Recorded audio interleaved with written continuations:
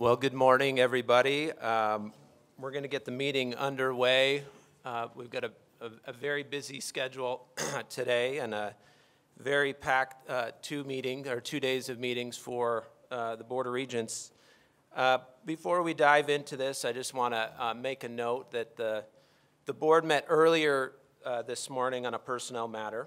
And as chair, I determined that the individual's right to privacy clearly exceeded the public's right to know and close the session. Uh, additionally, uh, we did take roll call uh, at that time in an executive session, so we won't be doing that uh, here this morning.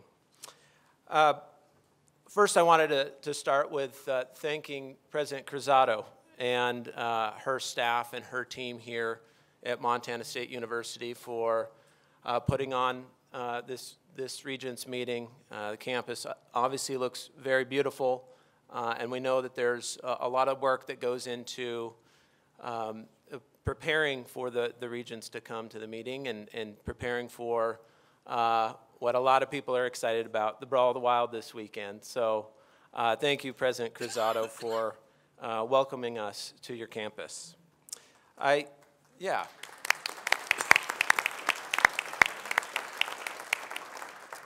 I also wanted to uh, welcome the Legislative uh, Education Interim Committee, which is uh, meeting alongside us uh, today and tomorrow here in the sub. Uh, they're having uh, their reoccurring meeting here on campus, and um, we will be spending some time with them tomorrow for, for a couple hours um, in a joint session discussing a wide, wide range of different topics um, that I'm sure that will be productive and informative, uh, particularly talking about uh, resident student access, uh, something that this board has been working on uh, in partnership with uh, our legislators. We'll be talking about two-year education um, and some other initiatives that are, that are critical for uh, university system and some shared goals with the interim committee. Uh, we do have uh, a very full agenda ahead of us, but I wanted to make um, one announcement. I saw a, a, former member of the Board of Regents uh, was here, uh, Regent uh, Major Robinson, if he could stand up.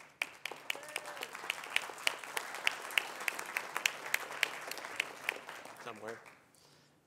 Um, we're going to have a, uh, a presentation this morning from OCHE on uh, the 2019 fall enrollment numbers uh, across the university system. Uh, and OCHE will also be uh, unveiling uh, the early part of the college and career access portal, as well as uh, do, sharing some updates on the academic approval process, a process that we've been working on through through the ARSA committee and in partnership with the CAOs across the system for quite some time. So we're excited to see that this morning. We'll also hear a presentation on career and technical education through our two-year programs. Um, that was actually given uh, to the MU West two-year study commission, uh, legislative commission, uh, for this interim period. Uh, but before we really dive in and get started, I'd like to take a moment to to recognize a couple individuals who exemplify the mission shared by all of us here today. And as all of you uh, know, collaboration with our K-12 schools is essential to what we do at the college level. And that boils down to what happens in the classroom. So I ask you all to please join me in passing along the board's congratulations and gratitude to Linda Rost, of Baker, Montana, who was recently named the 2020 Montana Teacher of the Year.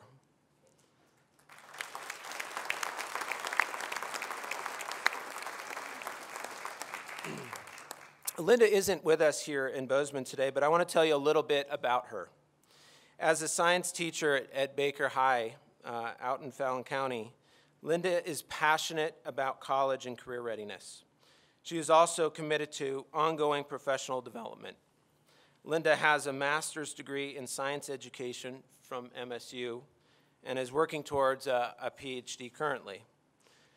Teachers like Linda are critical to our state's future, and we thank Linda and all the teachers who serve our rural communities for the essential work uh, that they do. This board discussed uh, the crisis in rural education uh, a couple years ago up at Havre, and what we need to do as a system and what we need to do as a state to prepare teachers to go out into our rural communities to be high quali highly qualified teachers. And I want to congratulate MSU Bozeman on a new exciting program that, that they've brought to campus to bring more teachers like Linda out to rural Montana. MSU and its partners, including the Office of Public Instruction, were recently awarded $6.2 million for an innovative online program to recruit, recruit train, and mentor dozens of high-quality educators to work in K-12 schools across rural Montana. This includes a $3.1 million grant from the U.S. Department of Education and more than $3.1 million in matching funds and services from nearly a dozen partner organizations across the state. The five-year project will educate a total of 78 teachers, targeting individuals who live in a rural area, already have a bachelor's degree, and are motivated to make a career change to become a teacher. And one of the things I think is most exciting about this program is that the participants will have their tuition and fees paid and will receive a living wage stipend, allowing them to study full time and to complete a semester of student teaching to earn their master's degree. The participants must commit to teaching for three years in high needs rural school in Montana. Please join me in congratulating all who worked so hard to bring this important opportunity to Montanans. And this includes MSU Education Professor Ann Eubank, Tricia Seifert, head of the MSU Department of Education, and co-principal investigators for the project, Jennifer Luebeck and Jayne Downey. A big thank you also goes out to uh, Superintendent Arntzen and the Montana Office of Public Instruction and your project team. We look forward to seeing the fruits of this project come to life in our rural schools. And finally, I would like to offer the board's congratulations to Dr. Beth Weatherby, Chancellor from the University of Montana Western. Dr. Weatherby was recently named the Montana Ambassador Mike Malone Educator of the Year.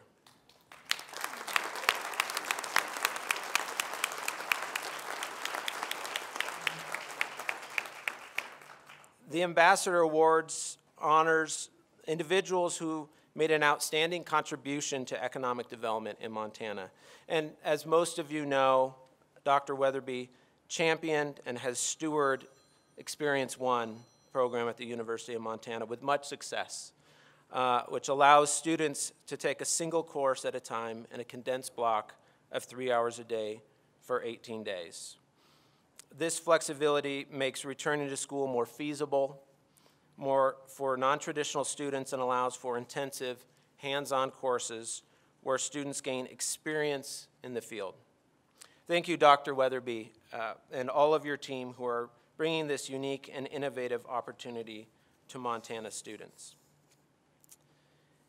And with those introductions, um, we're excited for a, a very productive uh, couple days, and I wanted to turn it over to our, our host uh, this week, President Cruzado. Yes. Thank you so much, um, Regent Lozar. Good morning, everybody, and good morning um, again, Mr. Chair, Regents, Commissioner Christian, Governor Bullock's representative, Provost Harver, um, our faculty leaders, the colleagues from all our campuses, good morning and welcome to your university, Montana State.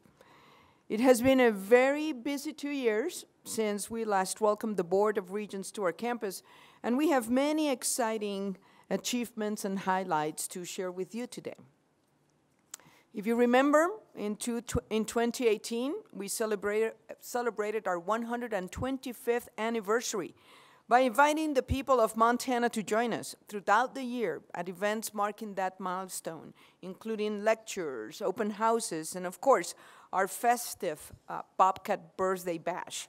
And here's to the next 125 years of excellence. Also, two years ago, we underwent reaccreditation with the Northwest Commission of Colleges and Universities. MSU has been accredited with the Commission since 1932. And among the commendations that MSU received, one was the campus-wide adoption and adherence to our seven-year strategic plan. This year, MSU adopted a new seven-year strategic plan, Choosing Promise, and we have left on your desk copies of our new strategic plan. It sets forth three intentional focus goals, and our plan, we decided to title it Choosing Promise because it reflects our commitment to our land grant values. At Montana State University, we do not chase prestige, we choose promise. So, the first intentional focus of our strategic plan centers on transformational learning experiences and creating outstanding educational outcomes for all students. Outstanding outcomes for students begin with welcoming them to MSU in the first place. Notably, we have seen records in enrollment and other key student performance indicators, and this fall's enrollment of 16,766 students is the second highest in university's history. But this is what we have learned. It is not about recruiting students. If we do not commit to them staying in school, and graduating on time, we are not doing our job. MSU this last year awarded a record 3,362 undergraduate degrees, up roughly 500 degrees over this time just 500 years ago. When we break down the numbers by degree type, this is what you can see. We're heading in the right direction. Not only we have all-time highs in terms of, of bachelor's degrees, at the bottom of the chart, you'll see that MSU has doubled the number of doctoral degrees, which is a huge lift on the part of our faculty. Our graduation rates are also increasing. Our six-year uh, graduation rate has moved up to 56.1%, which is up more than seven points in the past decade.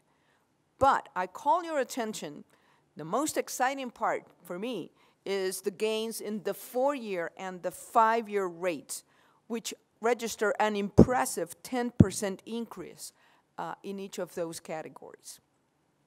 How do we do that? In large measure, we have been talking about uh, our signature uh, program, the Freshman 15, which incentivizes students not only to add uh, pounds to their waistline, as I tell them when we welcome them, but to add rigor to their schedules, to take more credits per semester, to graduate sooner and with less college debt. Freshman 15 is also working. We have seen consistent growth in the number of credits taken by each student. MSU's increases in graduation and retention rates have come without restricting admission standards, which fills my heart with joy because it means each and every one of our campuses can do the same thing. Consistent with our mission, your land-grant university promotes open access to higher education, welcoming the sons and daughters of the working families of America. This is what choosing promise means. On the topic of student debt, MSU seeks to educate our students about responsible borrowing, repeating the advice to borrow only what is needed, not all that you're eligible for. And back in 2014, we decided to launch a new effort, which, uh, as you can, uh, which we call the Know Your Debt Letter. Um, here's a model that we used back in 2014 for that um, student, Clay Christian. Um, He's persistent. He's been here since 2014. But, um, but we, we want we send him this letter to that end, right? We want for you to know your debt and and to be informed of important programs and options at MSU and at the federal stu- uh, student loan in terms of conditions. So this is what we what we have seen that um, students, because of that, are taking out less money or borrowing less than their peers, about $800 less than, the, than their peers, and they default less or among the lowest in the nation. So what you see in the graphic is about 51% of all graduates borrow, right? Not all of them, 57% in the nation. They borrow less money, about $800 less than the nation, and then they are really committed to paying back those dollars. Um, because of the Know Your Debt letter just this last week, uh, Karina Beck was uh, invited to a group of, uh, of institutions that attended a, a, meeting at the White House um, to discuss the future of financial success um, in the nation. I will also mention the Know Your Debt letter that Montana State University has been using is not copyrighted. Other institutions in the nation are taking full advantage of it. And if uh, any of our peers uh, or any of our colleagues here would like to learn more about the letter and how we uh, uh work with it, we'll be happy to help. Of course, no program exemplifies MSU's commitment to access as the Hilleman Scholars Program. This year, we welcomed, hard to believe, we welcome our fourth cohort. And come next spring, we will graduate our first cohort of Hilleman Scholars this coming May, with the exception of three Hilleman Scholars who will not graduate in May because they will be walking this December, completing their degrees in 3.5 years.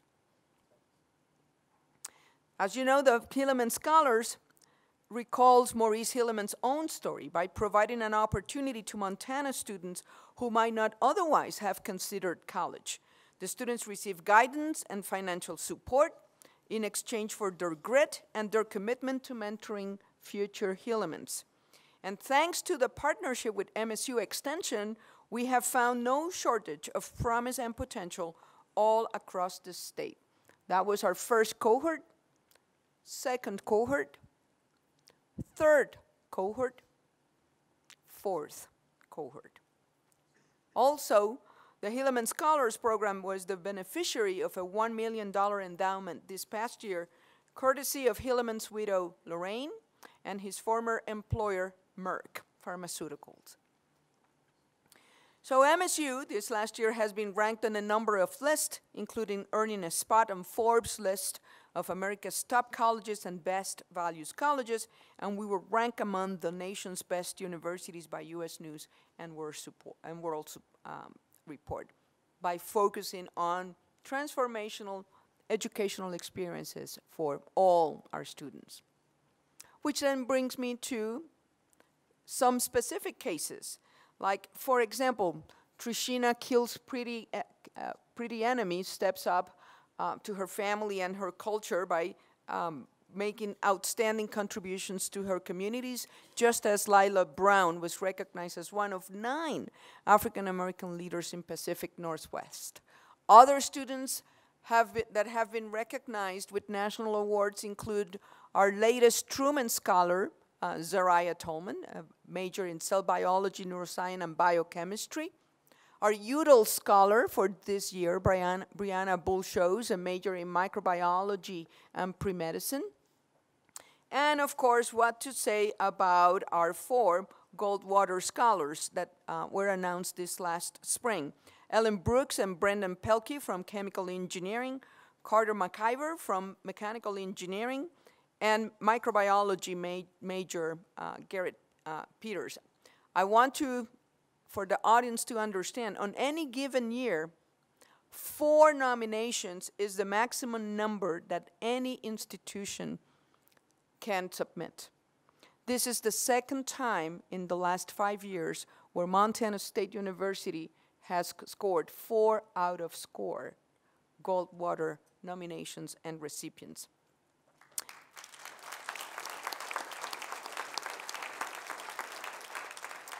Because of that, MSU is among the top institutions in the country for the number of Goldwater scholars it has produced with 74, which puts us in position number nine in the nation, tied with Johns Hopkins.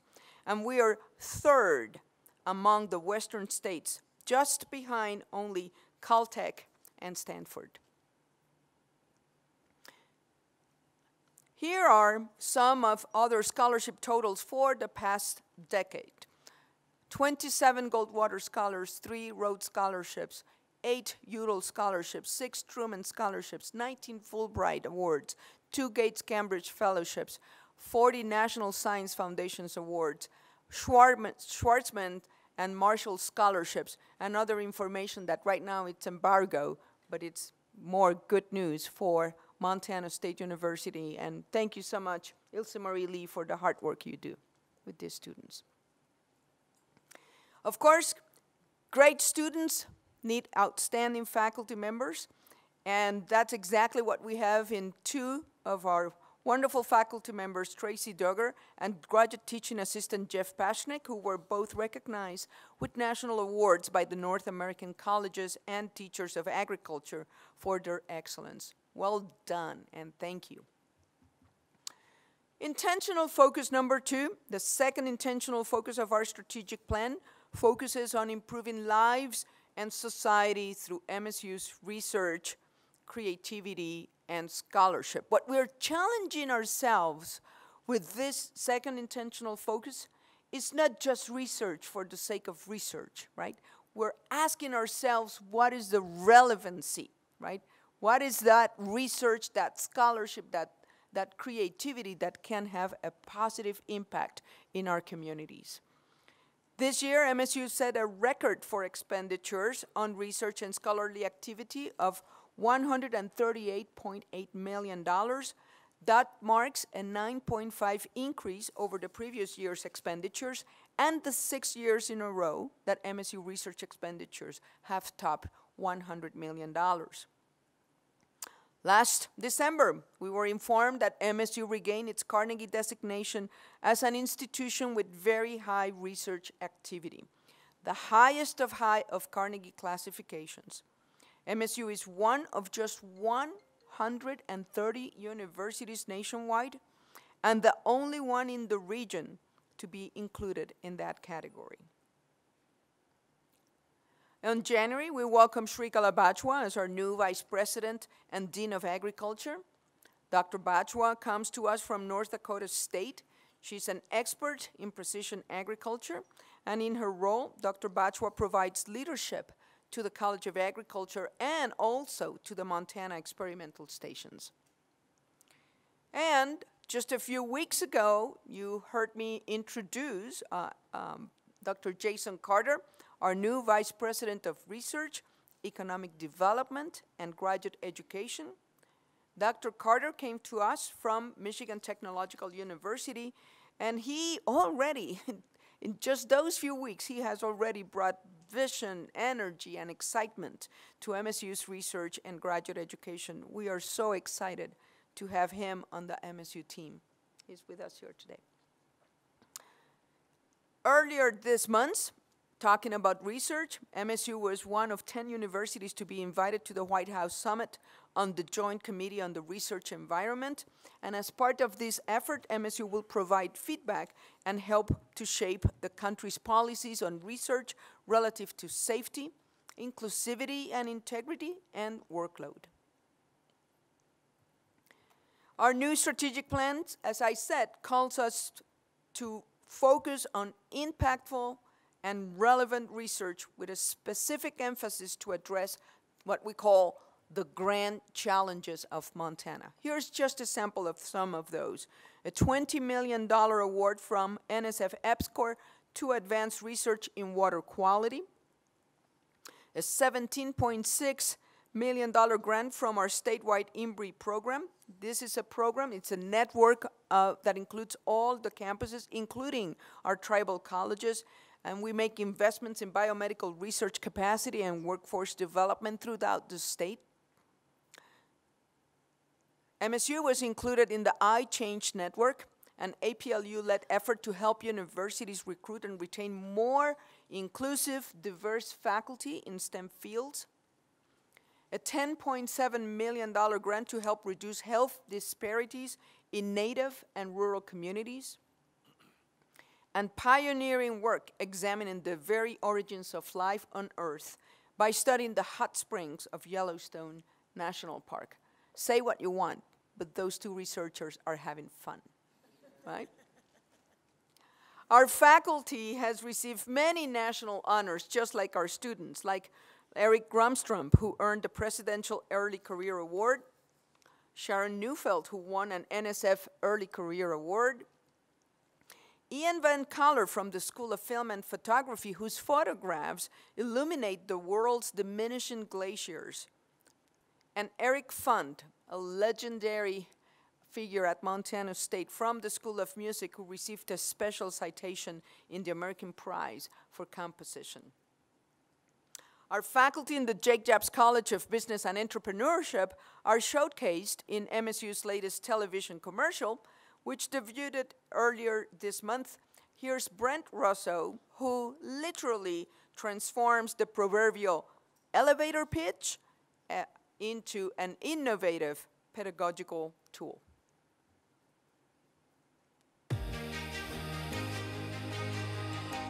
My mission as a professor in the Jake Jabs College of Business and Entrepreneurship at Montana State University is to train students how to take their passionate ideas from elevator pitch.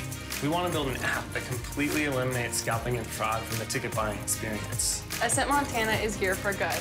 We are a lifestyle brand that gives back to our U.S. military. To product,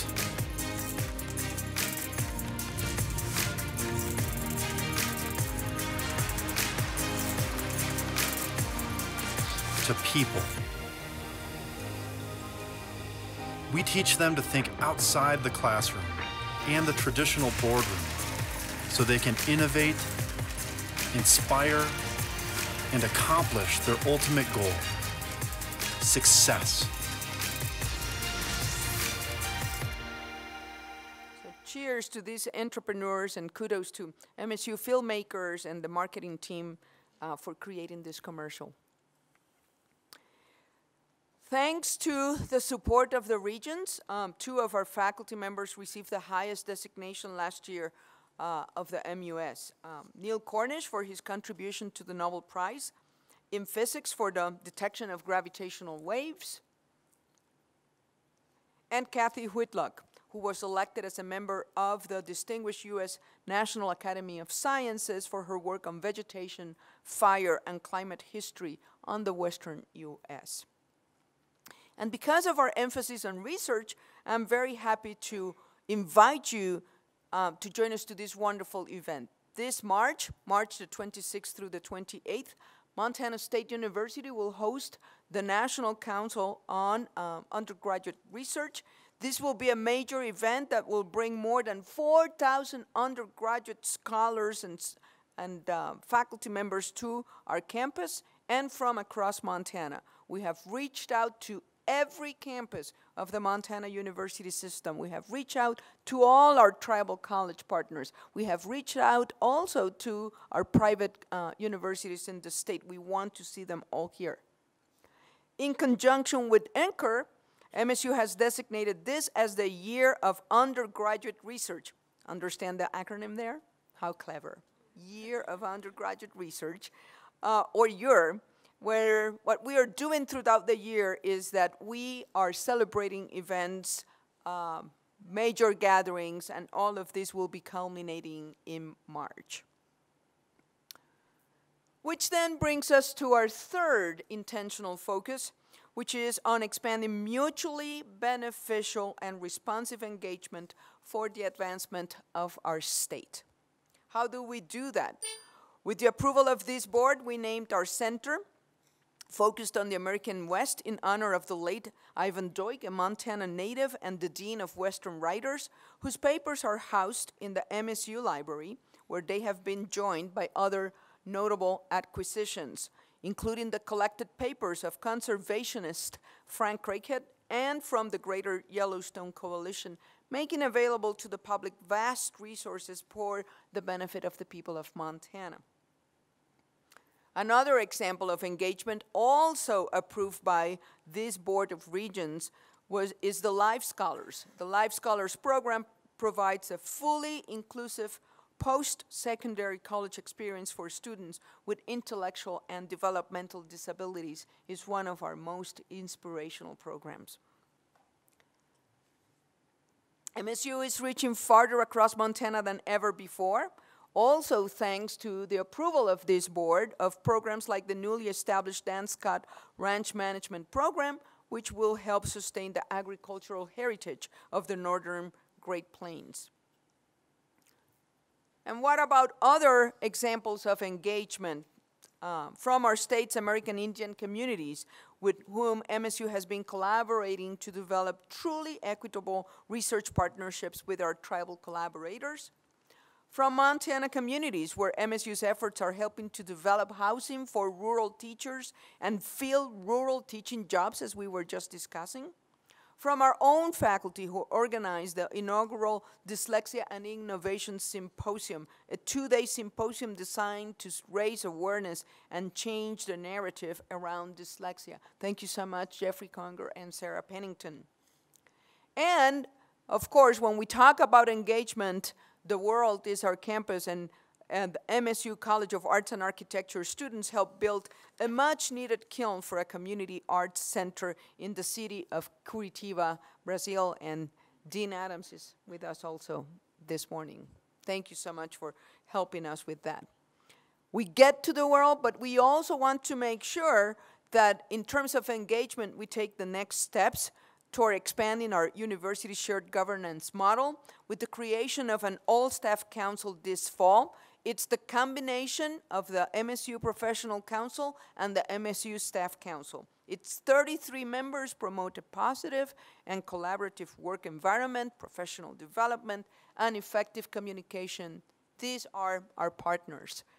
And we also take time to recognize the incredible work that our staff uh, accomplishes. We have, of, in the last uh, few years, uh, inaugurated new programs like Celebrating Milestones in Service, where we celebrate individuals who accomplish a five-year anniversary. This last year, we recognized anything from individuals who have been with us for five years to uh, Jerry Marks, who just celebrated 50 years of working at MSU Extension in Missoula, nonetheless. And of course, our Pure Gold program, which is a wonderful opportunity where every Wednesday we sent out an email to faculty, student, and staff in all our four campuses, seven agricultural centers, and all extension offices, telling them about one individual who has proven that uh, they have excelled. And perhaps one of the most uh, important events for me, in that I'm very fond of in terms of engagement is this tradition. Each summer now for eight years, MSU administrators, including the commissioner, faculty, students, staff, and alumni have traveled across portions of the state by bus to meet people and to learn about the communities that we serve. Just to give you a glimpse of the last two years, in the summer of 2018, we traveled to northeastern corner of the state, learning from community and agricultural leaders along the way, from Lewistown and Jordan to Plentywood and Fort Peck, and all the way, I cannot see it there, but we got to Froid, Montana. that was the follow the arts and the history of northeastern Montana. Here we are with some of the leaders there. And this past summer, we visited the northwestern corner of the state, learning about the communities and economies of the mountain region. It is a long road, but the people we meet and the things we learn about Montana's communities make the trip well worth it year after year. This trip is always a valuable opportunity for us to tour our state, to get out of Bozeman and to learn more about Montana's people, culture, history, and economy. This is over eight years. We have been able to be all over the state. As you can see, there are just three counties we have yet to pass through. And don't worry, Beaverhead, Toole, and Liberty counties know that we're working on getting up there to see you soon. Talking about engagement, next week as the nights become longer, we will celebrate another annual tradition, Lights on Montana Hall. The campus community and our friends are invited to gather around the Spirit statue on Wednesday for festive music, holiday treats, and the lighting of our iconic Montana Hall for the holiday season. We light Montana Hall on three special occasions for these um, the darkest nights of the year, as we like to say. We also light Montana Hall uh, every February 16 on Founders Day, and we light Montana Hall every time the Bobcats defeat the rivals across the divide. Another form of engagement comes through our, foundings fund, uh, our foundation's fundraising efforts. This past year, the university completed its capital campaign in grand style, far surpassing our original goal of 300 million. Our campaign, what it takes, it took you. We raised $413 million.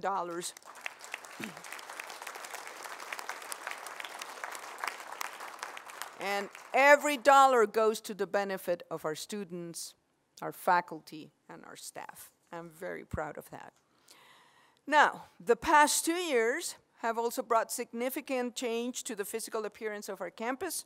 As you may have noticed, just outside the doors of this building, in December, we inaugurated the Norm Asbjornson um, building made possible by Norm's generous gift of $50 million to this university. It is only one of, of 10 buildings in Montana certified LEED Platinum, and it uses half the energy per square foot as many other buildings in campus, in spite of its 100, 110,000 square feet. We have a new construction zone site of our future American Indian Home, a $20 million project made possible by generous um, donors for the benefit of our um, Native um, students. And I want to publicly recognize the incredible help of former Regent Major Robinson in helping us reach out to the state and consult with our elders as to what will this building should look like and accomplish. Our rendezvous, our new rendezvous dining pavilion, which opened last summer, has become one of the busiest uh, places on campus, especially around lunch hour. Rendezvous has already won many awards for its design, its cuisine, serving many foods from Montana farms, ranches, and featuring incredible bacon and pork meat from healthy pigs raised by our very young 4-H Montanans. Nearing completion is Highlight Hall, our newest residence hall, which will, will open next fall. The six-story residence hall will house up to 510 students. And finally, my goodness, we wrap up the tour just a few steps west of here with Romney Hall. Have you heard those words before?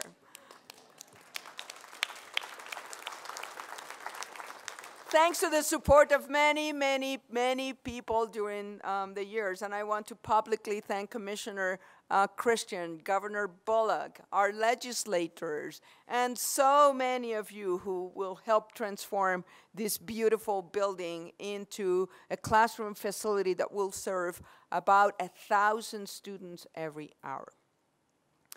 So with the weekend fest approaching, I want to finish my presentation uh, giving you uh, a little bit about Bobcat Athletics.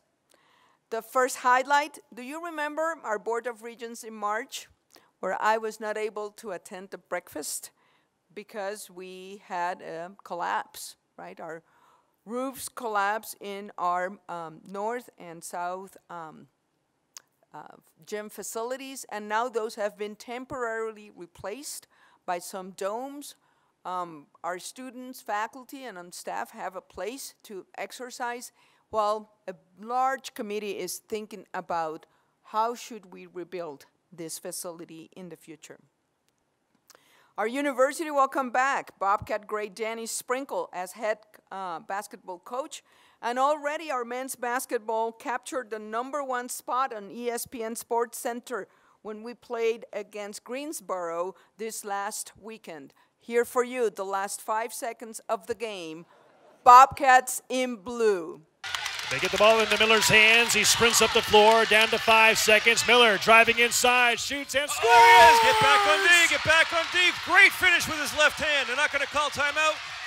Here No fouls. Frey for the win. Oh, you're kidding me. Banks it in. Oh, my. Harald Frey banks it in Oh, from half court. goodness. Montana State wins it. That Harald Frey, good and gracious. Oh. Because our students are, are special, we want to talk about the future with this Bobcat Athletics Complex. Uh, thanks to the generosity of many, we raised $18 million to raise this two story addition to the north end of the Bobcat Stadium. The Bobcat, um, the stadium addition is expected to open ahead of the 2021 football uh, season.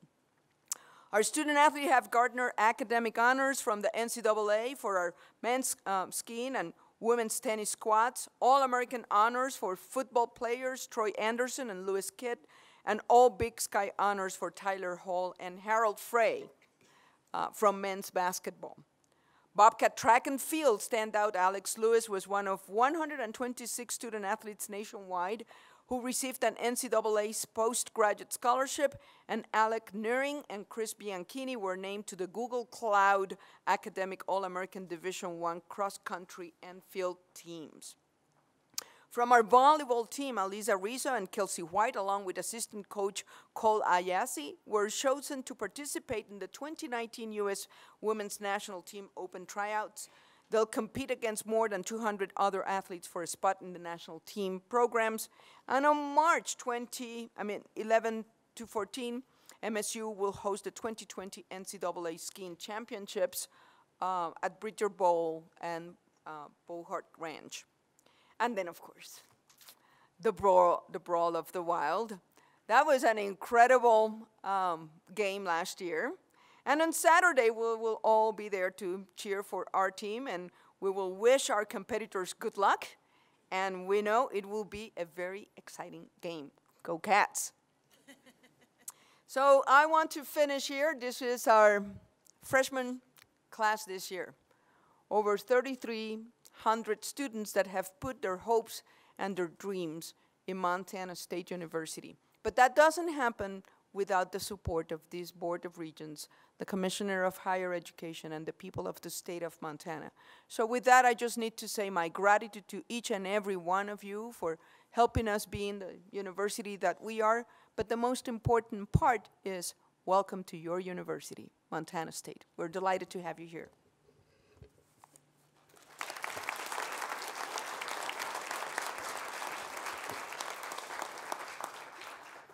Thank you, President Cruzado.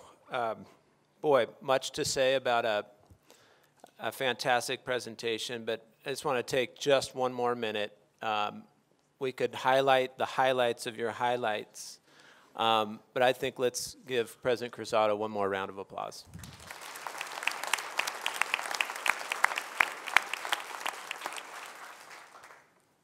We're going to move on um, to approve uh, the minutes from our last couple meetings, but before we do that, I just wanted to uh, make note that um, we are joined today, this morning, um, by uh, Dr. Austin um, from MSU, the Faculty Senate Chair, so welcome uh, to the meeting, Dr. Austin. Um, So at this point in time, we want to approve the minutes, uh, and I'll entertain a motion to approve uh, the minutes as noted, September 11th and 12th and October 16th. Moved by Regent Sheehy. Any discussion uh, from the members of the board? From the campuses? Any public comment? Seeing no further comment, I will call for the vote. All those in favor signify by saying aye. aye. Aye. Any opposed, same sign. Motion passes. All right, we're going to hand this over to uh, Commissioner Christian, but before we do that, we have a, a special uh, guest with us uh, today, and I'd like him to, to come up to the podium. This morning, we are joined by Major General Matt Quinn, the Adjutant General for Montana, for uh, a special announcement.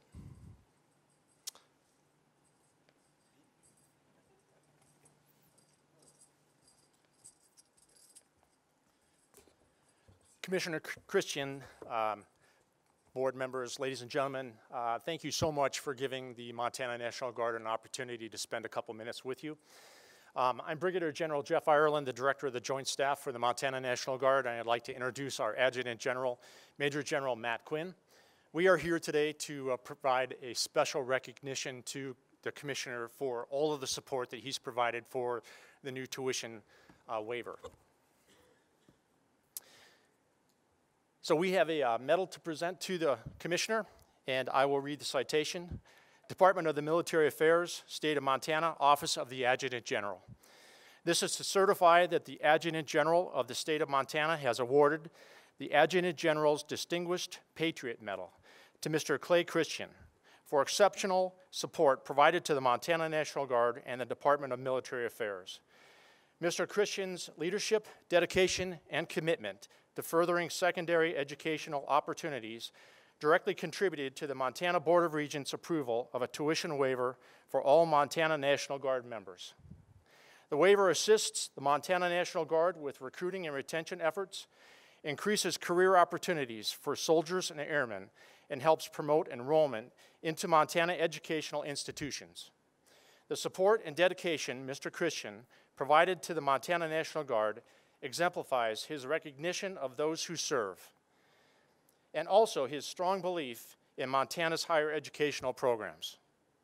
The singularly distinctive accomplishments and dedication of Mr. Christian reflect great credit upon himself, the Montana University System, the Montana National Guard, and the great state of Montana. Given under my hand in the city of Helena this 21st day of November 2019, Signed, Matthew T. Quinn, Major General, Montana National Guard, the Adjutant General.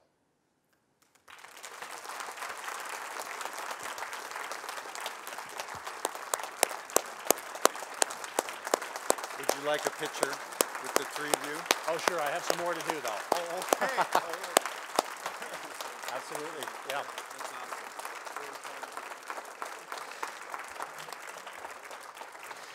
And as a further recognition, General Quinn is now presenting a challenge coin, a two-star challenge coin to each one of the board members. Uh, this is a pretty coveted uh, piece of uh, metal that signifies the excellence that individuals provide in support in their, for their military. And I'm not sure if you really fully understand the significance that this waiver brings to our organization. Uh, it gives us an opportunity to uh, further extend a benefit to those who serve our great uh, state and our nation.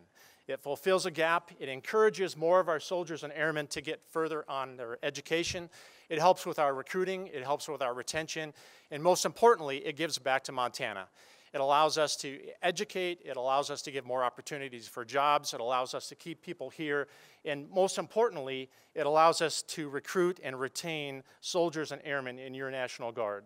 Without soldiers and airmen in our organization, we are not able to fulfill our state and our federal missions.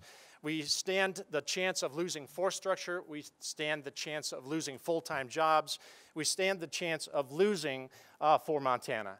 So I can't tell you how much this means to all of us, and we are so appreciative of what you've done for us. And this is a legacy that will live on and complement our state and our National Guard for many years to come.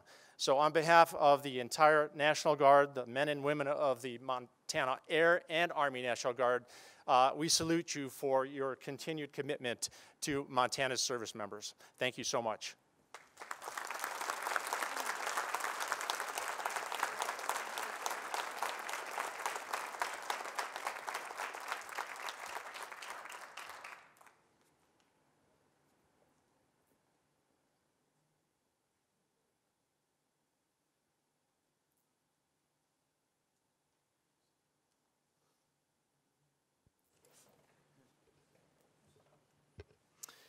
Thank you, General Quinn. I'm sure you weren't quite aware of that. No? So you have opportunity to give a very long speech about your award, or you can do the commissioner's report. Well, I, yeah, I'm, I'm speechless, which usually doesn't happen to me. Um, I don't love surprises, so I thank my staff for that. but uh, truly, I'm, I'm humbled. Um, thank you, and I, I do believe um, in the cause. This will uh, help not only uh, the Guard, but the Montana University system. So I, am very, very appreciative of the honor, so thank you. Um, I will go into the commissioner's report, though, because I think it's probably time. Um, want to uh, first start by uh, saying thanks to you, uh, Chair Lozar and, and uh, Vice Chair Tuss for all the, the extra hours of late. Um, I really appreciate the dedication, and I want to thank the entire board for uh, their time and attention to public higher education in the state of Montana. I, I really honestly don't think uh, the public can ever truly appreciate the hours, time, dedication that uh, you all, all give us uh, as part of this system each and every week, and uh, we thank you for that time and attention very much. So I will dig in. We've got a lot to cover today. Uh, we talked a little bit about uh, what's on the agenda for tomorrow. I think that'll be very productive to have uh, the interim legislative committee here. Looking forward to that. Uh, Want to also extend my gratitude and thanks and honestly congratulations to President Cruzado. Uh, I was going to mention some of the highlights, but uh, there's uh, that that, that presentation really captures the spirit of what's going on here at Montana State and congratulations to you and your team for all the, the hard work. So I want to dive in uh, on the sort of bulk of what we're, we're going to address over the next few days. Uh, you know, at the heart of what we've talked about over the last few years now has been the uh, resident student access um, initiative and how do we get there. I think we've talked a lot about uh, the notion of a portal. We've made uh, promises at the legislature. We've talked a lot about uh, that idea with this committee. We've talked about it on campuses. So why do we need to do it? I think is the fundamental question that we, we try to ask ourselves. We're, we're not at the state office in the business of trying to uh, roll things out just for the sake of doing something. We want to add value where we can and when we can to the state and, and our student population around the state. Um, I think we've talked over the last few years about the economic need to see more students in the Montana University system. I think uh, even linking back to the governor's future ready workforce uh, proposals, uh, numbers we looked at at one of our last meetings. We can't meet any of those workforce needs if we don't capture and retain a larger percentage of Montana students. Um, we've talked a lot about the demographics across the country. Um, we've talked about them certainly in Montana. The, there's less students coming out of high school, and that that will continue. Um, and it doesn't line up well with the needs of our state and our country. When you look at uh, all states uh, around the country saying we need, we have workforce shortages, we need more workforce demand, and yet uh, less students coming into higher education. I've said anecdotally over the years that uh, the last few years what, a, what an anomaly Bozeman has been, and uh, some recent data would would uh, put some credibility behind that statement um, which he reported at our last meeting that across the country, higher education has seen for the last six years semester over semester decline. Um, and that's remarkable given the workforce shortages that we have. Some of that's driven by the economy in itself. Um, people can come out of school and find higher paying jobs in a 2% unemployment market than maybe they could otherwise. But it will have long term effects that we need to deal with.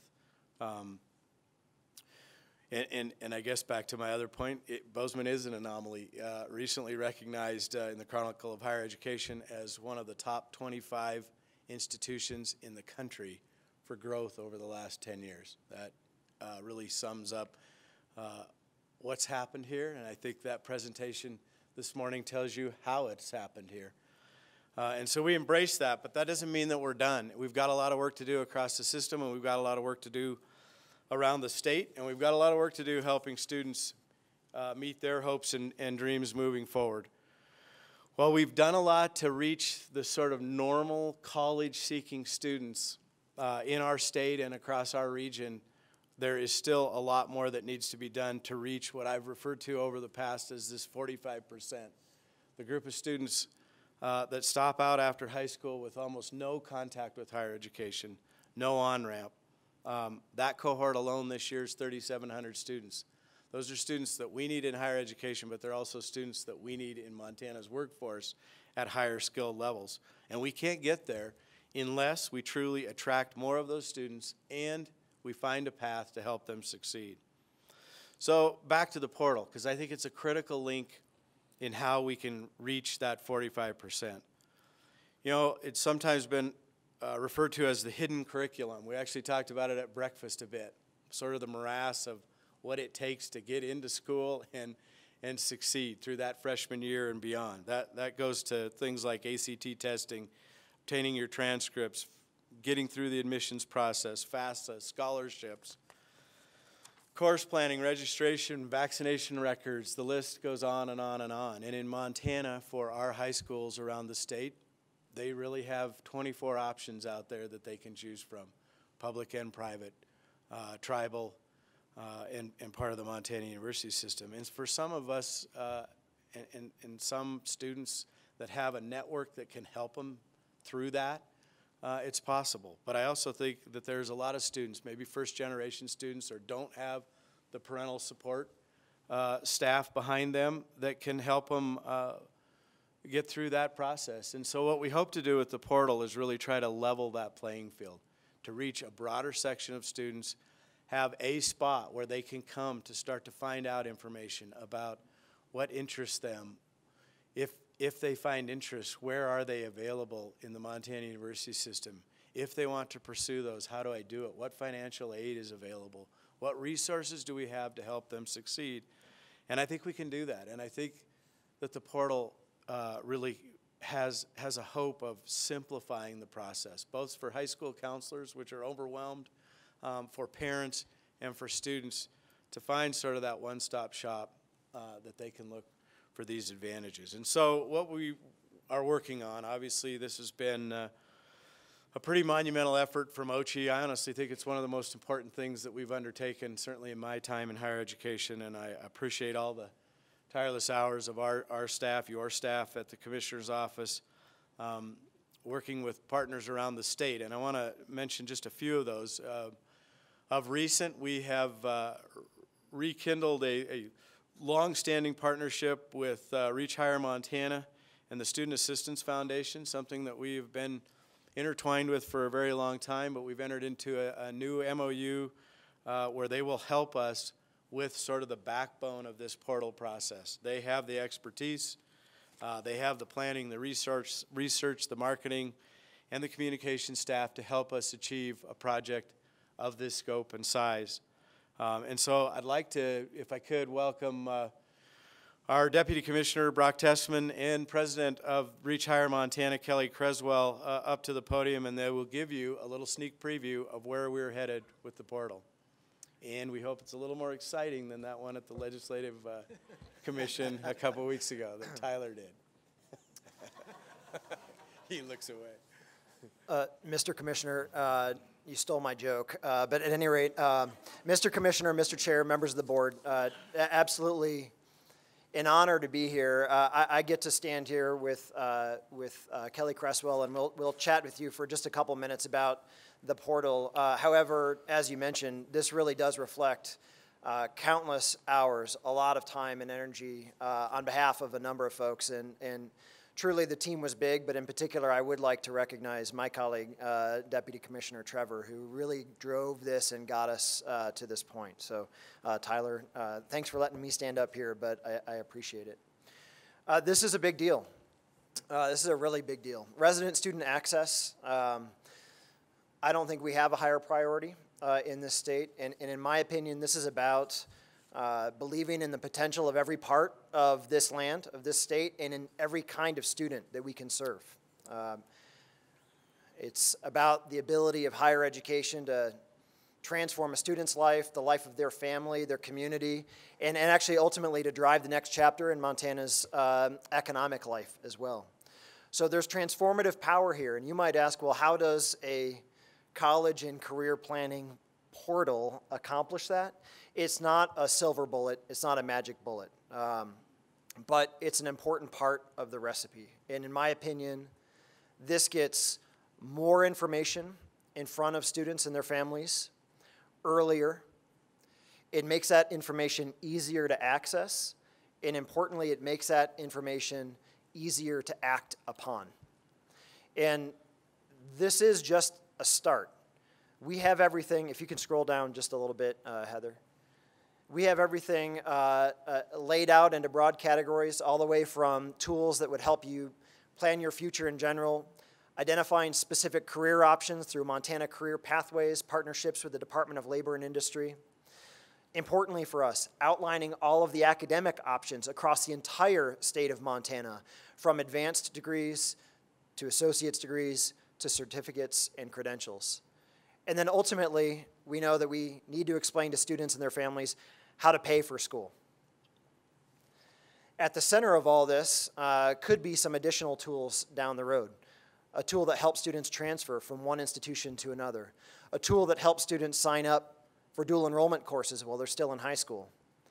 And I think perhaps at the center of it all, a centralized application process.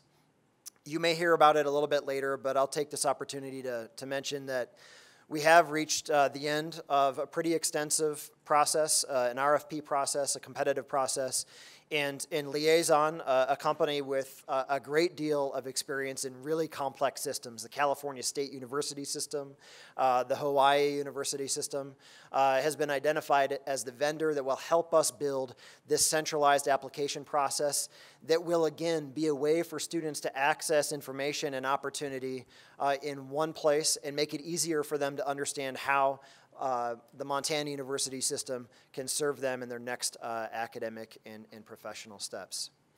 So we're extremely excited about this, not just for students who are thinking about pursuing a bachelor's degree, but this is also really about that set of students that may not understand that in their neck of the woods, there's a two year institution that offers an associate's degree or a credential or certificate that helps them on their way towards their next career goal and may make a tremendous amount of sense, both in terms of the return on investment and the way it fits with their personal and professional life. So, this is truly about access to students, and we have a great deal of belief in its potential. How did we come uh, to this point where we have uh, a, a portal that I think looks terrific and is increasingly functional? Functional? Well, if you do zoom back to November 4th uh, and you uh, were at the uh, Montana University System two-year commission meeting, you know that we started essentially with a Microsoft Word document that had a circle on it and about six or seven lines of basic text. Um, a good start, but in order to make this work, uh, we needed to partner with folks who've been doing uh, this kind of work for a very long period of time. And it is a privilege to stand here uh, with Kelly Creswell, Executive Director of Reach Higher Montana, the mission of Reach Higher Montana, right? right? To help students strategically pursue educational opportunities. This could not be a better match, and I'm really proud to hear what you have to say, Kelly, and to continue working with you on this portal. Thank you. Thank you very much. Thank you, Chair Lozar, Regents, Commissioner Christian, and guests.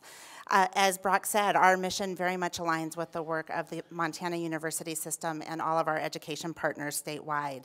And our partnership with all of you is not new. Um, we have partnered a lot over the years, uh, both Reach Higher Montana and Student Assistance Foundation. We share a board member, Bree Rogers. Prior to that, Casey Lozar was our shared board member. Um, we have a, a longstanding memorandum of understanding that guides our work. We used to share space. Um, as we move forward on the portal project, we've already formed some collaborative teams with staff from the Commissioner's Office and the Department of Labor and Industry.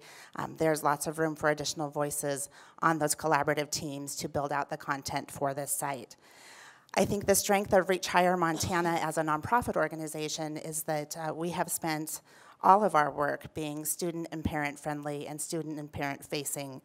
This site, at its current uh, point, would not be where it is without having worked with students right here at MSU. Last year, we consulted with students in MSU's marketing department to help us frame the things that are most important to students as they're figuring out what their next steps might be. We also conduct, conducted extensive user experience testing with high school students across the state and with parents across the state. So we're very eager to continue this partnership to build out the college and career access portal and to share the goal of helping more Montana students have opportunity to pursue their higher education goals. Thanks, Kelly. So thank you both. Uh, th- this this is exciting work, and uh, I I am just uh, thrilled to to bring this effort forward. Um, I, I think it can do a lot for Montana. I think it will do remarkable things to help us attract that 45 percent. And I've often said, you know, about 20 some percent of students go out of state um, for their college careers. There's nothing wrong with that, but um, we also have a vested interest in this state to try to keep some of those best and brightest students right here in Montana uh, being educated and, and, entering our workforce here. And so, uh, you know, that this has a broad focus on how we can help all students across the state. Um, at the same time, um, you know, I think one of the, the underlying principles of this work moving forward is to do no harm. And we're cognizant of that, and I want to share that message with the campuses because the last thing we want to do is get in the way of successful processes. Um, what we want to do is augment the good work that's going on, try to reach a broader section of Montana students, and rise boats for all students uh, moving forward. So the work of the portal will continue. Um, it's making leaps and bounds. Uh, the addition of liaison, liaison will uh, uh, move us uh, to the next generation, and we'll have more to say about this as we move uh, forward in the future. So, a, a, couple other kind of briefing things that I, I, think is important to share with the board. Had the opportunity to participate in some national meetings uh, over the last few weeks. Um, one with the Assistant Secretary, Bob King, uh, with the U.S. Department of Education, and another with the Deputy Undersecretary, uh, Department of Education, uh, Diane Jones. And there's a fair amount that continues to sort of move through the process. They've taken a pretty aggressive stance uh, with the uh, negotiated rulemaking process, something that's required in, in changing federal edu education policy. Uh, still waiting for the, the rules uh, around Title IX, but they did release some rules around accreditation. Um, and state reciprocity agreements. The reciprocity agreements aren't that unique. Um, it's a 512 page document, which I haven't fully digested, but there are some really interesting things in there about accreditation. Um, and the undersecretary says that they will, their proposal is to remove the concept of regional accreditors from the federal requirements. And I think that could be a, a pretty uh, major shift for higher education because now all of a sudden you can seek accreditation anywhere with anyone. Uh, it's not regionally bound. Um, you know, I, I don't know what all the ramifications are, of, of, that will be. In, in some ways, there's some concern that now institutions sort of shop for the best accreditation. That may not be productive. Uh, but on the other hand, uh, it, it, would lend itself well for institutions of similar scope, size, and, and mission maybe to accredit, accredit themselves uh, at a national scale instead of uh, a regional scale. It also suggests uh, in, in the language that they will uh, allow multiple accreditations, maybe opening the way, paving the way for faith-based accreditation uh, was certainly one of the topics she discussed, um, but has some, some interesting things moving forward. We'll continue to watch those uh, on, on all of the system's behalf as we move move ahead. They also spoke about uh, Section 117 reporting, something we've been looking at. It is where uh, any institution that receives more than $250,000 of foreign gift has to report that to the federal government. They are talking about broadly expanding that language to include uh, tuition, research, other things. So if there's foreign dollars that help sponsor uh, whether it's scholarly or research activity on campus, they may have to be uh, reported at a much different level. Um, we have our compliance officer, uh, new to her job, but uh, definitely engaging, Jessica Weltman, who is uh, trying to figure out what this means, what we're doing. Uh, I will tell you, across the country, they say about 3% of the institutions are currently reporting. Um, maybe that's all it needs to. Maybe there's a gap there that we need to fill in, and I think that's certainly on the priority table for us to try to see. There are some institutions um, that they have started to investigate. And we uh, aren't anxious to be on that list, so we will try to get up to speed as quickly as we can. Um, and then a couple other things that I want to talk about on a, a much uh, closer level. Um, maybe it's fitting, given it's uh, Cat Griz weekend, that I end on these two. I don't think it was intentional, but uh, a, a, couple things that have hit of late. California passed uh, a law this spring to allow fair pay uh, to play, which is essentially something the NCAA has pushed back against for a long time in amateur athletics, receiving some compensation for endorsements for your image. Um, the NCAA talked a bit about uh, resisting it in, in a legal challenge, um, the constitutionality of it, the rest. In a pretty abrupt reversal, uh, about uh, three weeks ago, the board of the uh, of trustees for the NCAA um, have voted to adopt that into uh, the rules, and they will work. Uh, they, they anticipate rules could come out uh, early in 2021 around it. So uh, it certainly will have an impact on college athletics and something we will need to do uh, within our own state uh, to prepare for. And then finally, another change brought on in 2018 by a U.S. Supreme Court ruling that would no longer allow states to prohibit betting on sports uh, has sort of opened up the, the door for uh, conversations in Montana. I will tell you, in the legislative session, there were 60 bills relating to uh, gambling, anything from fishing derbies to horse racing uh, and everything in between. Two of them that hit closer to home for us, though, uh, were uh, bills that directly talked about betting on college athletic competitions. And the two bills that uh, ultimately came out of the legislature, one uh, by Mark Blasdel, 330, Senate Bill 330, um, and a second by uh, Ryan Lynch, one put the uh, sports betting in the hands of the private sector. The other, uh, Ryan Lynch's bill, placed it uh, in the rulemaking authority in the Montana Lottery. And the governor, Soch, chose to veto the private sector one and place the sports betting one he signed, putting than the rules and guidance with the, the Montana Lottery. Um, they are still working on rules. They anticipated maybe as early as July that those would be out.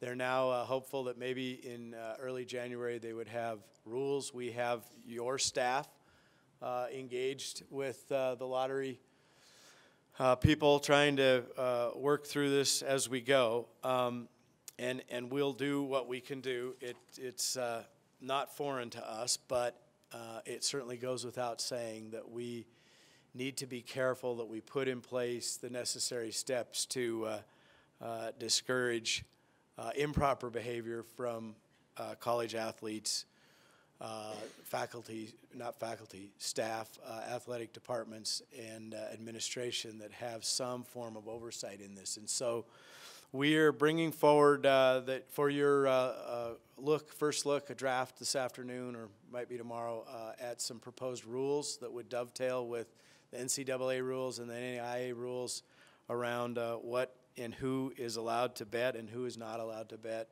or place wagers, provide information, other things around sports betting. So stay tuned for that one as well, and we hope to adopt uh, some some policy at a board level that will embrace what we need to do to keep uh, that uh, in in the right perspective and as pure and as as uh, positive moving forward in Montana as we can. Uh, the last comment I would make, I just uh, attended a meeting last week with your inner benefits.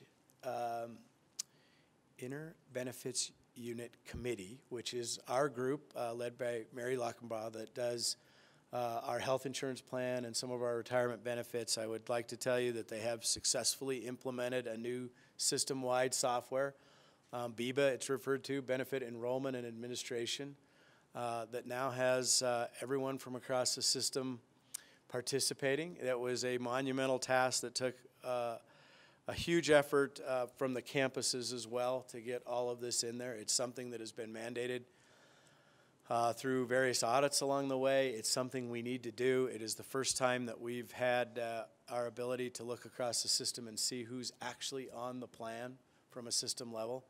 uh, so something that's very important in managing the plan. Uh, but I would also tell you that uh, we had the actuarial team there, and I'm, I'm proud to report that our health insurance uh, and benefits plans are doing exceptionally well. I feel very confident in the leadership that is there. We are managing uh, with sufficient reserves, sufficient cushion, um, a plan that I think provides rich benefits for all within the MUS. It uh, has relatively low um, deductibles. It has relatively low out of pocket when you look at other private sector plans, and so I'm very pleased with the work that they've been able to do. Uh, and we've done that uh, now for uh, going into three years without any increase to premiums. So I'm, I'm very pleased with the management of that plan. So, to get to the end of this, um, the next thing that is on our agenda is uh, a quick enrollment update from uh, John Thunstrom, who will walk us through some numbers, and we'll continue on. Thank you.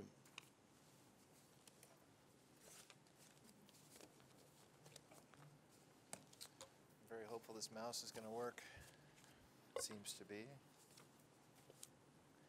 We switch that over. Oh, I guess I can do it. okay. Uh, good morning, Mr. Chair, members of the board. My name is John Thunstrom, for those of you who don't know me. Uh, I'm here to present our enrollment picture for fall of 2019. Uh, we'll be looking at census figures today, uh, which, as a reminder, are gathered at the conclusion of the 15th day of class for each campus, and we'll be utilizing a variety of dashboards that we have published on uh, the MUS website uh, to go over those figures.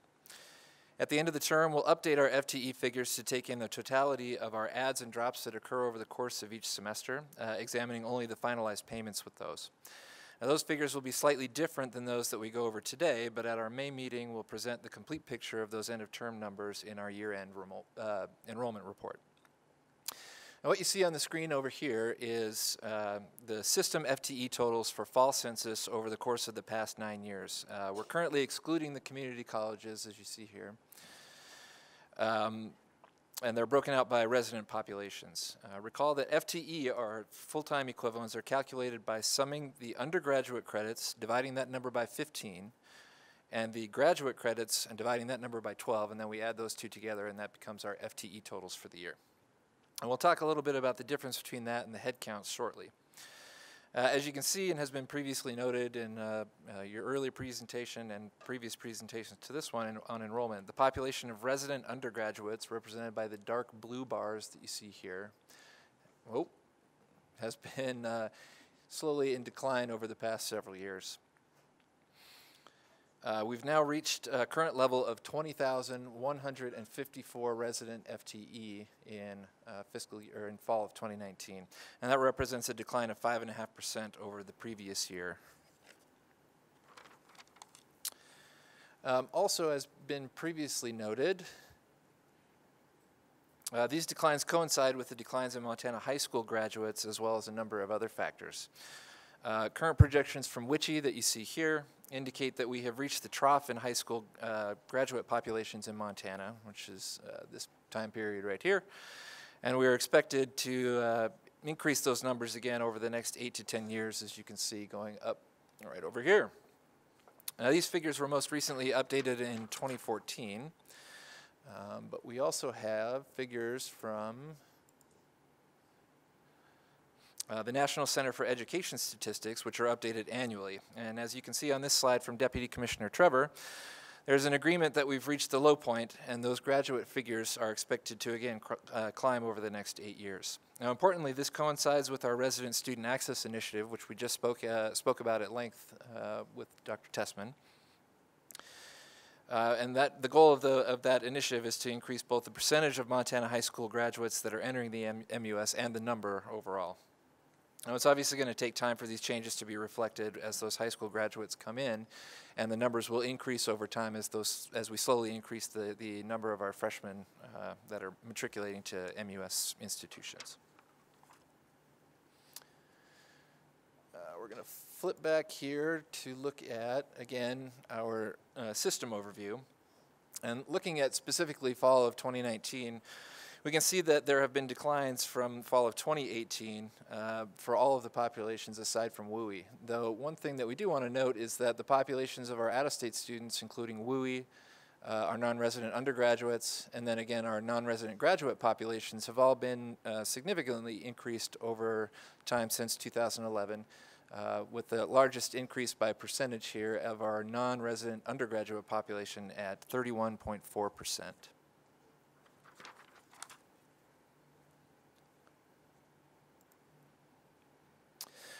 Uh, we're looking now at FTE enrollments by campus, um, hovering over the individual data points along the line. We can see that uh, we have additional insight into uh, different things of the populations of each campus. Uh, you can note that the pie chart below shows the percentages of each uh, residency category that make up the total, and again, the percent of change that we see over time for each, uh, for each campus. We have the ability over here to filter by uh, a number of different things. And what we see here is uh, we've filtered by um, uh, campus and by our resident populations to narrow it down to just the uh, regional four-year campuses. And you can see here that, again, we've seen the decline in those residents over time. Uh, and both the regional four-year schools and the two-year schools have greater percent of resident students as a total of their population. So you've actually seen those decreases uh, certainly affecting those campuses a lot over the last several years. Uh, we also have the ability to look again at just the two-year schools, and I wanted to point this out that we're now including the community colleges. And the reason that I had excluded them from, uh, from those uh, uh totals that you had seen before is that we only have information in our warehouse for Flathead Valley Community College going back to 2016, as you can see here. Uh, when we include those community colleges, that, that bump can sometimes throw off those bars. So they're not generally included when I go over the system totals. But I just want to note that they are out there. Uh, you can go out and look at all the two-year schools individually or uh, in conjunction with all the uh, community colleges as well and, and, and look at that in the dashboard as you see here.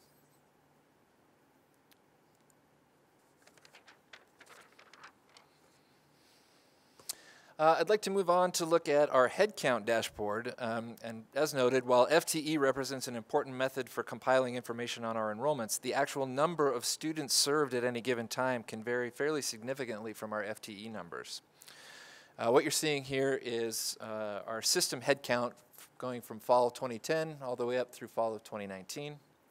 And again, we're excluding the uh, community colleges here. Uh, selecting any of the bars here will affect the demographic information that you see below. So if you wanted to see fall of 2017 demographic information, you can certainly click that and it will be reflected in the uh, charts that we see down here.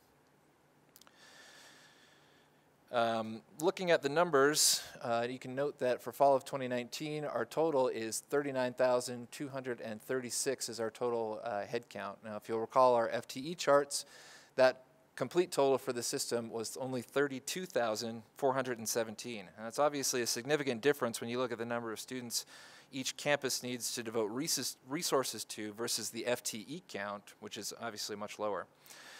Uh, scrolling down to look at the demographic detail, we can see that uh, the, the, the, main reason for this difference is that about a third of our students, uh, represented here, are only attending part-time.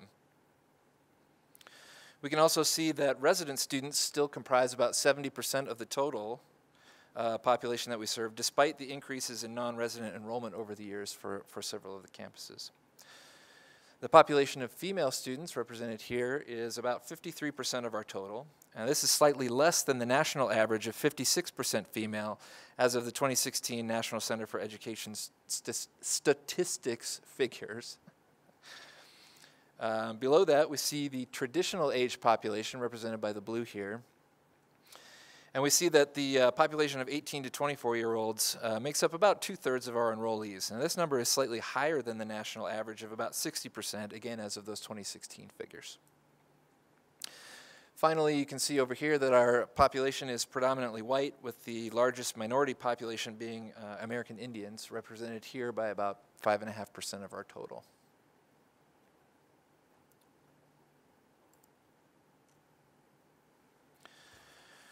Now, taking a closer look at just the two-year schools, we can really see a difference in the full-time, part-time mix as I scroll down here, with about 60% of, uh, of our enrollments at these campuses uh, enrolled only part-time. You can also note over here that the population of dual enrolled students is up to about 31% at our two-year schools.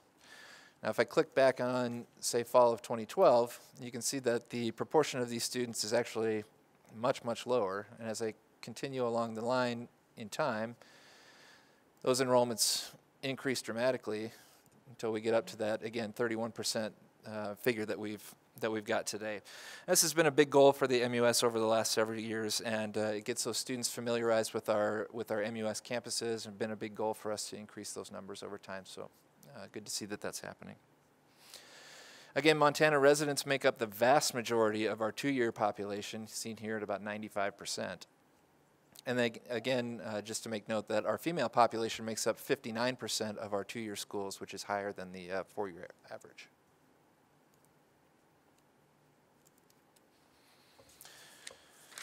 Uh, looking out just the four-year schools, the numbers track much closer to the system as a whole, which you would expect given that they make up the significant majority of the total population. You can see down here that those numbers match pretty close to the system overall.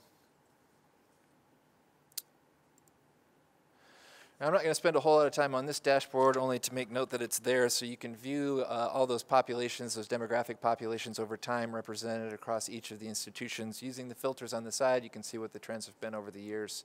Uh, for anyone who's interested in seeing those numbers, you can certainly go out and look at those.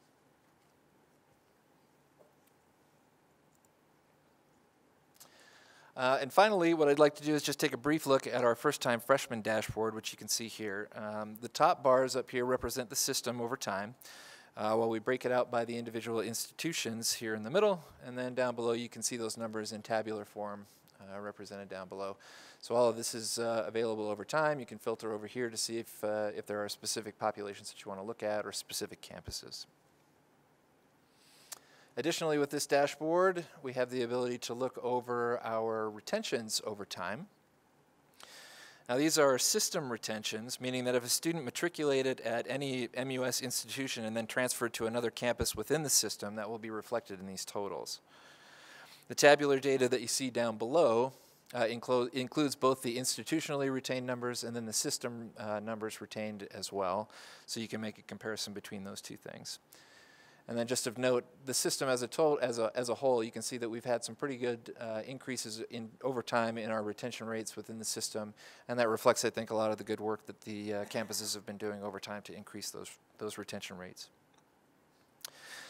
So that the, uh, with that, that concludes the information that I was hoping to cover today. Uh, the last thing I will show is just that uh, out on our mus.edu slash data slash dashboards page, you can see all of these dashboards broken out by various categories. Go out there and look at the dashboards that I presented today, as long as uh, as well as a number of others. Uh, for anybody who's interested, this is out there. You can play around with it. If you have questions, certainly get in touch. Uh, and with that, I would certainly stand for any questions that you may have as a board.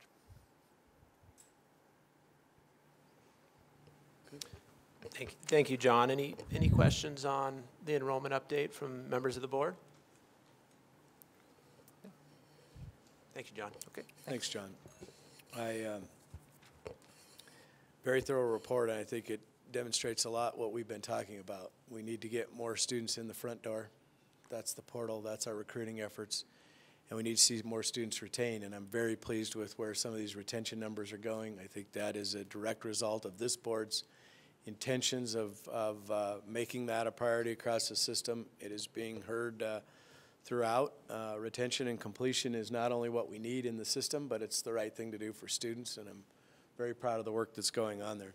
That's where our students, that's where we find them all. That's where, uh, frankly, Bozeman's found them, either in uh, uh, retaining students. Yes, that's, that's one avenue, but that's only a part of it. Um, recruiting students, a part of it. And I think those things combined uh, will get us the numbers that we need. And ultimately, uh, that work combined with the conversations we're going to have in Region Nice Students Committee and beyond around two-year education, those, those are the pieces of this puzzle that I think uh, give us uh, at least a path and a vision for how we get to some of the workforce challenges and the workforce shortages that we have in Montana.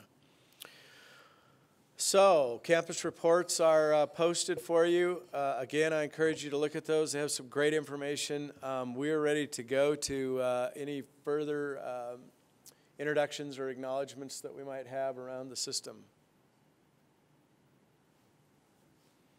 We've introduced everybody.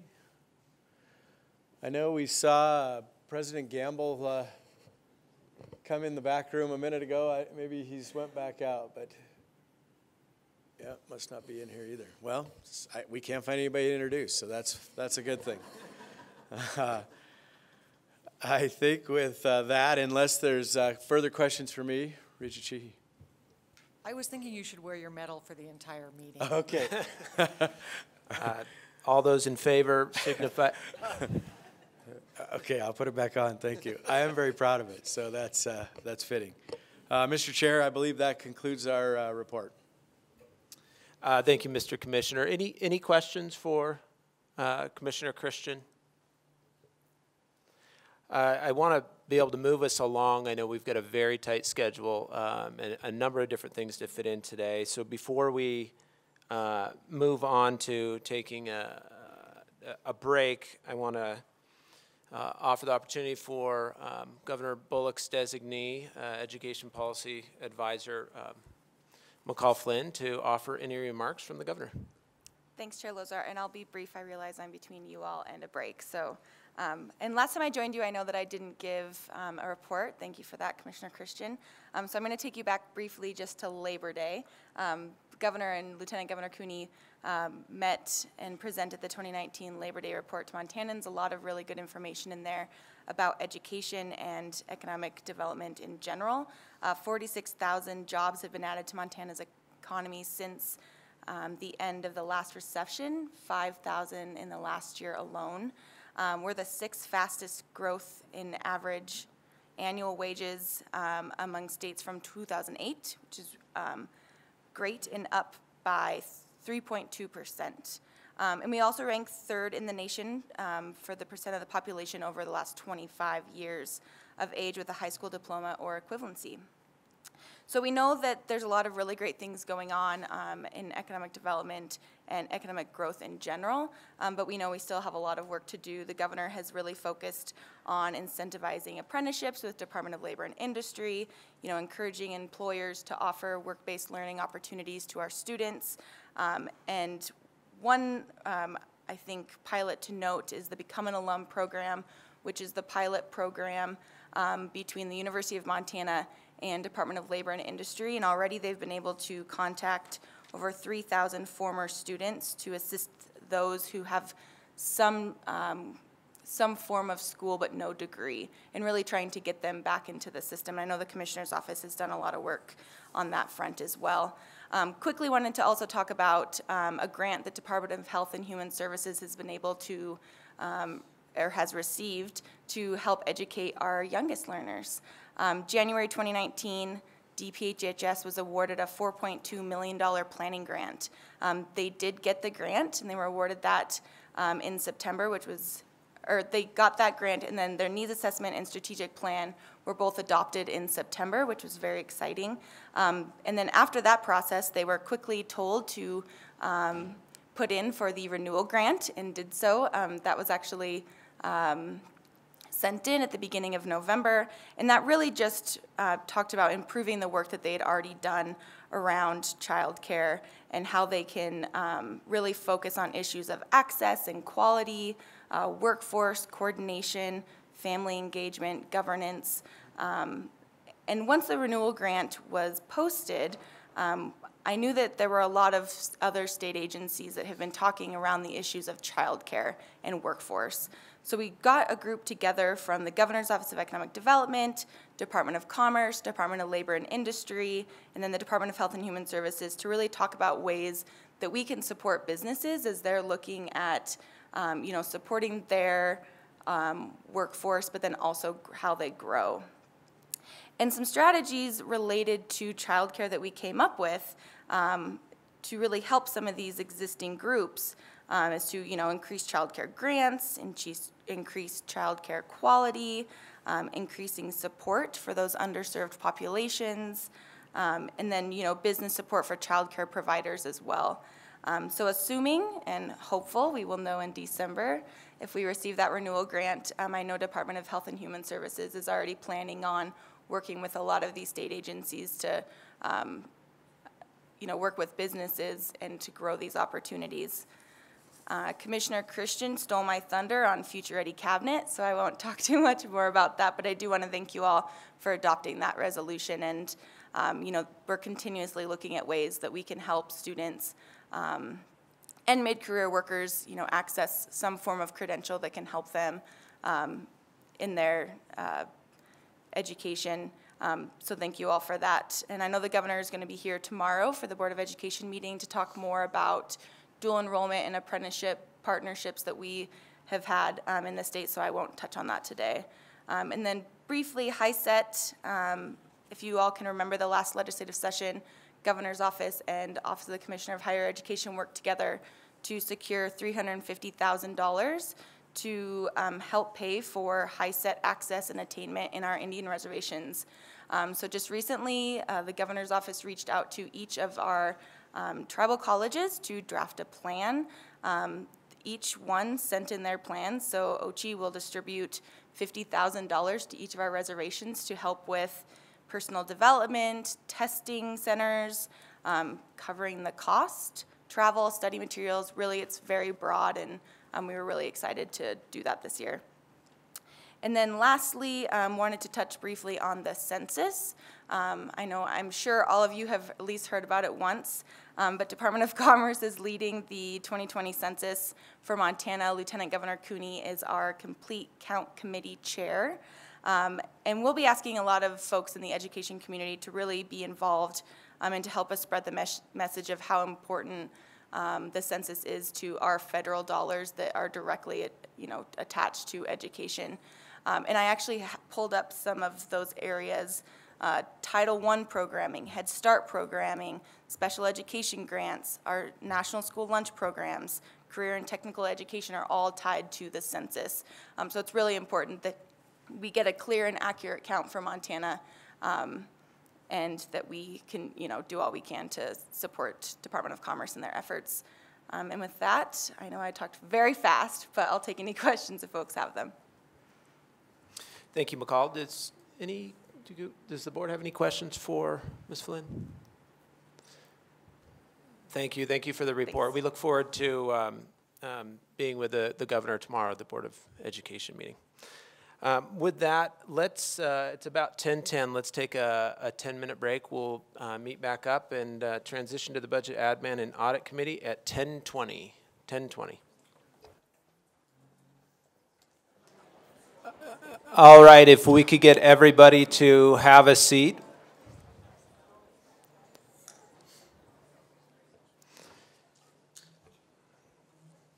All right, we are going to begin our um, committee meetings. Uh, first committee of the day is our budget, budget admin and audit committee chaired by Regent Tuss.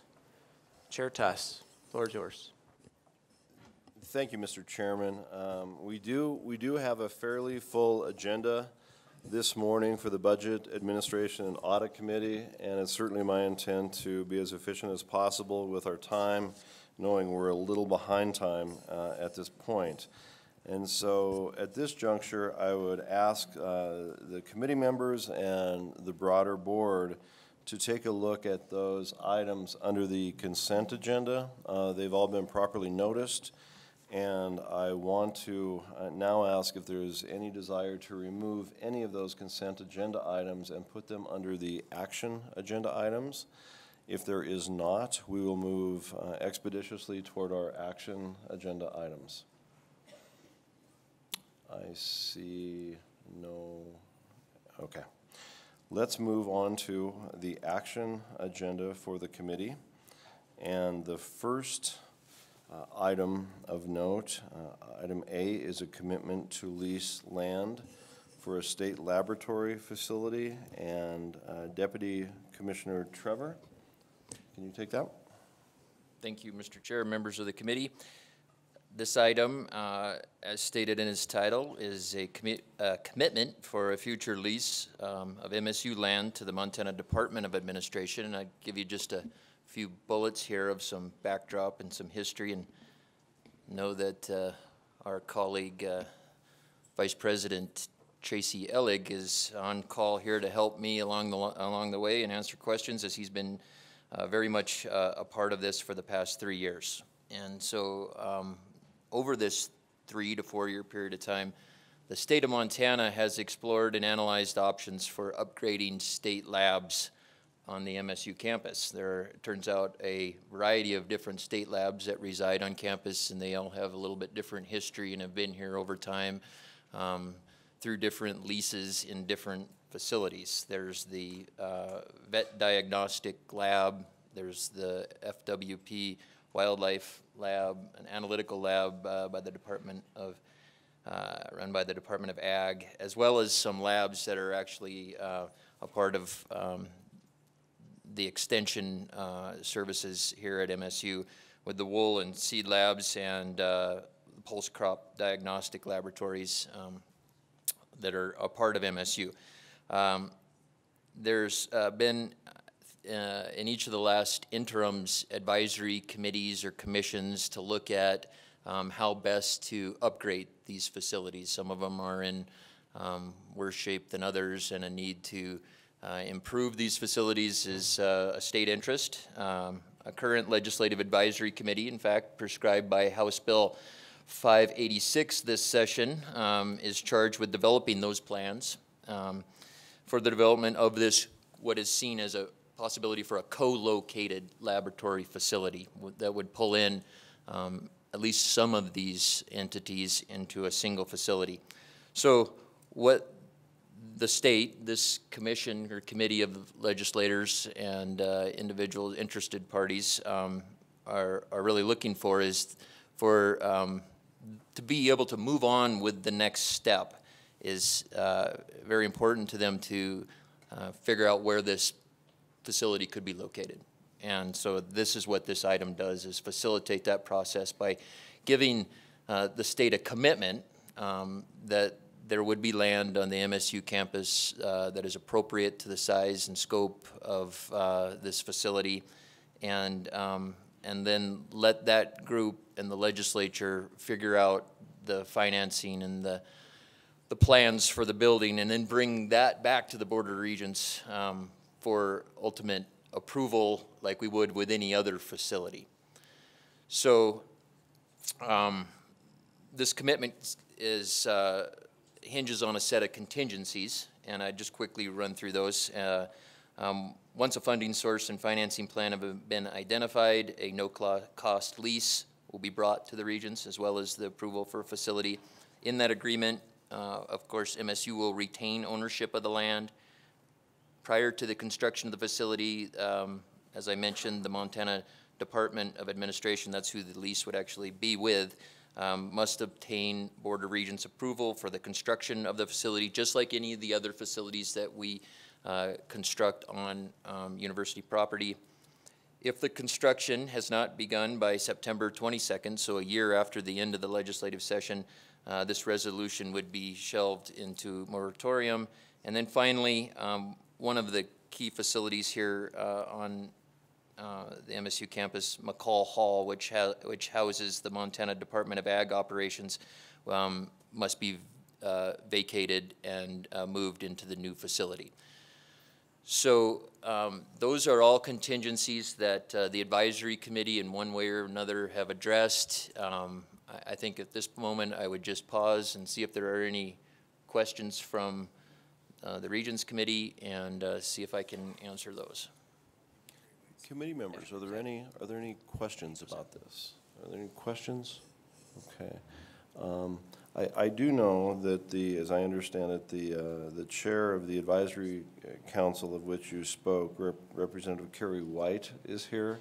Um, Representative White, if, uh, if, if you, if you don't mind, uh, cer certainly would invite you to the podium to, to, to say just perhaps a minute of uh, uh, words about this particular item. Mr. Chair, uh, members of the board, I'll try to keep you on uh, schedule. Uh, serving my fourth term in the House, three terms as chair of the Natural Resource Committee, four terms on the Environmental Quality Council. I was appointed at the Lab Study Committee in uh, 17 sessions, so I've served three years on the Lab Study, uh, working with Mr. Ellig, uh, university system. I appreciate you considering this important, this important matter. Um, those five labs consolidated on this campus would be a huge benefit to uh, agriculture, our wildlife industry, uh, Department of Livestock, um, Pulse Lab, Seed Lab, all of those. I think it could be a state-of-the-art facility. We're not looking for any funding, uh, budget tight, general fund money, university money. But I think there's uh, private dollars out there.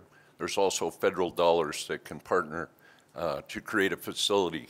Uh, we're just looking for a commitment from the Regents.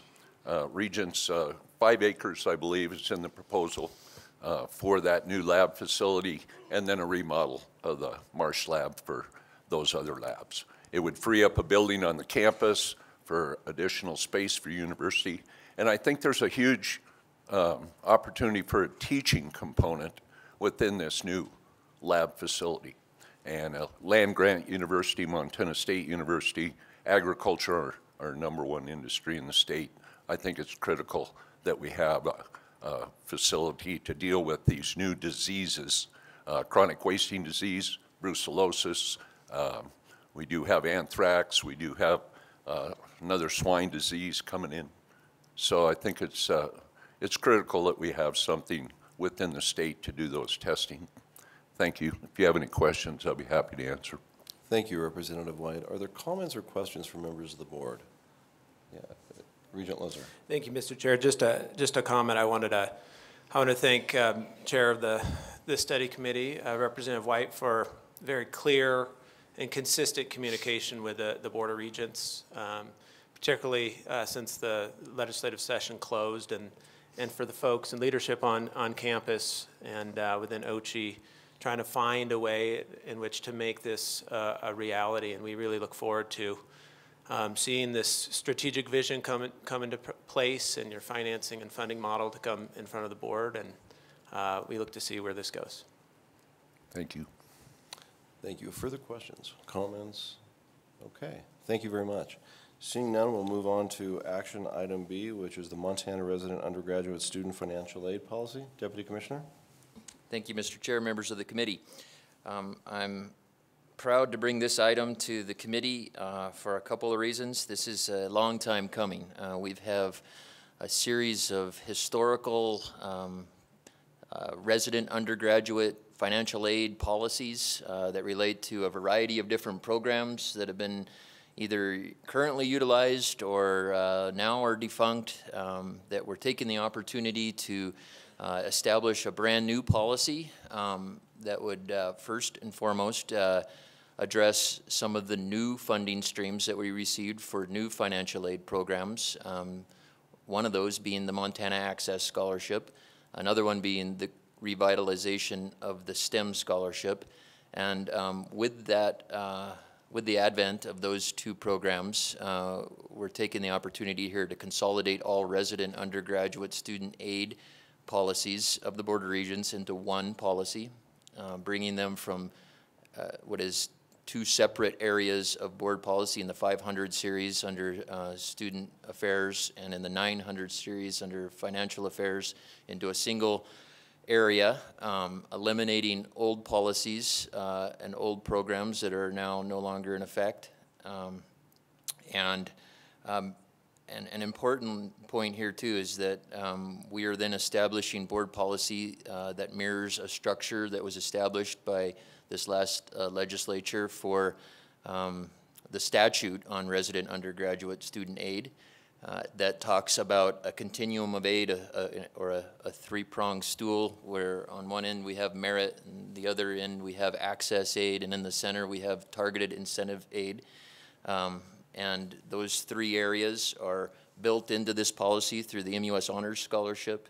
On the merit side, the, now the Montana Access Scholarship on the need-based access end of it. And in the center, we have the STEM Scholarship, which is our targeted incentive aid. So um, this pulls them into one, as I stated, and then the operational procedures, uh, those detailed eligibility criteria and um, kind of the, the nuts and bolts of how the program works um, aren't going away, but rather we house those, um, and they will be housed in the new portal as well, but uh, on our website, where uh, you can, a student or parent can easily find out the criteria without going through board policy to find the source of it.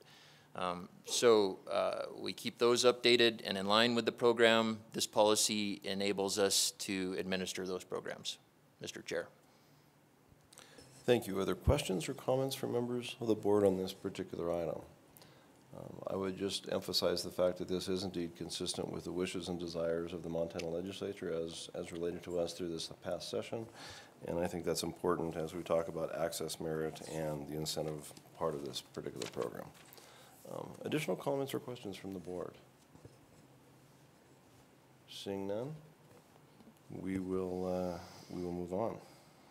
Uh, Action item C, uh, student-driven fee request from the Associated Students of the University of Montana Western. Deputy Commissioner? Mr. Chair, members of the committee, under policy 940.12.1, um, the Board of Regents allow for off-cycle approval of student-driven fees, student-driven fees only. And uh, those are the fees that are brought forward by uh, uh, the student, uh, associated students of a particular campus. Uh, They are um, fees that are voted on by the student body, either through the leadership or the entire student body. And uh, they are also fees that are um, under the purview of the associated students on that campus. And uh, this is an item um, that is uh, reflective of all of those criteria brought forward by the University of Montana Western. Um, uh, Typically, uh, we would like to group off-cycle fees into, um, or, or any fees into a May Board of Regents meeting, just to remain consistent over time. Uh, This uh, particular request has some particular nuances that demand that it come to you immediately. Um, I would uh, like to turn this over to the uh, student body president from the University of Montana Western to just briefly describe some of those nuances. Alrighty. Uh, Thank you, Deputy Commissioner Trevor. Uh, Couldn't have said it better myself. Uh, Mr. Chair, members of the committee, uh, my name is Ethan Powell, like uh, Trevor had mentioned. Um, I'm the ASUMW president. Um, So I'm just going to start off with uh, the process that we took uh, to get to this, this point and the rationale uh, for renaming and restructuring uh, the radio station and recycling fee. So ASUMW was interested in investing in and acquiring a, uh, a mobile application uh, this past spring. Um, we, we talked with our Vice Chancellor of Finance. We had discussions with our Communications Director. However, at that point, they were just discussions, they were not acted upon. And so this summer, our Communications Director, Matt Rafty, uh, was able to find a grant called the Student Engagement Mobile App Grant. And this is an excellent opportunity uh, for ASUMW and UM Western as a whole. The grant would provide uh, $81,000 over the next five years, and the app would then cost the student $17,000 um, in year one, and then in the years following, it would be $9,000. Again, the app provides an extraordinary opportunity uh, for the students and the university to save money while advancing our technological position. Uh, it, it's going to cut the costs in half, uh, uh, basically. So the deadline for this a- or, for, or for this grant was in July. However, we were awarded an extension um, till the end of November, and so that is. So we had a chance to approach this committee and approach the Board of Regents uh, to gain some more funding for the app. And so that is, that is the, the sole reason, or one of the reasons why we are here out of cycle, um, because we have this great opportunity to, I mean, $81,000 for a, a university uh, like Western is, is going to be huge. So, um, and then and then the other part of this was that the students were really driving for it. Every student that we've had uh, talk to us about it uh, really supports the app. It's a, it's an all-in-one app called the Communication Development Development and Technology um, Fee, and so uh, the student government initiated it. The university adopted it and uh, gave us the resources uh, to do this and find funding for it. And finally, the, the student body uh, took a survey and showed vast support for it. And uh, the support can be shown in our third attachment and the, rationale for it. Uh, the University of Montana Western would like to thank you for your time and consideration. I stand for questions. Thank you, and thank you for being here. The one question I have, and I Yeah. apologize if you said this and I missed it, but uh, the, the Student Senate has acted on this, and, and could you talk a little bit about the outreach to the student body, probably via the Student Senate?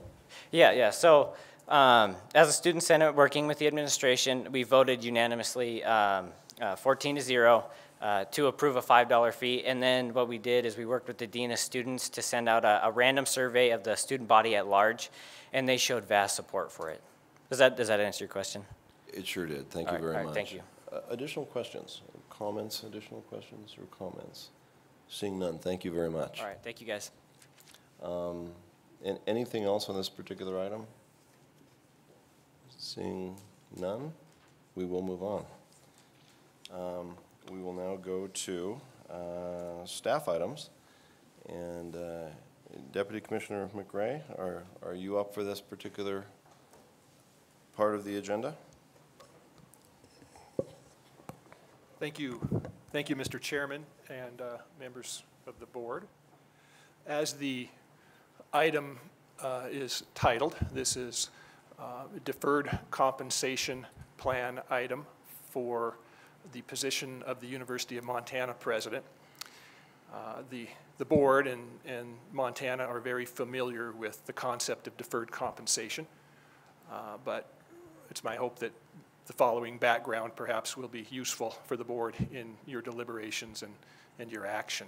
This item is essentially the same as uh, deferred compensation items that the Board of Regents approved in 2010, uh, 2012, 2015 uh, for uh, senior system executives, so the positions of the Commissioner of Higher Education and the two university presidents who report to the Commissioner.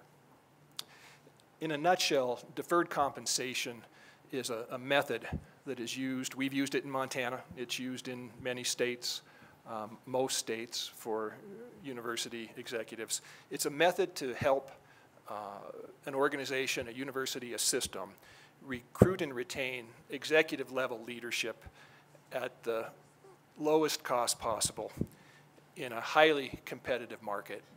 And in our case, where Montana is in any given year the, the lowest paying or uh, among the lowest paying states in, in terms of the salaries that, uh, that we offer, we recognize and we're proud that in Montana we offer a heck of a lot more than, than salary in terms of uh, quality of life, quality of people at our institutions, quality of students, and we're very fortunate that that is a, a, a good draw uh, to, to help us recruit and retain executive level leadership.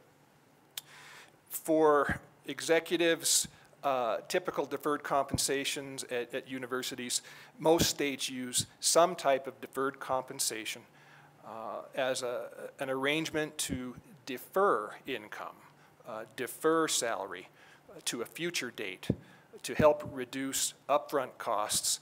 And then on the employee side, it also provides some enhanced options from a tax standpoint uh, for future earnings. So the MUS has uh, used deferred compensation as is described in this item since 2010. So, so as the item says, in this particular case, if the board were approved to approve this item, the University of Montana president then, uh, if the president completes five continuous years of service from November of 2019 to November of 2024, he would then be eligible for a future benefit uh, equating to uh, $50,000 a year for 10 consecutive years uh, upon reaching the age 65. So that, that's how this benefit is crafted, and that's the, the same as um, the, the president uh, deferred comp packages that this board approved in 2010. Uh, we've done this since 2010, and, and most earlier arrangements, uh, past boards have entered into or implemented deferred comp uh, immediately after hire. So, so in 2010, within just a few weeks of hire, um, the board approved deferred compensation at this level. Um, time has passed, and it was communicated to uh, candidates for the, the president position in the presidential recruitment um, on your behalf that um, deferred compensation is a possibility in Montana. It's something the board has experience with and familiarity with. And at, at this time, uh, what, what the board is interested in is in providing that new University of Montana president with an opportunity to come on board and put a team together and start to make the types of uh, decisions, establish the, the type of vision and focus that will situate the university in the positive direction that this board would like to see things go. And, and you communicated, we communicated on your behalf, that then, um, after having that opportunity, um, when the board is comfortable with uh, in the overall scheme of review and the direction the university is going, that, that the board would be willing to come back and talk about deferred compensation. So, so now is, is that time. Two years ago uh, is when the board approved the contract uh, in, in Bozeman at this November meeting. And uh, it was publicly stated then that deferred compensation was a possibility um, in the case uh, for the University of Montana president. The uh, aspects or the financial wisdom at the time in 2010, it was really uh, innovative, and, and, we thought we exercised some ingenuity in, the following way. That, that this particular proposal um, that is outlined here, uh, while it would provide a benefit if you were to take the $50,000 a year times 10 years between the ages of 65 and 75 of total $500,000 over that time, uh, by deferring it and, and giving uh, investment time to work, the cost of that benefit will be substantially less. So in our estimation, um, it'll easily be uh, as low as half of that total cost, uh, depending on whether there is potential assistance, as the last sentence of the explanation says, from the University of Montana Foundation in uh, contributing to the investment and funding of it. Um, the, the cost in terms of university funds could be as low as maybe one quarter. So it is uh, to, to remind or refresh the, the uh, innovative way that it tries to help position the board, Montana, to be competitive in a highly competitive market where we don't always um, have the, the highest ranking base salaries. Um, it's, it's something that, that you're familiar with and, and that has worked. Um, the next steps, if the board were to approve this item, would be your commissioner and commissioner staff would move forward with then um, creating the documentation and establishing everything that's necessary to put this plan in place, including um, continuing to reach out to foundation leadership. We have had good conversations with UM Foundation leadership. Um, the uh, executive officer indicates that the uh, executive committee of the foundation is very interested in uh, what you are considering, and uh, our next steps would be to put it in place upon approval. So that's a, an overview of this item. Thank you. Thank you, Deputy Commissioner, for the description of this particular item and for the primer on deferred compensation. That's much appreciated. Are there, are there comments or questions from members of the board? Comments or questions? Oh, I'm sorry, Regent Sheehy. It's really difficult to negotiate these public compensation things, and I understand the difficulties of that. I think we are creating expectations, and we have done so in the past. Uh, I think we, uh, when we re-entered into another round of, of these deferred compensation agreements, we've set our course. I would be more comfortable with a different kind of review process on how we compensate our presidents. I do understand how difficult it is to not explain the past to candidates but I, I, it gives me some heartburn, I'll tell you that. Um, I, I think that uh, this is an appropriate measure given our past and uh, given the situation we're in today. Thank you, Regent Sheehy. Uh, additional comments or questions from members of the board? Seeing none, we will move on. Um, Deputy Commissioner, I believe that you're also going to lead us in the conversation about uh, staff item E. Thank you, Mr. Chairman and Regents. This item is uh, essentially implementation of the, the Montana University System pay plan for positions that require board approval. The Montana University System pay plan that has been established through budgeting and through collective bargaining Uh, That's, that's a, a big piece of it through collective bargaining. So on your consent agenda, uh, there are a couple of labor agreements, like there was a labor agreement on the September agenda, and we anticipate more labor agreements on the future agenda. Uh, Those agreements would provide for salary adjustments in January of 2020 and January of 2021. And, and the adjustments would be for 2% both Januaries. The Januaries correspond to the, the timing of the uh, state employee pay plan for employees in other branches of state government and a- a- other agencies of state government. Um, For staff whose annualized wage, full-time annualized wage is lower than $52,000, uh, the raise would be greater than 2%. It would essentially be 50 cents per hour. So that's kind of a threshold where our bargained agreements provide for 2% raises. Um, However, if, uh, or, or uh, 2% or 50 cents an hour, whichever amount is greater. So the threshold line is that 52,000. People below 52,000 annualized would have a, a greater than 2%.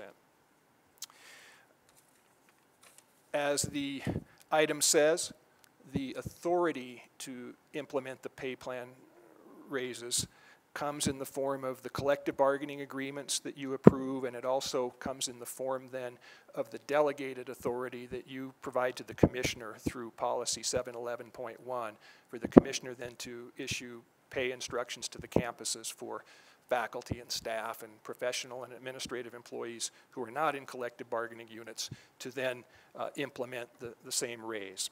There are a few employees whose uh, compensation always comes to the board for action, and those employees are uh, the commissioner, presidents, chancellors, and deputy commissioners. They're the employees who are listed on the attachment. So what the attachment essentially means is implementation of, of this pay plan for those employees. Uh, There is another item on the attachment as we've described in the uh, item statement that you are also going to consider um, bit of a change in the deferred compensation arrangement for the Montana State University president. So uh, I've described for you the uh, past of the uh, deferred compensation arrangements in terms of the five years of service and the types of future defined benefit.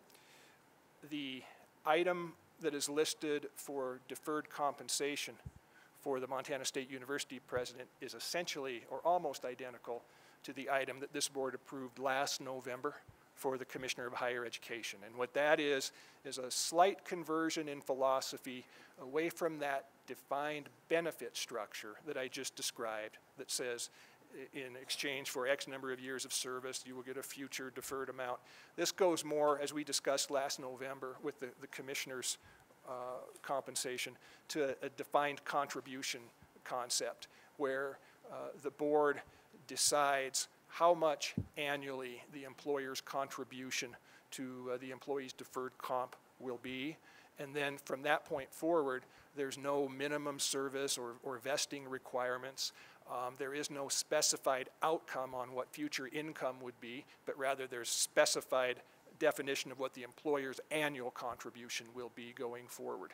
And uh, in, in that regard, then the employee has investment options uh, through our 403B or uh, other university system uh, mutual funds and other types of options. The employee assumes the risk going forward. Um, That's the, the primary change. Uh, it- You'll, the dollar amount is listed on the item. It's essentially the same as, uh, s- slightly larger, maybe a couple thousand dollars annually larger than what the commissioner's item was that the board approved last year. Commissioner? Thank you, Mr. Chair. Um, We have a, uh, a a third item that I would ask you to consider with regard to the uh, MSU president's compensation, and that is an item uh, directed toward retention.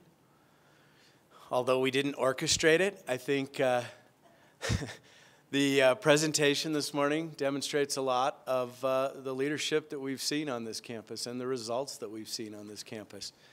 And uh, I would subscribe to you that that doesn't happen by accident. It takes dedication, it takes commitment, it takes vision, uh, and it takes a dedicated leader that has the foresight to not only uh, provide that direction, but also to create a team that can carry out that mission.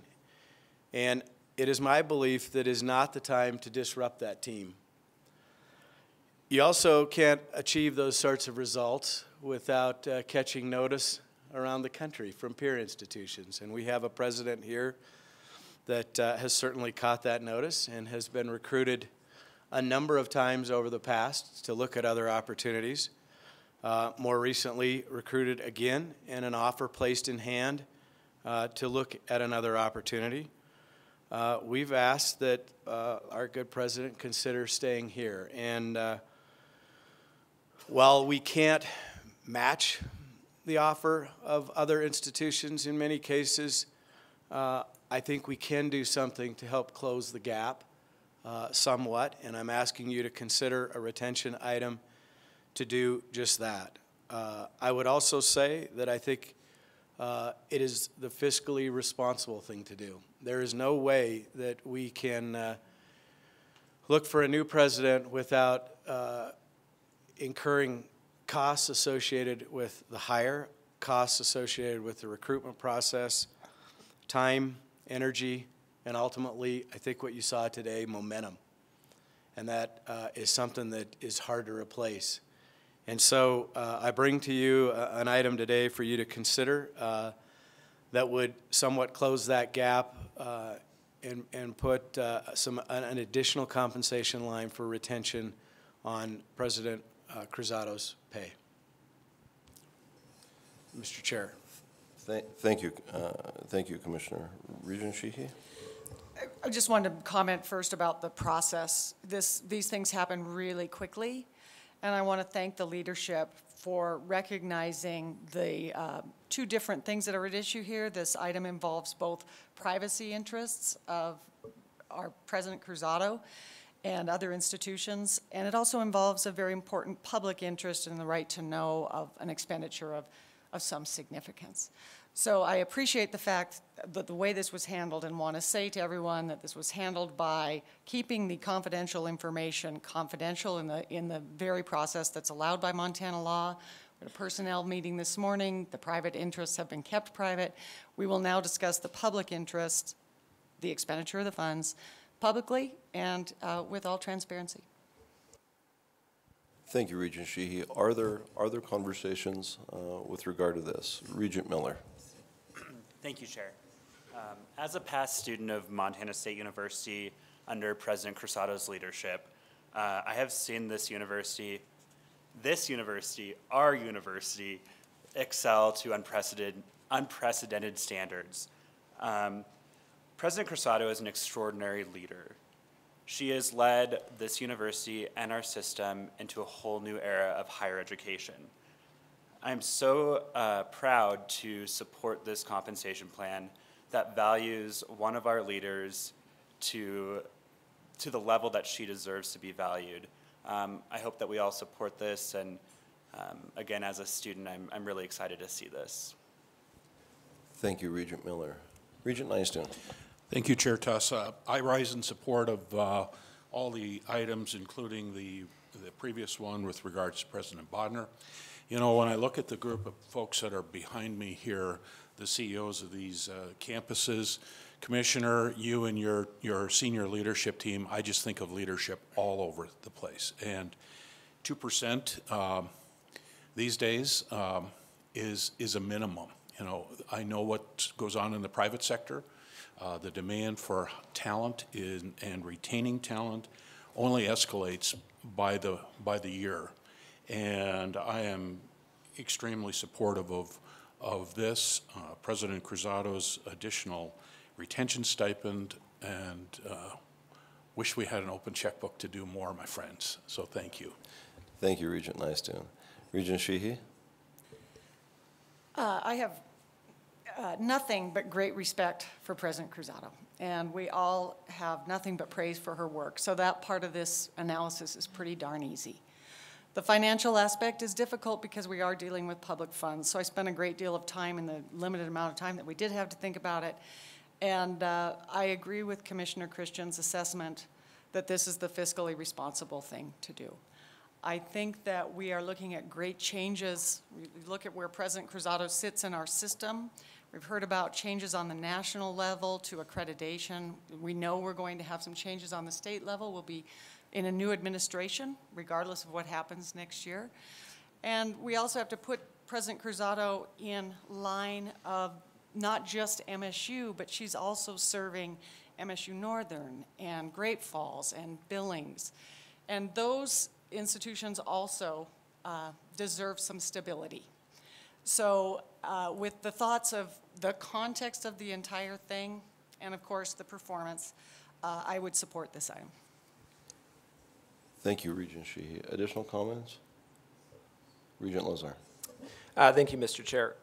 Um, I concur with my fellow colleagues' uh, assessment and perspectives on um, both uh, the action items that we have in front of us regarding um, President Bodnar's uh, deferred compensation, as well as the three items that we have uh, in front of us on this particular item. And I, you know, I, I think obviously the the presentation this morning by uh, President Cruzado was very telling that there has been incredible, incredible success here and momentum built and energy and um, and there were several items that uh, she brought to the table, most of them uh, being student focused and the outcomes uh, of the students. And I think um, certainly building the, a, a, strong team that have a student focus um, has allowed for this level of success. And um, I think what we have in front of us uh, today or for action tomorrow is a, an extraordinary measure that we haven't taken to this degree for uh, extraordinary performance, uh, for an extraordinary leader in the, in the university system. And um, I see our decision very similar to the vision that uh, President Cruzado mentioned in her, her uh, opening points about choosing promise. I think that's, that's the choice that we have in front of us as a board is that we have the opportunity to choose a, a promising future for this institution. And uh, as Regent Nystuen mentioned, I, I stand in support of this extraordinary action that, uh, that we're deliberating and we will be considering tomorrow. Thank you, Regent Lozar. Additional comments by members of the board. Regent Dombrouski. Um, thank you, Mr. Chair. I just want to say we have spent, uh, in my first six months here, talking about retention, retention of students. And I think this gives us an opportunity for retention of leadership. Great point. Regent Rogers. I just want to echo the comments of my colleagues here. I've been born and raised and lived about a mile from Montana State University my entire life, and President Cruzado has truly transformed not only this institution, but also our community, our region, and our state. Uh, I just truly appreciate your leadership, and I feel fortunate that we have the opportunity today to continue to retain you here in Montana. Thank you, Regent Rogers.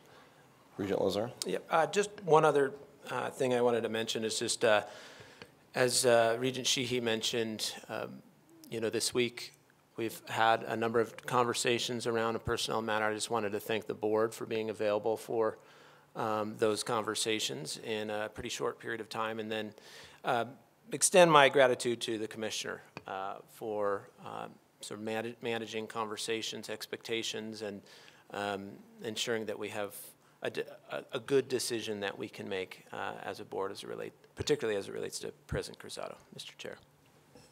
Thank you, Regent Lozar, and I would like to second that, Commissioner. Thank you for your uh, quick action on this and engaging the board in a meaningful way in this particular uh, item. Uh, I would ask if there are any additional comments before we move on from, from members of the board. Uh, I do have a technical question, Deputy Commissioner, if you don't mind. Um, the, the, overall list here, um, as I recall, having served now on, on this board for some time, um, is a little shorter than it has been in the past. I know that this board has taken action in the past to make that a shorter list. Um, could, could you remind us about about that transition to the to this list versus the expanded list that we've seen in the past? Yes, thank you, Regent Tuss, uh, members of the board. Um, Until 2006, every board agenda at some point in the year would have salary or other types of personnel staff proposals for all administrators in the system, all faculty in the system, all professional contract employees in the system. So probably more than 2,000 uh, employees and their salaries, uh, and then requests for particular actions would come to the board. In 2006, the board reduced that number by delegating the, to the commissioner the authority to approve individual employment contracts and uh, salary adjustments for uh, contract professional and administrative employees and, and faculty. Uh, and the number was reduced in 2006 from some 2,000 that would come across the agenda to approximately 35 or 40. So it, then it was between 2006 and uh, November of last year. It was uh, all presidents, vice presidents, uh, all chancellors, vice chancellors, uh, and, and a number of others. So uh, in 2017, the board further delegated to the commissioner the authority to approve uh, contracts and terms and conditions for all administrative and, and contract employees except for uh, commissioner, presidents, chancellors, deputy commissioners, and the dean CEOs of independently accredited institutions. So that last definition that I just gave you, the roughly 13 or so, uh, are the, the ones who now still require board action. Thank you, Deputy Commissioner. Appreciate that. Um, Seeing no further comments from members of the board, uh, we'll move on with uh, the Budget Committee agenda, and this, we will be voting on this item, obviously, tomorrow, uh, tomorrow morning. Um, Deputy Commissioner Trevor, uh, if we can move on to the facility items. uh, The first one is item number F, request for authorization to design and construct campus core infrastructure improvements at MSU Bozeman. Yep. Mr. Chair, uh, members of the committee, the next uh, three items, uh, Ron Muffick, Director of Operations and Administration, will uh, introduce. Thank you, Deputy Commissioner Trevor. Uh, Mr. Chair, members of the committee, action item F is a request for authorization to design and construct campus core infrastructure improvements at Montana State University. MSU intends to perform maintenance work on the core of campus to improve existing utility hardscape and landscape systems. Concurrently, MSU will perform the requested infrastructure improvements, which will increase the cost effectiveness, energy efficiency, and decrease future disturbances in the core of campus. Over the last decade, MSU has gradually increased the use of geothermal wells to heat and/or cool buildings such as Leon Johnson Hall, Jabs Hall, Teets Hall, Wilson Hall, Norm Asbjornson Hall, and eventually the new American Indian Hall, which is currently under construction. Of note, uh, MSU uses nearly 20% less energy now than they did uh, in 2007 due to, uh, a good portion of this due to these wells. Uh, The use of geothermal wells in this plan will allow additional multiple buildings to be heated and cooled, using this low-cost environmental respons- environmentally responsible technology. This project will install additional wells in the core campus, and it'll also connect this asset to the South Campus Energy District, which serves multiple buildings. Project will be funded with 2.5 million of non-state funds. There will be no additional O and M as a result of this project. Uh, I'll stand for any questions. Thank you, Mr. Muffick. Questions from members of the board? Questions from members of the board? Seeing none, uh, let us move on to the request for authorization to implement steps to construct new Montana Heritage Pavilion at the University of Montana. Mr. Thank you, Mr. Chair, members of the committee. Action item G, uh, this is a long time coming. This is a request for authorization to implement steps to construct the new Montana Heritage Pavilion at the University of Montana. Uh, The University of Montana uh, has the Montana Museum for Art and Culture, the MMAC, on its campus. The requested authority is for a total project cost of $6 million. The Montana legislature in the 59th session, which I want to say is 2007, approved uh, $6 million in spending authority. We finally have the uh, private funding secured for this project. The MMAC is one of three state museums, along with the Montana Historical Society and the Museum of the Rockies. It is the only one without a permanent home for its collections, which will now be remedies. Uh, The collections consist of close to 11,000 artwork and artifacts. Current gallery space only allows for displaying 1% of the collections. The new facility will provide 11,500 square feet, obviously providing much more ability to store and display the collections. As I said, private funding for this project has been secured, so no additional state o and M is required. I'll stand for any questions.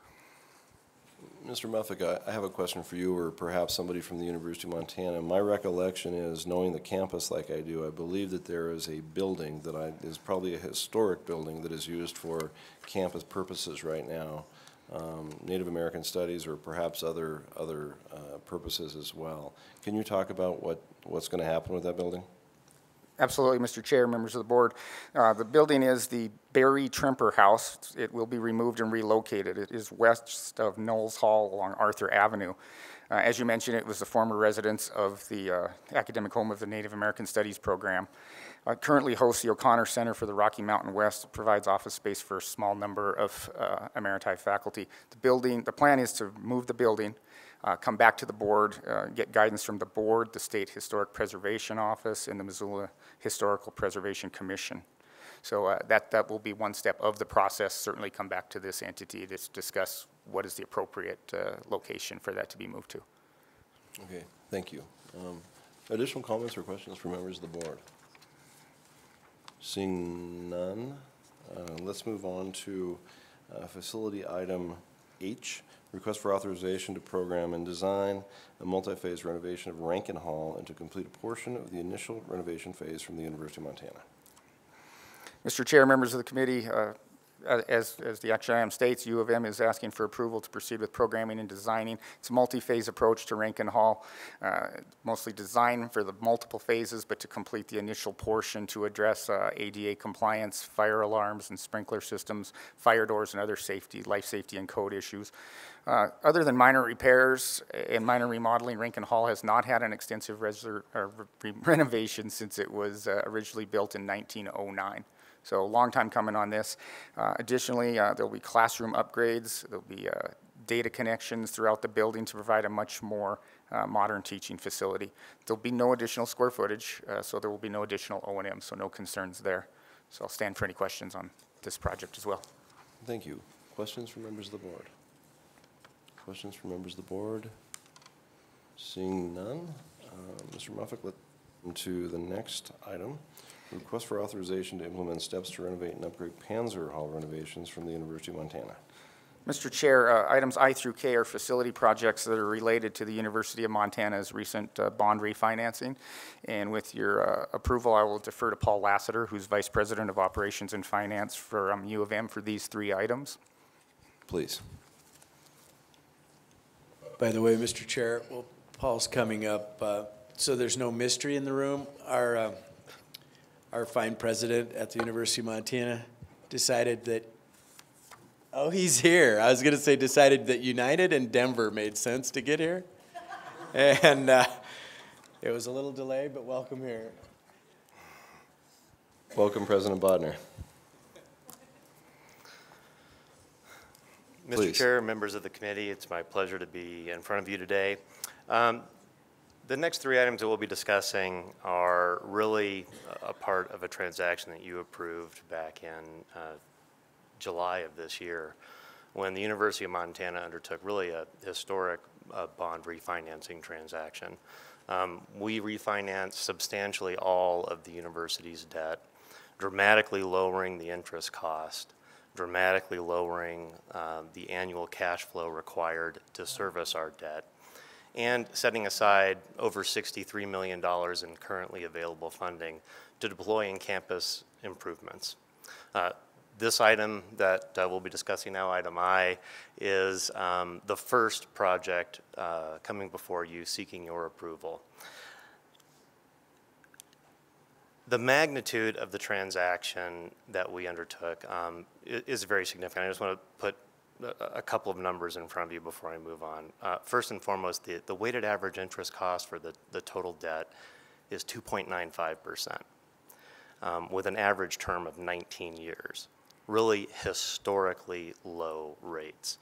Um, If we had kept the same shape of the uh, distribution of maturities uh, of the portfolio that we had before we entered the transaction, and then obtain the rates that we achieved during that transaction. The, the total interest savings on that shape of cash flow is over $8.8 million.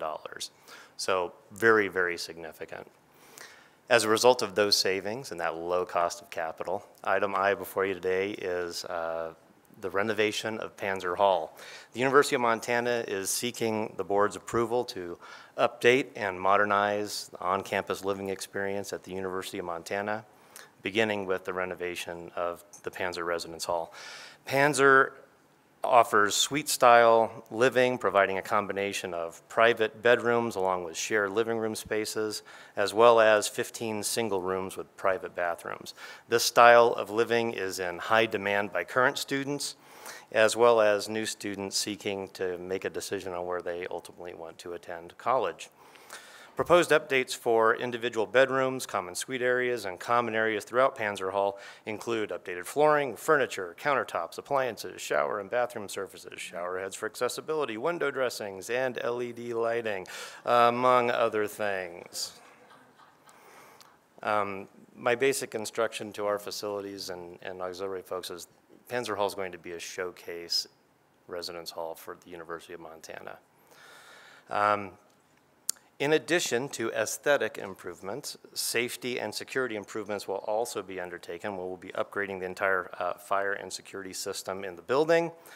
Um, and finally, the technological infrastructure of Pantzer Hall will be absolutely state-of-the-art. It will be the fastest, most uh, easily accessed wireless access point on our campus.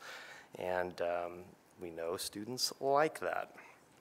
In the increasingly competitive landscape of higher education, students are demanding and deserving of modern and well-appointed living spaces to enrich their educational experience.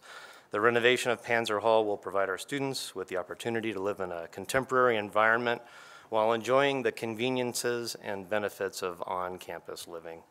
The Pantzer Hall renovation is the first project in which we seek your approval on creating a fresh look and feel for the University of Montana campus. And with that, I'd be happy to answer some questions.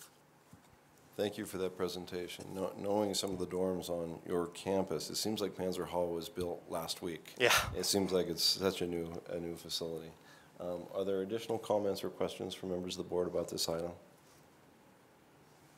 Okay, seeing, seeing none, can we move on to the next Move item? on to item J. Uh, Mr. Chair, uh, members of the committee, the University of Montana is also seeking the approval uh, to invest in our student-facing infrastructure to ensure that our students are provided with well-maintained and appointed environments for not only optimal living, but also learning space.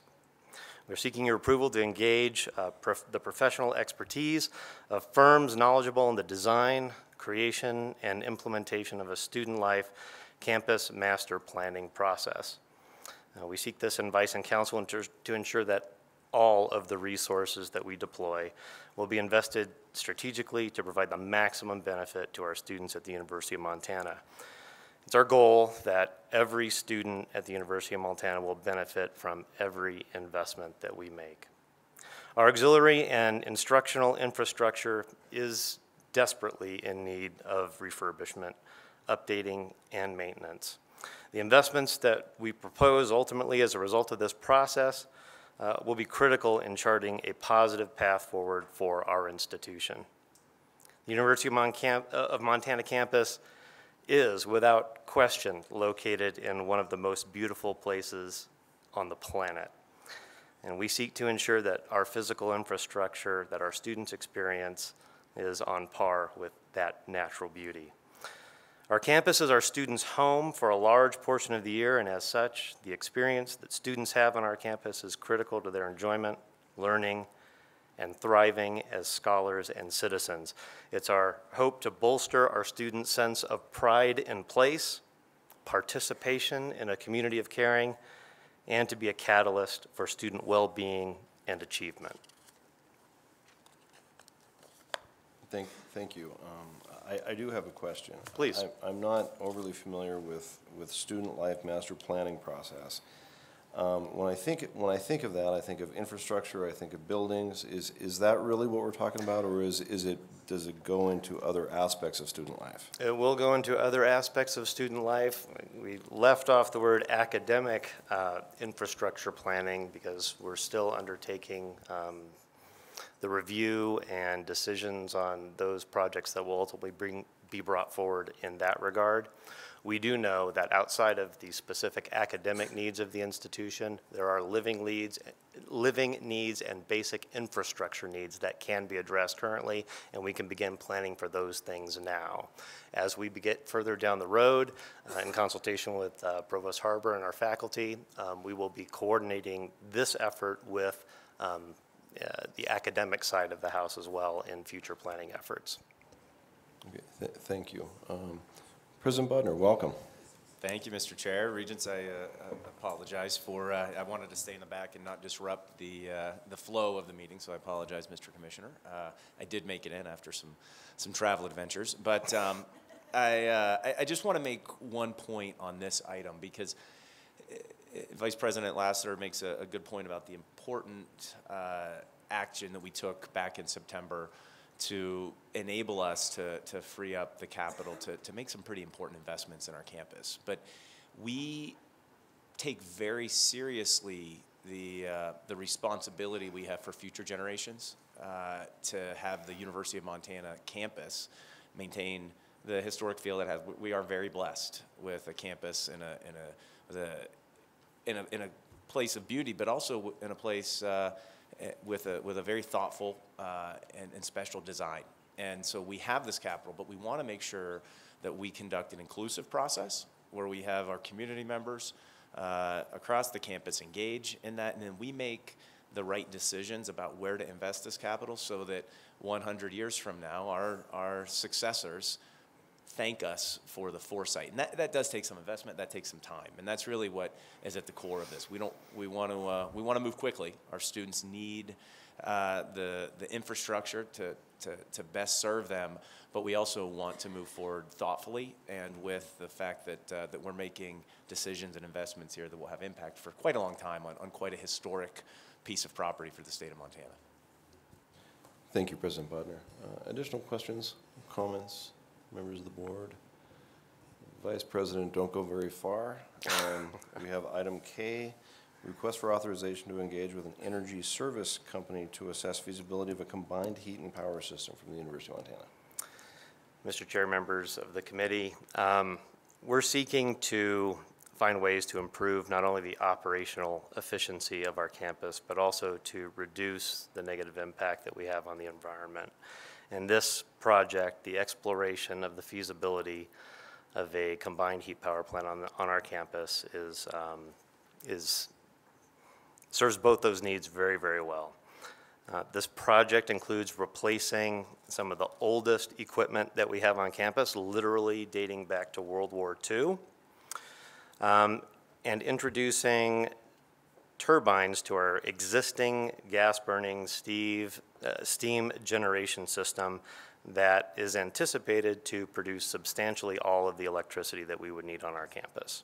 So effectively, we'll be taking natural gas that we're burning right now already and getting a double bang for it. We'll not only heat the boilers on campus, but we'll also generate the electricity that we need. In addition to significant cost savings, expanding this cogeneration capacity on our campus will reduce our greenhouse gas emissions footprint by approximately one-third in support of our emissions reduction goals.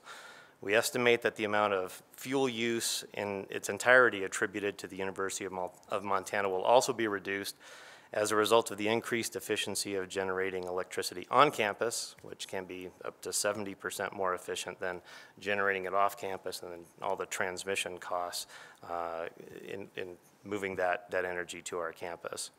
As a res- result of these upgrades, our new steam and power generating plant will be a permitted, regulated source of emissions that will produce much lower levels of emissions on a per BTU basis compared to our existing plant, which is operating under grandfathering.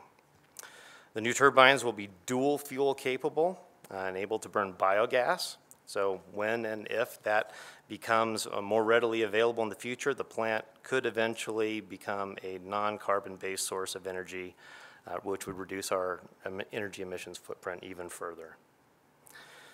We understand that uh, this is not a perfect solution uh, in being 100% green, but it is an absolutely economic solution and one that does move us well along in helping to reduce our carbon footprint.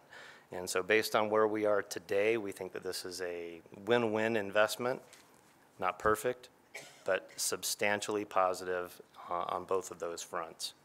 And because of the low cost of capital that we're able to, to achieve as a result of our bond refinancing, um, this steam plant will be immediately cash flow positive. Um, We'll be using the bond proceeds to fund the investments in this plant, but the debt service payments on that plant relative to the energy savings could be a cash flow positive as, as much as a half a million dollars a year uh, ranging between 250 and a half a million a year, depending on what ultimately happens and based on our initial estimates. Of course, what we're asking you for is um, the ability to really fine tune and um, make absolutely sure that the savings estimates that we're coming up with and the impacts that we are projecting will in fact be realized. And our ESCO partner uh, will be guaranteeing that fact. So stand for any questions. Thank you.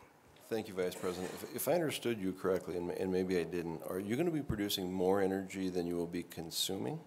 That is not the current plan. The current plan is to generate what we need. So the size of the plant is not fixed yet, but we're thinking it's approximately four megawatts, which is approximately the amount of energy that our campus would consume during a year. Okay, thank you, Vice President. Um, Regent Sheehy. Paul, um, last year when we were on your campus, we did some touring, and uh, I saw a couple of boilers and things. Is this to replace that? Mm, It is. Okay, I'm for it. Um, I want to thank President Bos- Bod- Bodnar and you and your whole team for the thoughtful way that you're going about this. And I, I like getting this where we're in on the planning and we're in on um, all of the steps that are so crucial along the way. And I totally agree with you, Seth, that, uh, you know, it's important to future generations. And it's also important for those of us who have memories that are very dear to us that arise on that campus. When we return to it, we want it to look a certain way. My parents met on that campus in 1940. I met my husband on that campus. I want it to look nice. I want it to be nice, and I want it to be eco-friendly. So, thank you. Very welcome. Regent Einstein.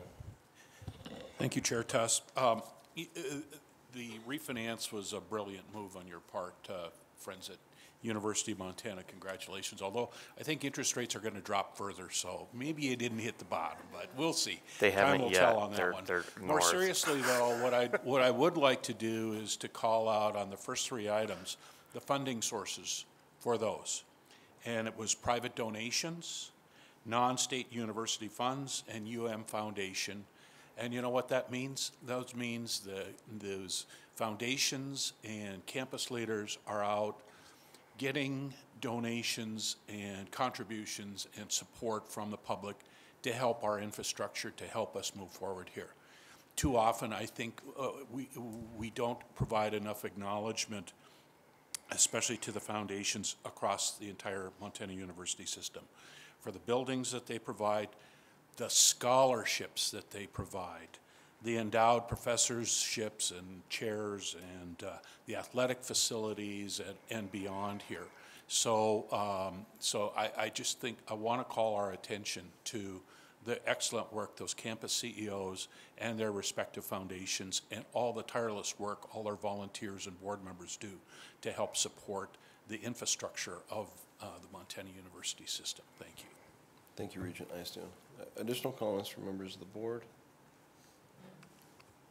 Seeing none, thank you very much for your Thank you. presentation. Uh, We'll now move on to uh, the information items, and there are three of them on our agenda today.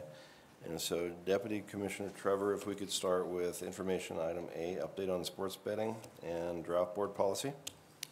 Thank you, Mr. Chair, members of the committee. I'd ask uh, Helen Thigpen, our Associate Legal Counsel, to address the first item. Thank you, Mr. Chair, members of the board. For the record, Helen Thigpen, Associate Legal Counsel for the Commissioner's Office and uh, the university system. The Commissioner gave you a good update on what's going on with the sports gaming law that passed in 2019. And so I'm here to just flesh out some of the details and to discuss with you um, this informational item before you today. So there are two items that are posted. The first one is the um, explanation of the item itself, and then we also have a draft policy that would uh, be an entirely new board policy to address uh, sports gaming and how it impacts our uh, camp, the MUS campuses. So a little bit of background just to flesh out some of the discussion that the commissioners already had with you. In 2018, the U.S. Supreme Court issued a decision in a case involving the NCAA, and that case was um, Murphy v. NCAA, and it significantly impacted sports gaming across the country. Um, essentially, the court ruled that the federal government uh, through Congress could not uh, prohibit states from authorizing sports gaming. It didn't, the ruling essentially didn't uh, change anything except for say that states could do it if they chose to. So following that ruling, um, several states immediately moved to authorize sports gaming uh, across the country and Montana was one of those states. So in 2019, as the commissioner described, there were several bills that were considered. The one that ultimately passed was House Bill 725, and it uh, did pass with wide margins of support um, and was signed by the governor. Uh, Montana, with the passage of that bill, became the ninth state to allow sports uh, gambling across the country. Each state has uh, taken a little bit of a different approach on how the um, sports gaming was going to be structured. In Montana, as the commissioner mentioned, uh, the lottery will be regulating uh, sports gaming. Um, normally, gambling in Montana has been run through the Gambling Commission and the Department of Justice, um, but this particular program will be run through the lottery. Under the bill and the rules that are currently being proposed and under consideration by, lotter, by lottery, individuals will be able to place sports wagers on both professional and collegiate sports. So somebody could bet on a national sports game or they could bet on the Super Bowl or something like that. Um, and it, they would also be able to bet on games offered uh, within the Montana University system. So that is something that we've been monitoring. Um, obviously, have um, want to on our part want to ensure the integrity of the games and also of our student athletes and all of our athletic staff. So the the way that we understand it and the way the bill will work is that wagers can only be placed in a licensed retail location, which uh, currently is a place that has a gaming operator's license and an alcoholic beverage license. So somebody would have to go to one of those establishments, and I believe they are estimating around 1,400 across the state.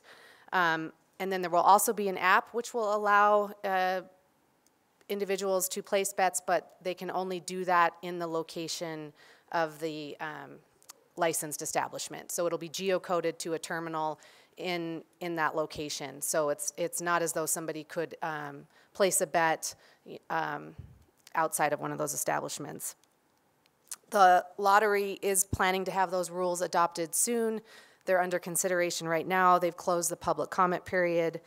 Um, and they have indicated to us that they will offer, and they do plan to offer uh, games with, uh, within the Montana University system. So the, potentially the Cat Grizz game uh, next year, given that, the, that it's not currently in place right now.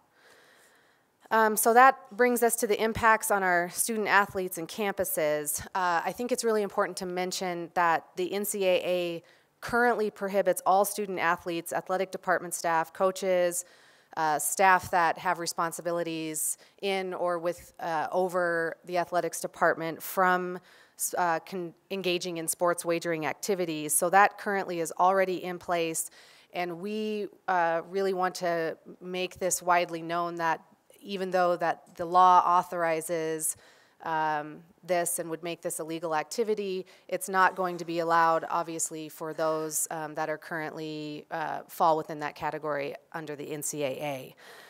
so the board policy that's uh, for your consideration would align with the NCAA rules and then would also prohibit uh, voting members of the board from wagering on sports and the commissioner. Um, and then it would also ensure that our policy, our campus, uh, campuses are appropriately educating students, impacted staff on what that means. Um, the NCAA obviously is very involved with this. They have an existing, uh, very robust campaign on um, sports wagering where they educate their athletes, um, and we believe that currently our athletes are all informed of this, um, but now with the passage of the new law, we need to um, take a, a big responsibility with this and ensure that. So that's the current proposal, and I will stand for any questions if you have any. Thank you. Regent Sheehy? No big problem with the policy, it looks good. Um, But I wondered, what about office pools? Um, You know, is there a de minimis? Can you bet with your son about Cat Grizz? What, Mr. Chair, Regent Sheehy, uh, the law, this particular um, law that passed the, this last session doesn't impact anything that you could already do. Office pools, um, fantasy, sports leagues, those kind of things that were already authorized either by state or federal law are not impacted by this. Um, This is about uh, placing bets on specific games um, through a licensed uh, establishment. Yep. Additional comments? Regent Miller? Uh, Thank you, Chair. I just have a quick question. When I'm reading through this draft, I'm not seeing anything um, with a timeline. So for example, if an administrator or a coach were to retire or leave, um, could we put in like a two-year stop pet, or like a stop in there so that they can't bet for two years after that? Um, I can still see issues with um, past people betting that probably should not bet. That, uh, Mr. Chair, um, Regent Miller, that's something we could certainly think about. Um, If, if somebody is leaving and going to a different institution that's covered by the NCAA, obviously, that prohibition would still apply. Um, But we can certainly look at whether that, that we can do that. Once somebody is gone, it makes it more difficult for um, the board to regulate that individual um, after they've already left if the service or the campus, so. Something you. to think about. Mr. Commissioner, I have a, I have a question about, um, as, as this particular le- legislation made its way through uh, this past session, were, were we engaged in the conversation about this? Uh, Mr. Chair, we, we certainly were engaged. It was a, a number of bills that we tracked. Um, I will say that this bill moved through committee rapidly um, with not a lot of comment, and it uh, was introduced fairly late, um, right before tran- transmittal. It crossed boundaries quickly. Uh, I, I mean, to be honest, it, it was it was sort of on the tracks, and it moved through the process. Um,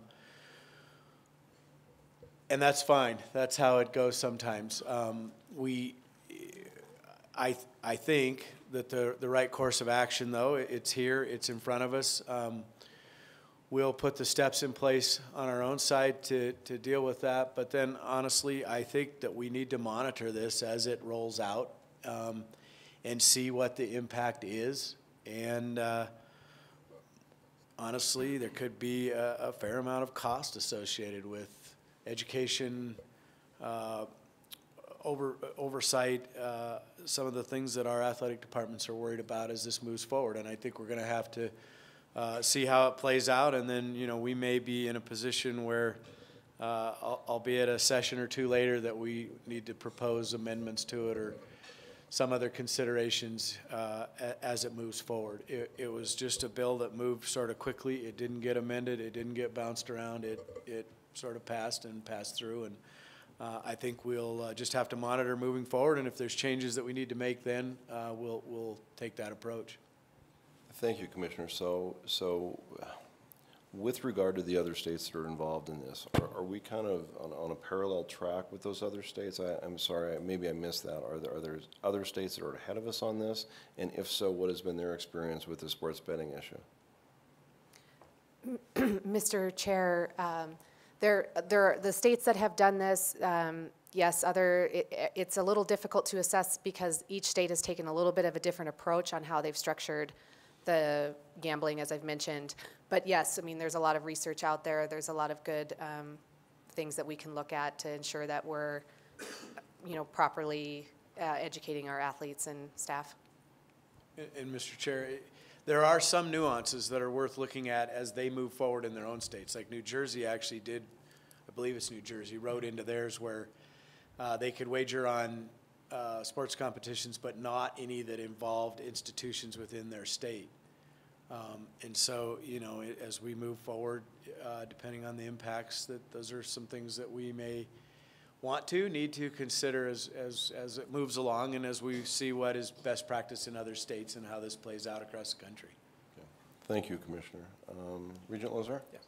Uh, Thank you, Mr. Chair. Just a comment and a question. I, you know, I'd just underscore, you know, the last section, A and B, and we've kind of covered it a little bit, but uh, I think it is critical that we have a, a robust plan about educating, um, particularly our student athletes or trainers or coaches, um, so that they're, they have the information that they need to make the right decisions uh, as it relates to sports betting. Um, in terms of enforcement and um, remedying violations that may happen, can you talk a little bit about sort of what infrastructure is in place to ensure that we are able to enforce that and make sure that we have the, the proper plans in place when there are uh, violations? Mr. Chair, Regent Lozar, yes, uh, we envision the processes that are already in place um, applying to this policy. Um, so, for example, with the NCAA, there are already rules and regulations in place for how they would regulate, um, for example, somebody who violated the sports gambling uh, prohibition. So, um, those rules are already in place. They could be suspended for a season. There are there are very stiff um, penalties with that associated through the NCAA. So that's one process, and that's already in place. Um, and then we would follow um, our existing processes for um, discipline and that sort of thing that were that are already there. Um, that's what we envision at this point, Mr. Chair.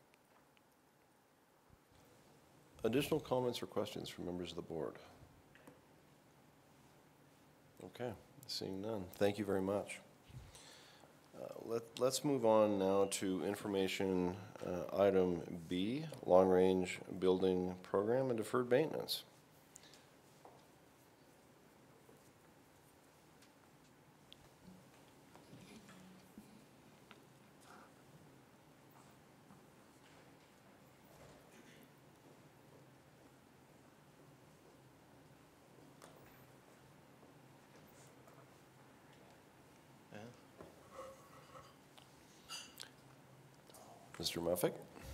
Thank you, Mr. Chair, members of the committee.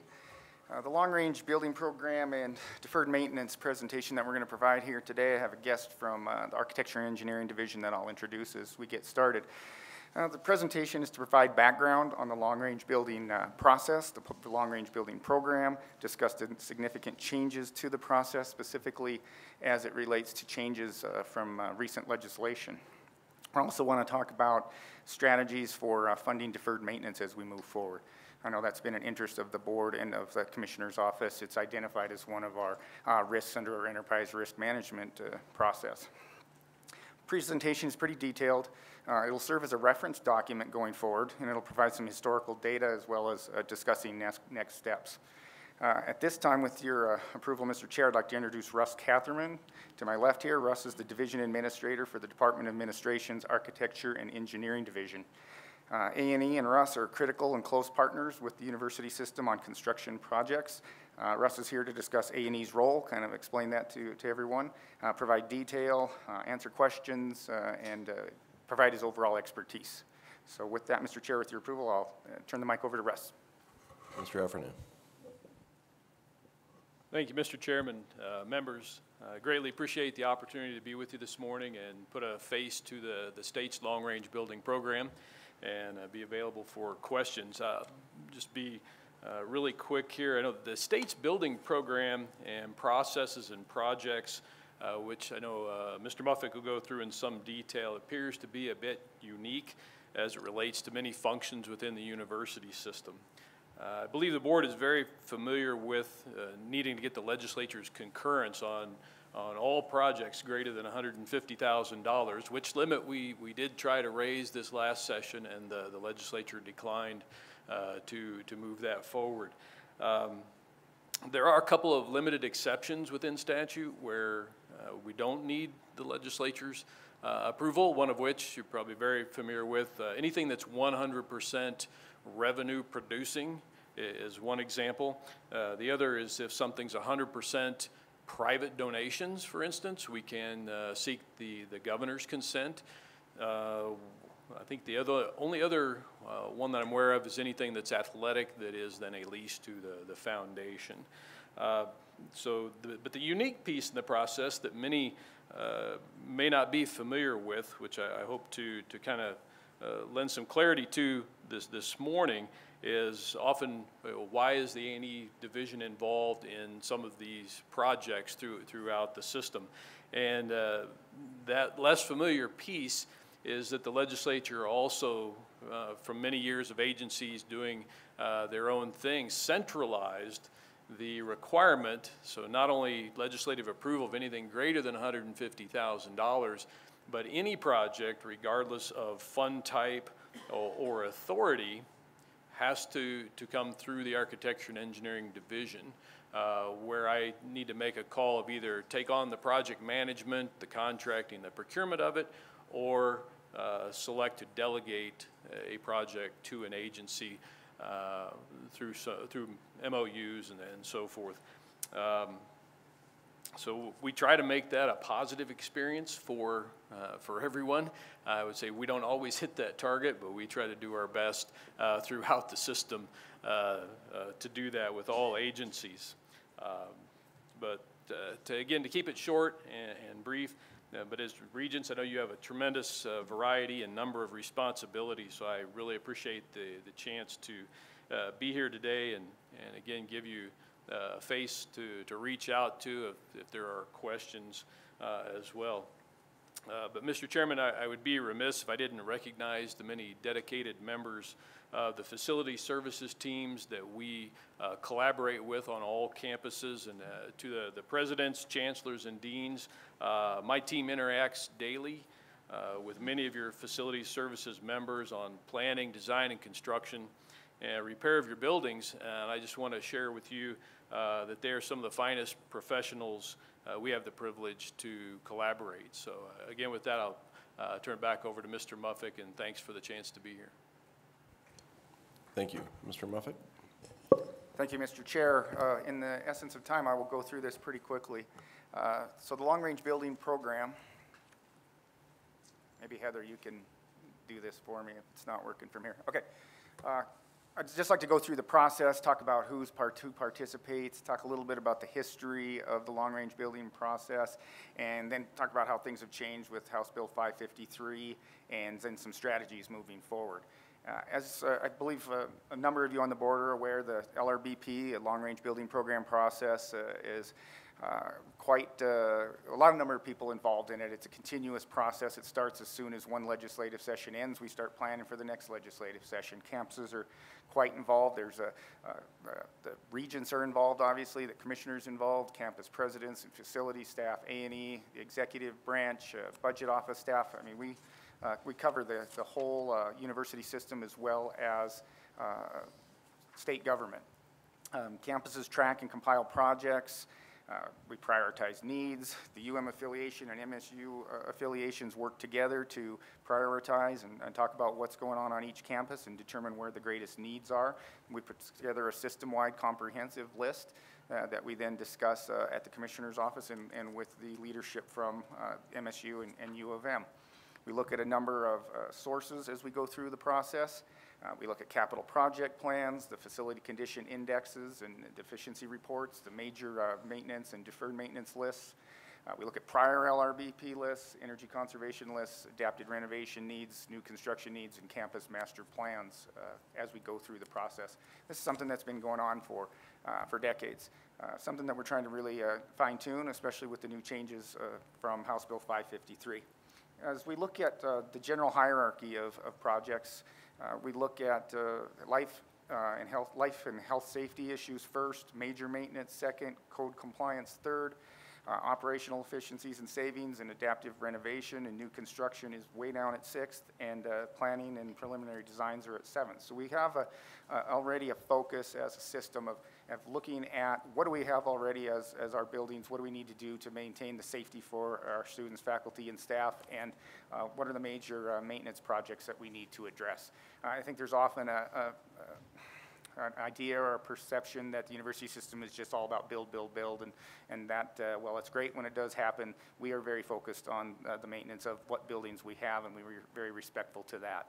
Uh, real quickly, the continuous LRBP process that I mentioned, I won't go through these all uh, in detail, but I'll just mention, as we get done with one legislative session, we start planning right away. The campus faculty or campus facilities people are planning.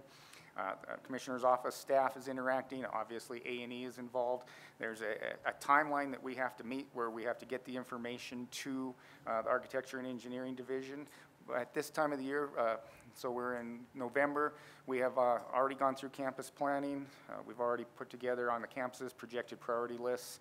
Uh, campuses uh, will be meeting. MSU side has already met and gone over, and, and, and we changed the process a little bit, this year at President Cruzado's urging, and it worked quite well where instead of going out to each campus and discussing their projects, we brought the MSU campuses to Bozeman, and we sat down so we had more of a holistic uh, view of the MSU side. We're going to be scheduled to do that same thing with the U of M side in December. Then in January, we'll sit down, the commissioner, the presidents, Chief of Staff Trevor and I will sit down and we will prioritize uh, the project list. It's going to be a little more cumbersome this year, and I'll get into that uh, as we move forward. Then, uh, after we get together in January and prioritize the list, we'll bring an information item to the board in March, which is what we always do. It'll show uh, the projects uh, listed. It'll include uh, capital projects, it'll include major repairs, and it'll include authority-only projects. And then in May, those projects will be brought to the board as an action item. Um, then we move forward with uh, uh, the A&E and provide them the uh, list of all of our projects that have been approved by the board, and they put it into uh, uh, what they work with the budget and planning office and the governor's office, and it ends up in uh, some of it ends up in the the governor's budget. Um, I just noticed Heather pulled up. This is what our list looked like last year. So we had about $200 million in uh, projects last year. If you include the maintenance, you include the major construction, and you include the authority only. If you go to the next slide, Heather, we can show we had a pretty successful uh, uh, 66 session. Romney Hall obviously was a big one, 25 million we received in, in uh, uh, funding from the state with an additional 7 million in authority. Uh, we received 4.25 million in funding from the state for the dental clinic and dental assisting hygiene lab in Great Falls and 2 million uh, for the research uh, laboratories and greenhouses, and then we received 4.55 million in uh, deferred maintenance. So let's uh, go to the next slide, if you would, Heather. The authority-only projects, and again, these are the projects where uh, approval by, needs to be provided by the legislature to expend money that does not require appropriation. So uh, as Regent Nystuen touched on earlier, these are typically private funds when we're fortunate enough to have donors that provide these. We uh, received over 60 million, I think it's 62.5 million in authority uh, from the legislature to do these projects in the future when funding becomes available. Quite successful. Uh, so that's kind of the historical update real quickly on how it works and what we had uh, previously, what we had for last uh, session and what we were funded. Uh, going forward, uh, I wanted to talk real quickly about the changes to the long-range building process and uh, funding. As I've mentioned numerous times, House Bill 553, it's, it was sponsored by Eric Moore out of Miles City created a new structure and funding for financing building projects and deferred maintenance, and it sets debt limits for the state of Montana. So uh, basically, it provided a framework that really wasn't there previously when we would go into the legislature. Nobody, uh, I shouldn't say nobody, but there was always discussion about what is an acceptable debt level? What should we really be bonding for? What's the amount? This followed the state of Utah model, and so what it does is it basically caps state debt at 0.6% of the fair market value of taxable property and it also uh, caps uh, the obligation for debt service. So uh, as of right now, based on the fair market value for FY22, the uh, estimated amount of debt, the limit of debt that the state of Montana could take on would be $1.05 billion. As of right now, we have 291 million, so we've got 700 uh, plus million available based on the formula. formula. whether the, you know, there's a whole lot of uh, decisions that go into that, but we are a long way from the debt limit. As far as the general obligation debt service limit, it's 1.5% of general fund revenue. That's estimated to be 37.7 million for FY22.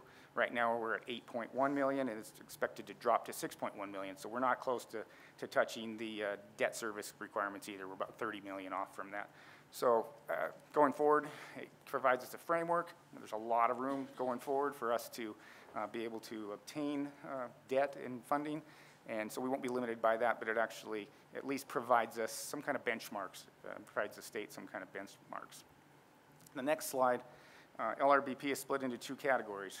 So before where we had deferred maintenance and we had uh, capital projects and we had authority only, it's a little bit different. We've got major repair now, replaces de uh, deferred maintenance, and capital development uh, is for all the new construction. This is some detail here about uh, the costs and, and, how it fits, uh, how projects would fit into either major repair or capital development. Basically, a, a renovation or repair or replacement with a cost less than 2.5 million will be in the major repair. Anything more than 2.5 million will be in considered capital development. One important distinction here for the major repair is this is guaranteed funded through uh, LRBP funds, which is coal and cigarette tax. And if coal and cigarette tax don't provide the necessary funding, then it's required by law that general fund funding kicks in. So that's, that's going to be a, a, a, big deal for us going forward. Next couple slides, it'll sh I'll, I'll, show you how that uh, fits in. So the capital development will be anything over 2.5 million. So the, the major repairs as we move forward, again, our prioritization process will remain the same. We will work with the Architecture and Engineering Division to provide a definitive list going forward. It's going to change the way, uh, as when we pulled up that uh, last session or last uh, approval, uh, last session of projects, we had uh, about 57 million in deferred maintenance projects listed on there. We got 4.55 million from the state, and they give it to us as a lump sum in the past.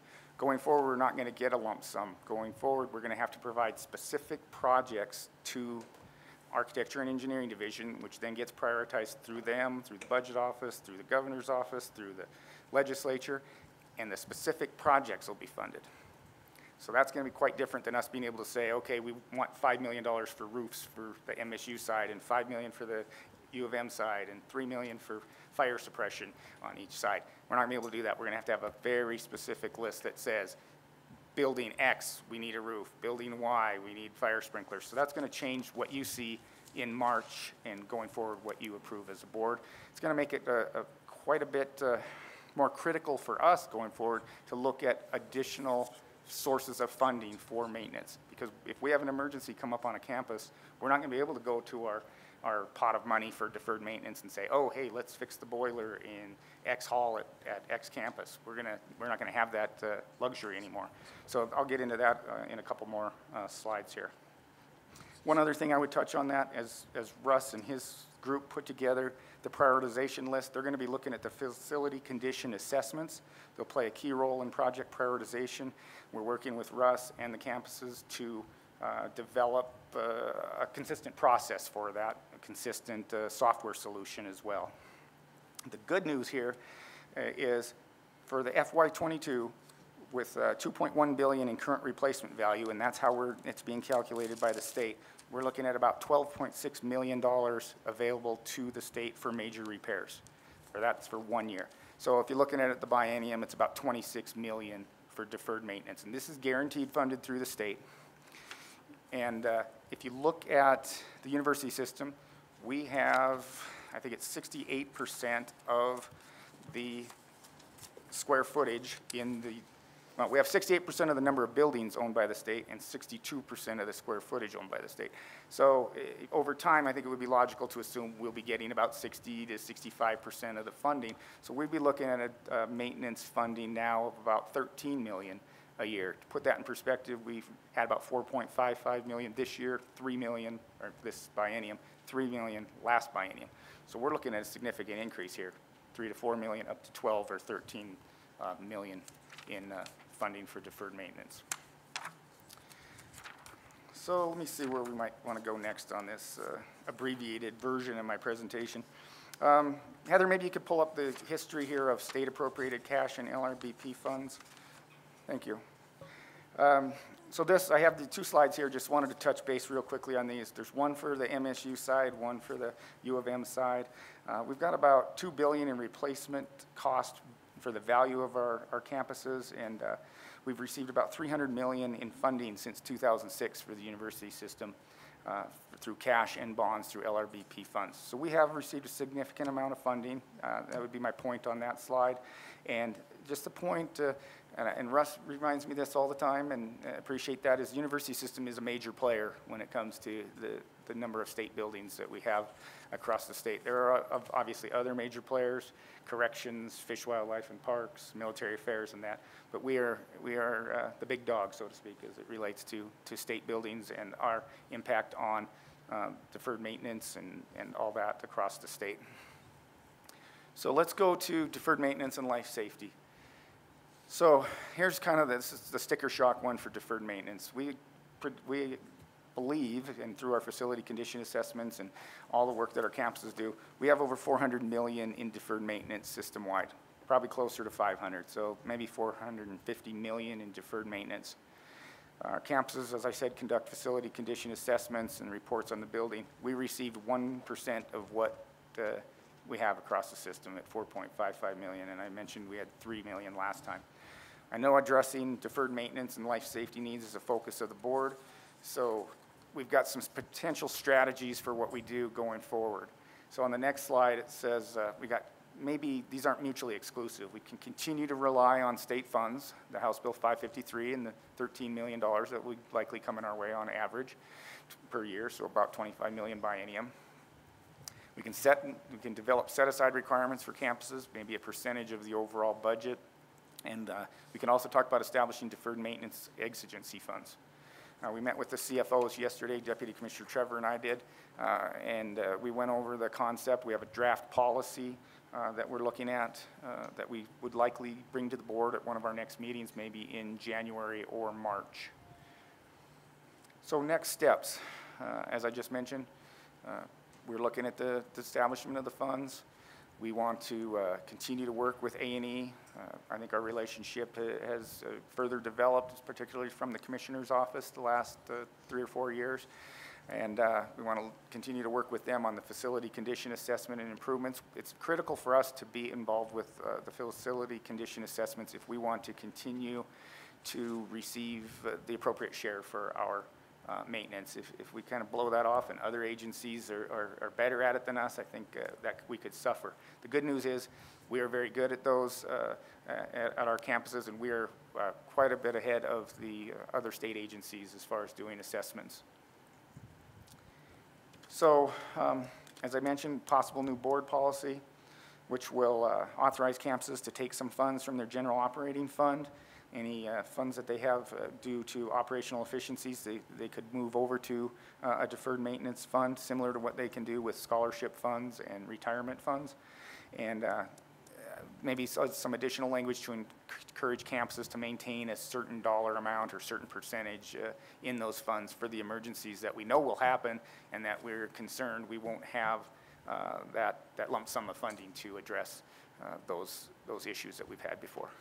So uh, with that, Mr. Chair, I would uh, end my report, stand for any questions from me or Mr. Katherman as well. Thank you, Mr. Muffick. That's, that's a great report. Um, I, I do have a question. Sometimes in the Montana University system, we get wound around the axle with regard to how, how we can construct or, or um, rehabilitate academic buildings versus auxiliary buildings. And I think that, I think that particularly outside of uh, this board table and those of us that are involved in higher education on a daily basis, it gets very confusing. Why, why can't we use state funds to renovate the dorm? Why can't we construct the athletic facility with those state funds? Can, can you just talk a little bit about that on the record so we know? You interested in that one? Uh, Mr. Chair, if I can, I'll, I'll let Mr. Katherman address that, and then I might jump in as well. Uh, uh, Mr. Chairman, there is uh, some limitations within statute on, on how those, those funds are categorized. And uh, unless there's a specific authorization by the legislature of state funds to, uh, to an auxiliaries building, uh, then we could not use state dollars. uh, in that way, because it's, it's simply in the, the manner, the way the state appropriates the funding uh, each session uh, that, that puts that limit in place. So you would need direct action by the legislature for uh, something that's non-academic. Uh, I hope that helps um, clarify that. But what you're saying is that if the legislature authorized an expenditure for an athletic facility, it's, it's entirely possible to do that. Mr. Chairman, if I understand uh, the question correctly, uh, the the legislature did, years ago, of course, authorize construction of athletic facility and did pay, uh, pay for those. Uh, But the trend has been uh, over, over the years, over the sessions, to um, separate the auxiliaries into more of a business function to try and have it uh, finance itself, if you will. And um, so it would, it would take specific legislative action when, uh, when long-range dollars are appropriated uh, by the legislature to, to my office, they are separated into those categories between academic and, um, and the auxiliaries. One, uh, good aspect of that is the general spending authority that the, the legislature does provide, but it does uh, state in there that that, that does have to be non-state uh, funds for use. But it could be grants, uh, donations, um, auxiliary funds, et cetera. Mr. Chair, if I could, I think in, in general, broad brush, uh, if, if it's an auxiliary facility funded 100% by the auxiliary fees, uh, the board has much more authority than under uh, academic buildings. Academic buildings, we still need legislative authority, or in some rare instances, the governor's authority. So uh, you're looking at athletic facilities, you're looking at dining halls, you're looking at uh, dorms. Those are the kind of things that this board can approve and move forward with. In addition, we can also approve, uh, you can approve the board uh, planning and design for, for all types of buildings. So Thank you. Additional questions? Regent Nystuen? Thanks, Chair Tuss. Uh, A half a billion dollars in deferred maintenance and life safety is, uh, is, I have a tough time getting my head around that. And I'm sure that the university system buildings are not the only ones across the state that have that level of priority. But the concern I have is, uh, is this reflected in insurance rates that we pay, a risk that we uh, inherently have as a result of having these things identified and yet not doing anything and just deferring, deferring, deferring? Um, i- i- Is there, s- I mean, where, where are we with insurance and risk and, and exposure because we are not able to keep pace with what needs to be done?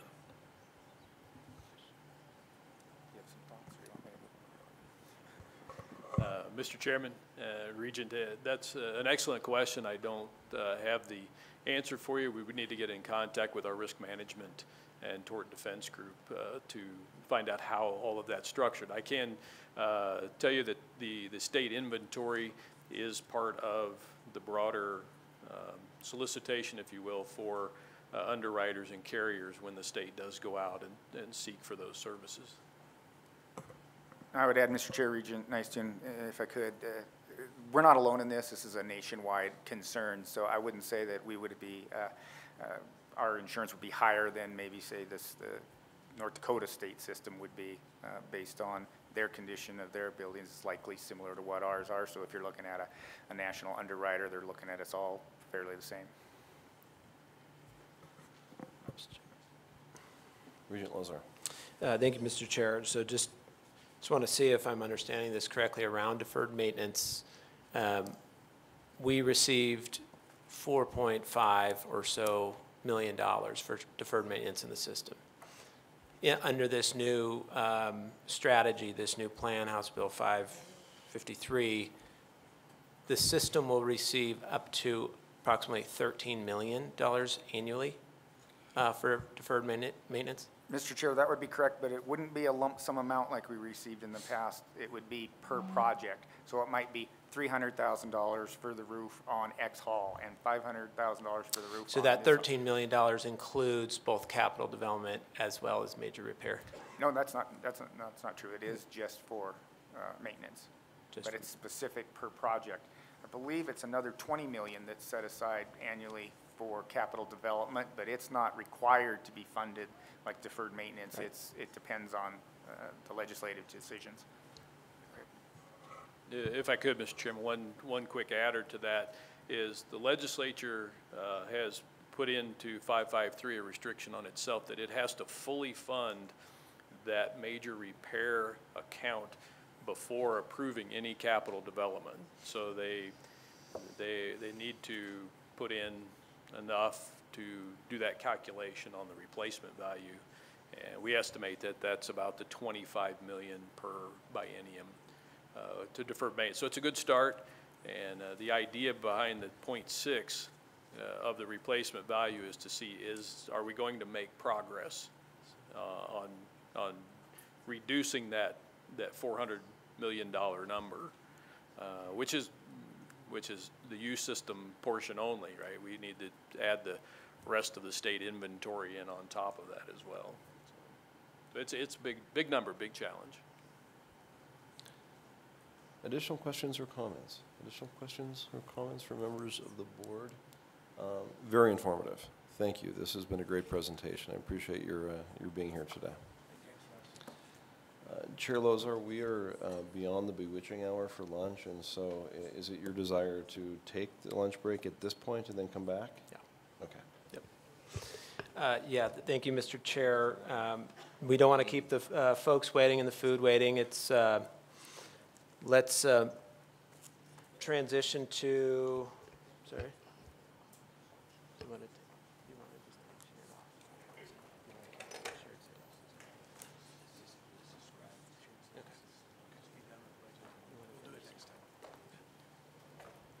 What, what we'll do is we will conclude the work of the Budget Committee. Uh, We, we do have the one additional item, um, which is shared services update.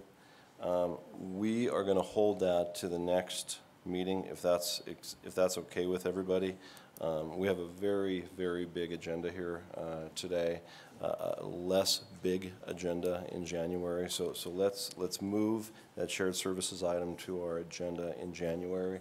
And with that, uh, Mr. Chair, that concludes the Budget Committee uh, uh, report today.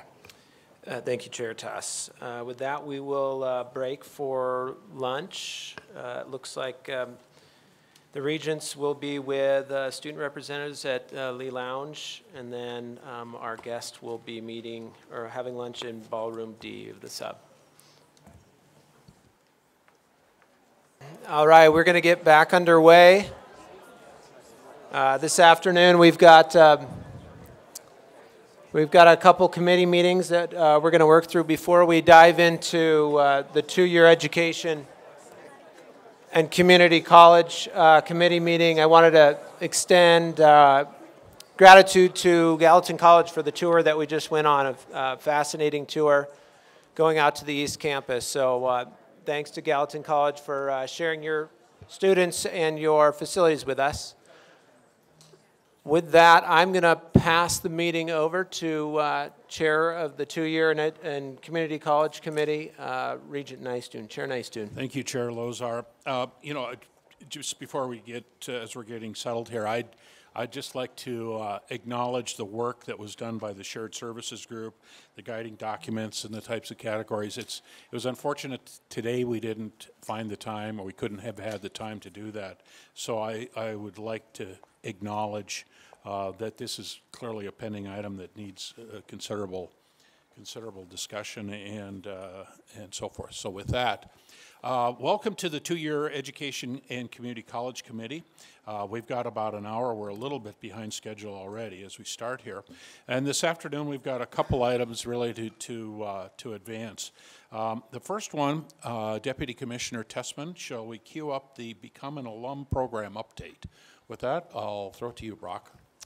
Uh, uh, Chair Nystuen, members of the board, uh, thank you very much. Uh, We do have a nice agenda. Uh, The first item will be uh, a report from our Commissioner from the Department of Labor and Industry, Galen Hollenbaugh. Then we'll have actually a panel of two-year leaders who will talk a little bit more about our year of assessment, engagement, and planning. We will uh, kick it off with, with this update from Commissioner Hollenbaugh in a partnership between the University of Montana, Missoula College, and the Department of Labor and Industry, really geared around uh, one important portion of our resident student access initiative, which is connecting with uh, students in Montana 120,000, 130,000 who have some college but no degree. Uh, we know this is an important segment of our, our resident, uh, potential resident student population.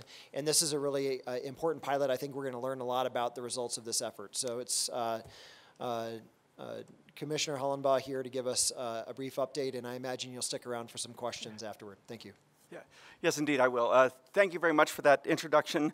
Uh, good afternoon, everyone. Uh, as mentioned, my name is Galen Hollenbaugh. I'm a Commissioner of Department of Labor and Industry. It's indeed a pleasure to be back here in front of you again to give you a sort of a final update, if you will, of where we have come to uh, with our Become an Alum effort. And uh, it's, this is becoming a bit of a, a, signature project that the Department of Labor and Industry has been focusing on and working on with higher education, and particularly with the University of Montana, as we all begin to uh, figure out ways that we can engage the workforce in Montana and make sure that we're fulfilling the needs of businesses and, and getting, getting the jobs filled so that our economy continues to grow in this state. So what I thought I'd do today is to take, I know a lot of you have heard some of this project, so this will be a bit of a quick review for you, but for those of you that are just tuning in or listening or have, do not have uh, an idea of what this project truly is, what I want to do with this presentation is just give you a, a quick situation analysis of the workforce issues that we're facing and what's caused this, uh, back it up with a little bit of supporting uh, economic information and some of the background in terms of how we got here, and then give you some of our process steps that the Department of Labor and Industry engaged in in terms of staff involvement, uh, uh, operational involvement with the pilot project, and then finishing up with some lessons learned in, in the couple of months I've been working on this, and then actually have a few questions of this group in terms of our next steps and where you'd like to see this go from here. So with that, um, let's take a little bit of look at where we are today. You've all heard lots of people from the Department of Labor and Industry uh, talking about um, our ongoing workforce shortage in Montana. Uh, confronting that shortage has been our biggest challenge over the past few years, and we know that this is going to continue into the future. Uh, we here in Montana, uh, along with the rest of the country, we have, a, we have demographic challenges. Uh, our boomers are retiring. Uh, over the next 10 years, we expect about 100,000 of them uh, in Montana to leave the workforce. And our projections, as most of you have heard, uh, show that we only have about 90,000 individuals coming in behind them to fill the jobs. So as you can see, we have a bit of a gap that we need to address. And you can also see some of the consequences of this demographic shift in our unemployment rate. Our seasonally adjusted unemployment rate hasn't been above 4% since September of 2016. Uh, and it was only 4.1% then. And generally, you tend to think of, hey, a low unemployment rate's pretty good. Uh, but when you have an unemployment rate that lasts that long for that low, what economists will start to tell you is we are entering what's called a constrained labor market, where businesses are just not able to grow uh, because they can't find workers to fill the jobs. So, how do we help businesses, or how do we uh, address a workforce shortage? And one of the ways that we do that, and businesses look to do that, is by improving productivity. Uh, working efficiently can minimize some of the effects of needing more workers, but in addition to that, what we see with the businesses they step forward to with additional investments in equipment and technology, what that leads us to is we also have to invest in worker training. Now, in Montana, a burning glass analysis of the 71,000 online job postings found that half require a credential or degree, and another 25% are classified as middle skill, which likely require more than a high school diploma. So, that leads us to, you know, Governor Bullock began to recognize or recognize that, that we do need skilled workers to help us fill this workforce gap and to help us continue our economic growth. So he joined a growing number of states who were setting attainment goals uh, and early in his tenure declared that in Montana, we would increase the number of individuals with a degree, certificate, or credential from 40% to 60% by 2025.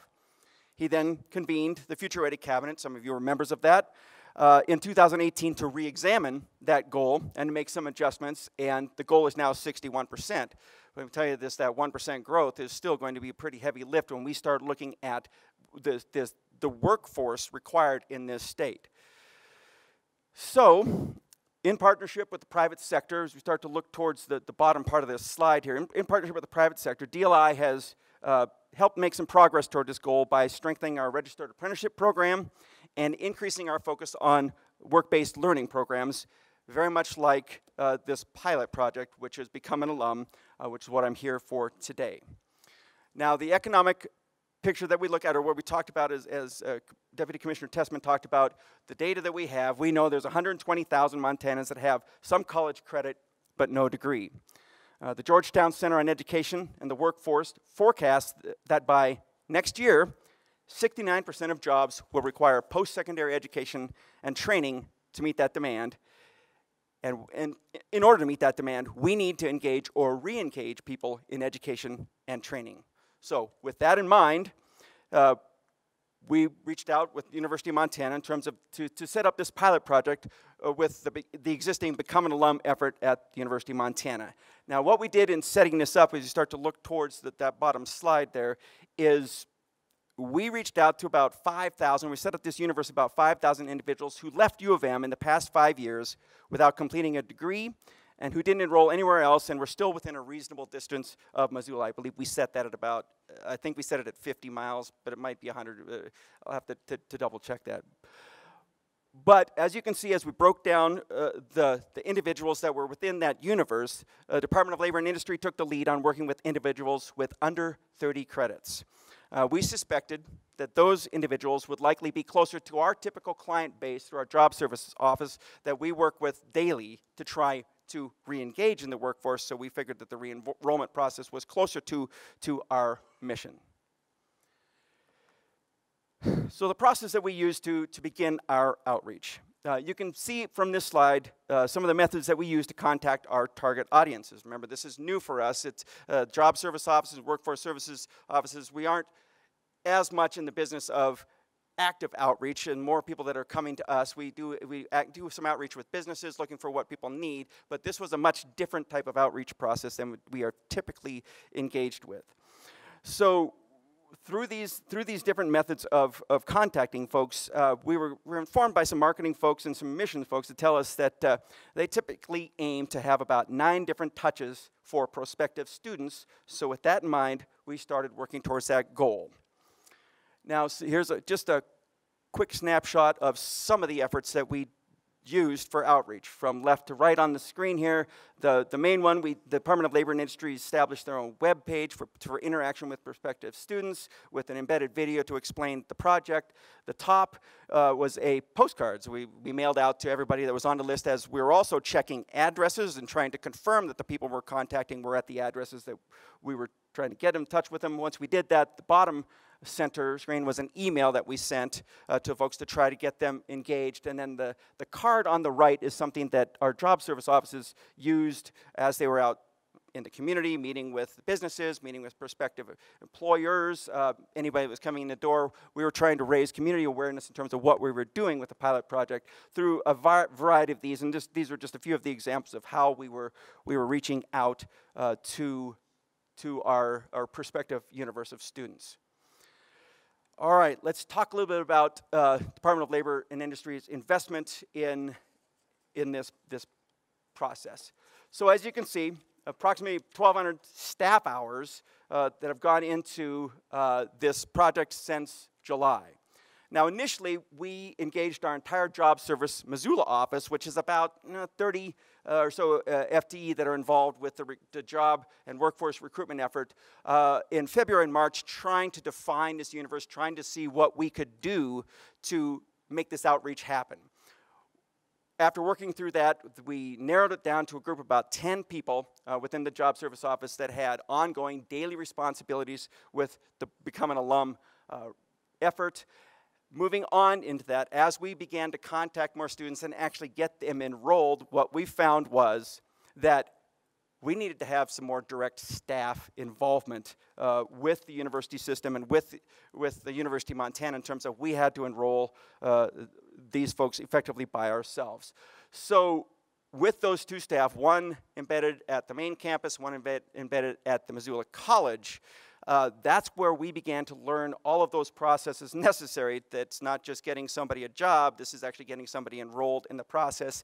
And uh, President Bodnar, uh, Dean Gallagher, I cannot say thank you enough for your help and assistance in training our staff coming in, teaching them everything from your enrollment process to how things work with the University of Montana system. It was, it's eye-opening for us from the job service side of things to recognize what it takes to actually get people enrolled into the university system. So thank you very much. This pilot project would not have been nearly the success without your dedication and commitment to the process. So thank you very much to you and your staffs for, for bringing us uh, on board. Uh, additionally, when we started with this, we had allocated about $50,000 uh, funding for direct student services, and to date, we've used about 10,000 of that, and that goes for everything from you know can, for enrollment services. We can uh, pay for some tuitions, materials, computers, books, that that sort of thing. So we we uh, we have been fairly frugal with our money, but uh, all in all, as you see, the, we, we, had a fairly significant investment in this, and uh, staff time was uh, paramount. And uh, as I'll talk about in terms of lessons learned, this is a very, very staff intensive process that as we hope to build this out with uh, the other campuses across the state, uh, we're look, we will engage with you at whatever level that you need if that's what you desire, but we'll, we're ready to make that staff time uh, commitment. All right, so what do we get within, with our enrollment in the past couple of months that we've been working on this? So total fall enrollment uh, is 99 students that have come in. Uh, 52 of those were direct from DLI. Those are ones that we contacted, we brought in, we figured out what they needed, and we got them enrolled. Uh, additional, Registrar Hickman told us that another 47 came through after hearing and engaging with the Become an Alum process and recognizing that this was an effort they're being done, but re-enrolled on their own uh, to come into the process. So that's the breakdown of the 99. Uh, the best part about this is this is ongoing, and we intend to stay uh, engaged with the University of Montana in this process. It has been it's a wonderful process that's engaging both private sector and, and government and education. Uh, but we now have 38 more students that are committed, enrolled for spring semester, with 70 plus right now that we expect to be enrolled by uh, spring semester. So, and that and that that number actually is continuing to grow uh, every day. Uh, the 52 students that enrolled this fall, on the right-hand side of the slide, you can see the programs that they enrolled in. Uh, the medical assisting one ends up being a very large category of that because that's effectively those, those programs and certifications that run doctor's offices. It's everything from coding through reception work through you know, uh, you know some basic lab intake uh, work. So that's that's a fairly large field, which is obviously why I think that there's the largest number of, of people enrolled in that. Okay, moving on. Some of our lessons learned here. We found that in this pilot that we truly needed to work with the individuals, not just to get them in the door, but to address the barriers that caused them to leave in the first place. As I reported to you before, you know, even five years later, after re-enrolling, the reason that people left in the first place can still be there. Child care, caregiving responsibilities, financial uh, issues, life events. Uh, but also what we're finding is if there is a singular issue that seems to run through all of this is there's a reluctance on the part of some of these students to re re-enroll or re-engage in something that they feel that they may have failed at previously.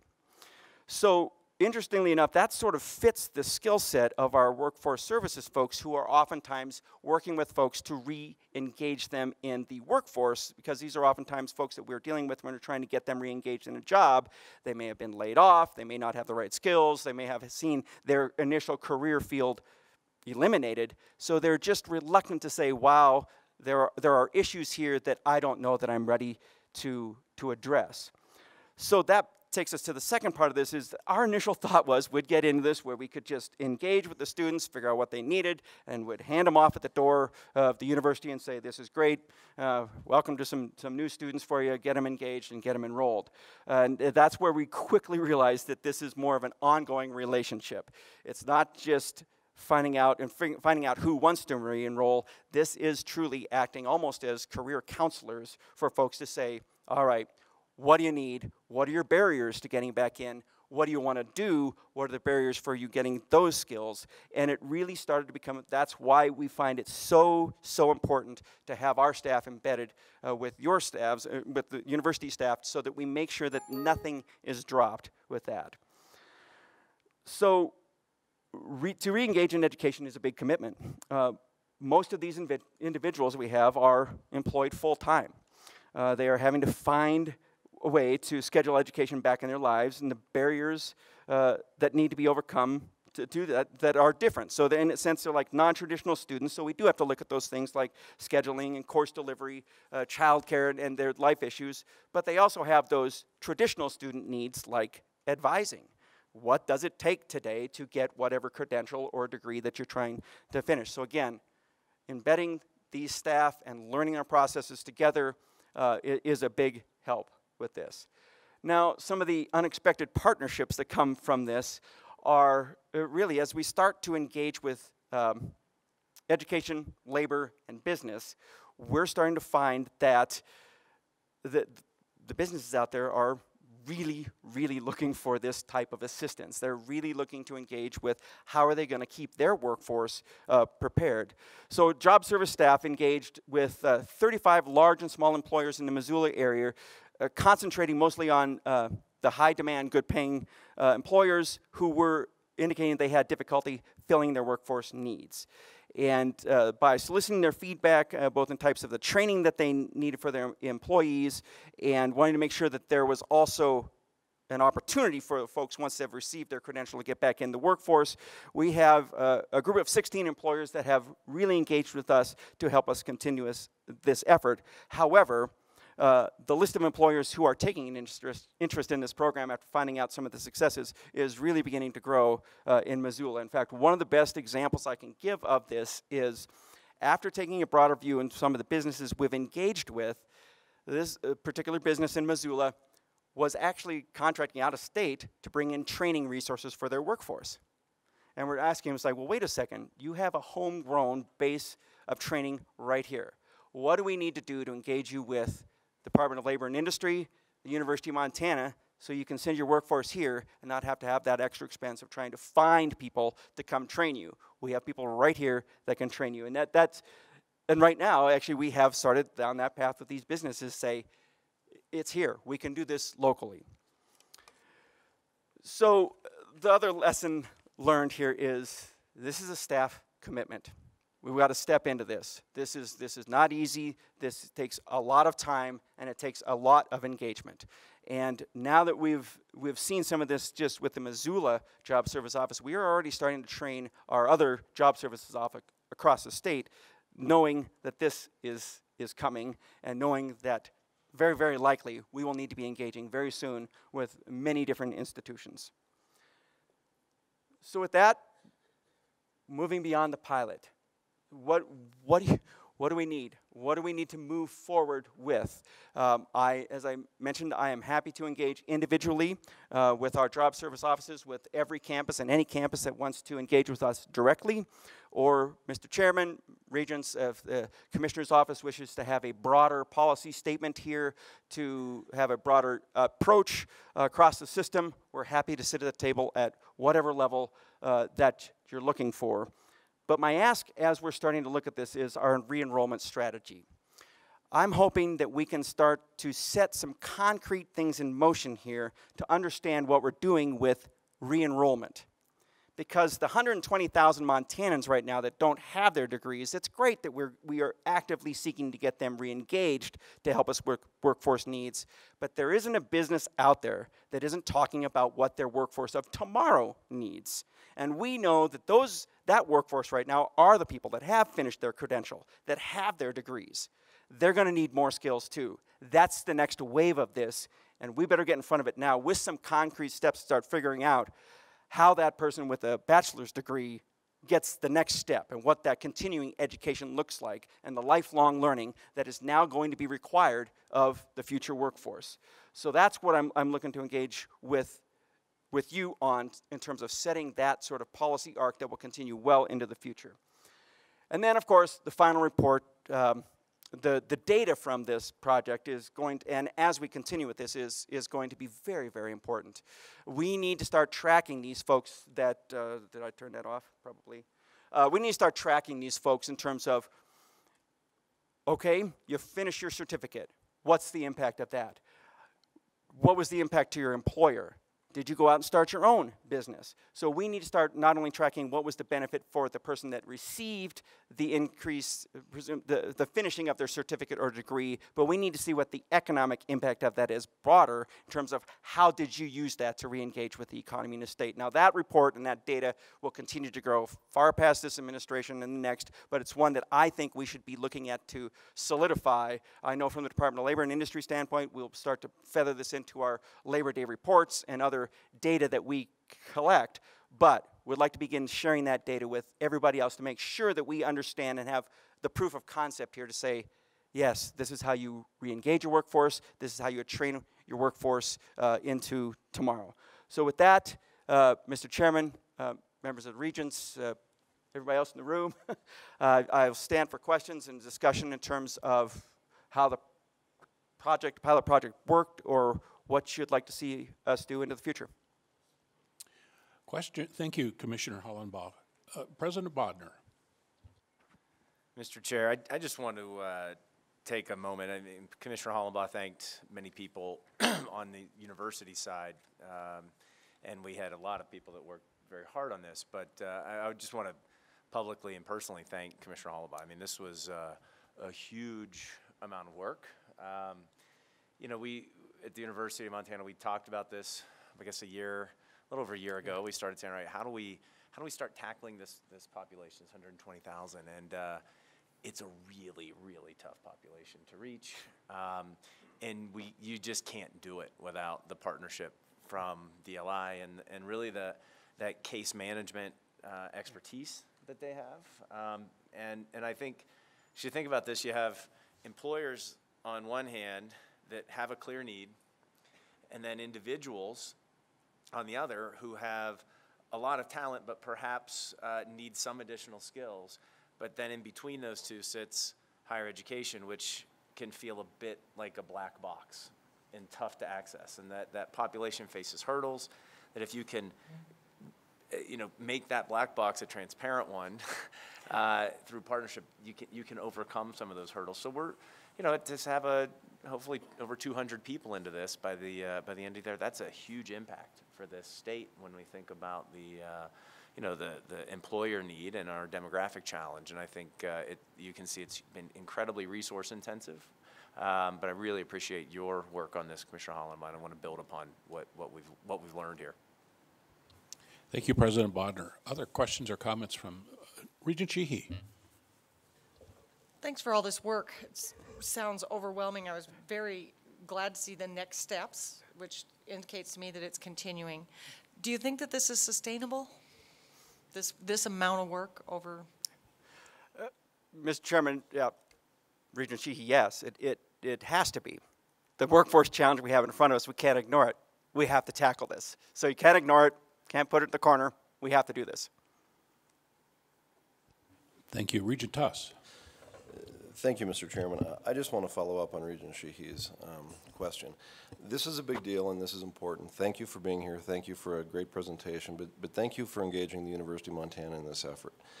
We really need to take this from a project to a program. We need to take this statewide, and regardless of who, the, who occupies the second floor of the Capitol in the next administration, um, on the mic, on the cameras, and in the record today, I, I, really want to emphasize the fact that this is important.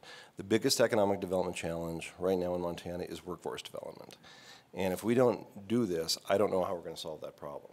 So I would encourage the Commissioner's Office, uh, all of the campuses, and the state of Montana in your capacity to continue to you know, keep your foot on the gas on this. Um, I think this is incredibly important for the state of Montana long term. Thank you for your leadership on this. Thank you, Regent Tuss. And you know, the, the other engagements that we've had here, we're already continuing the partnership in terms of working on the, uh, the portal that's working on it and making sure that we have absolutely shared all of our data and the dashboard stuff that we have in terms of wage uh, information and how that, where the jobs are in the state. We want to make sure you have full access to that. So as you're informing your students across the state, you're using our data, that's real-time data we can get to you. So yeah, even from this pilot project, we're starting to see all of these other things that we need to be engaged with higher education on to make sure that everybody's aware of what you can do and what you need to do in the state. Thank you for those great comments. Uh, Regent Tuss, I'd, I'd like to echo that. Every time I know I go to the Montana Chamber of Commerce, they're talking about this. The Montana High Tech Business Alliance, all these various associations and groups that we work with in the spirit of economic development, which is your day job. I mean, this is all they talk about is workforce. And you know, as a private sector employer, we see it all the time too. So thank you. Uh, Regent uh, Lozar, did you have a question, comment? Mm -hmm. Uh, thank you, Chair.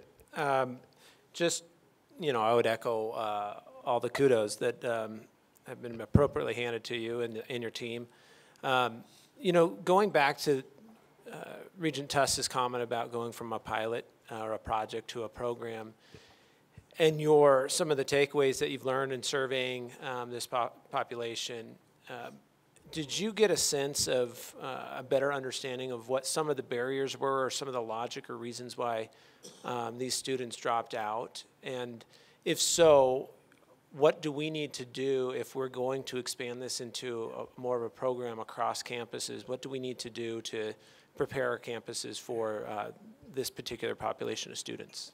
Yeah, uh, Regent Lozar, yeah, that's part of what President Bodnar was talking about. This is a tough nut to crack because the population is so diverse. It's so hard to get in touch with. It's so hard to understand. The, the, the reasons that are given are as varied as the day is long. It, and it truly is, there isn't a single reason. But again, like I said, what we did see at the end is this reluctance to re-engage because they thought they were a bit of a, you know, if anything, it's like, oh, it didn't really work out last time. It was really hard. How am I going to fit in again? It's been too many years. It doesn't work. So I would say, if there's anything, it's fear that you're kind of combating to say, no, it, it's don't be afraid to re-engage. Things have changed. It, it's a whole different world uh, in, in education than it was when you were here, even though it was five years ago. So it's about walking people through. Again, this is, this is like career counseling. It, it's working and case managing people from the beginning to the end, walking them through saying, it's just a process. How to eat the elephant one bite at a time. Here's what you need to do. Here's how we'll help you get through with it. And here's what you get at the end. President Cruzado, did, yes. did you have a question or comment? Yes, uh, Mr. Chair and Mr. Commissioner, thank you so much. It's always good to see you. Um, and Regent Sheehy asked, is this sustainable?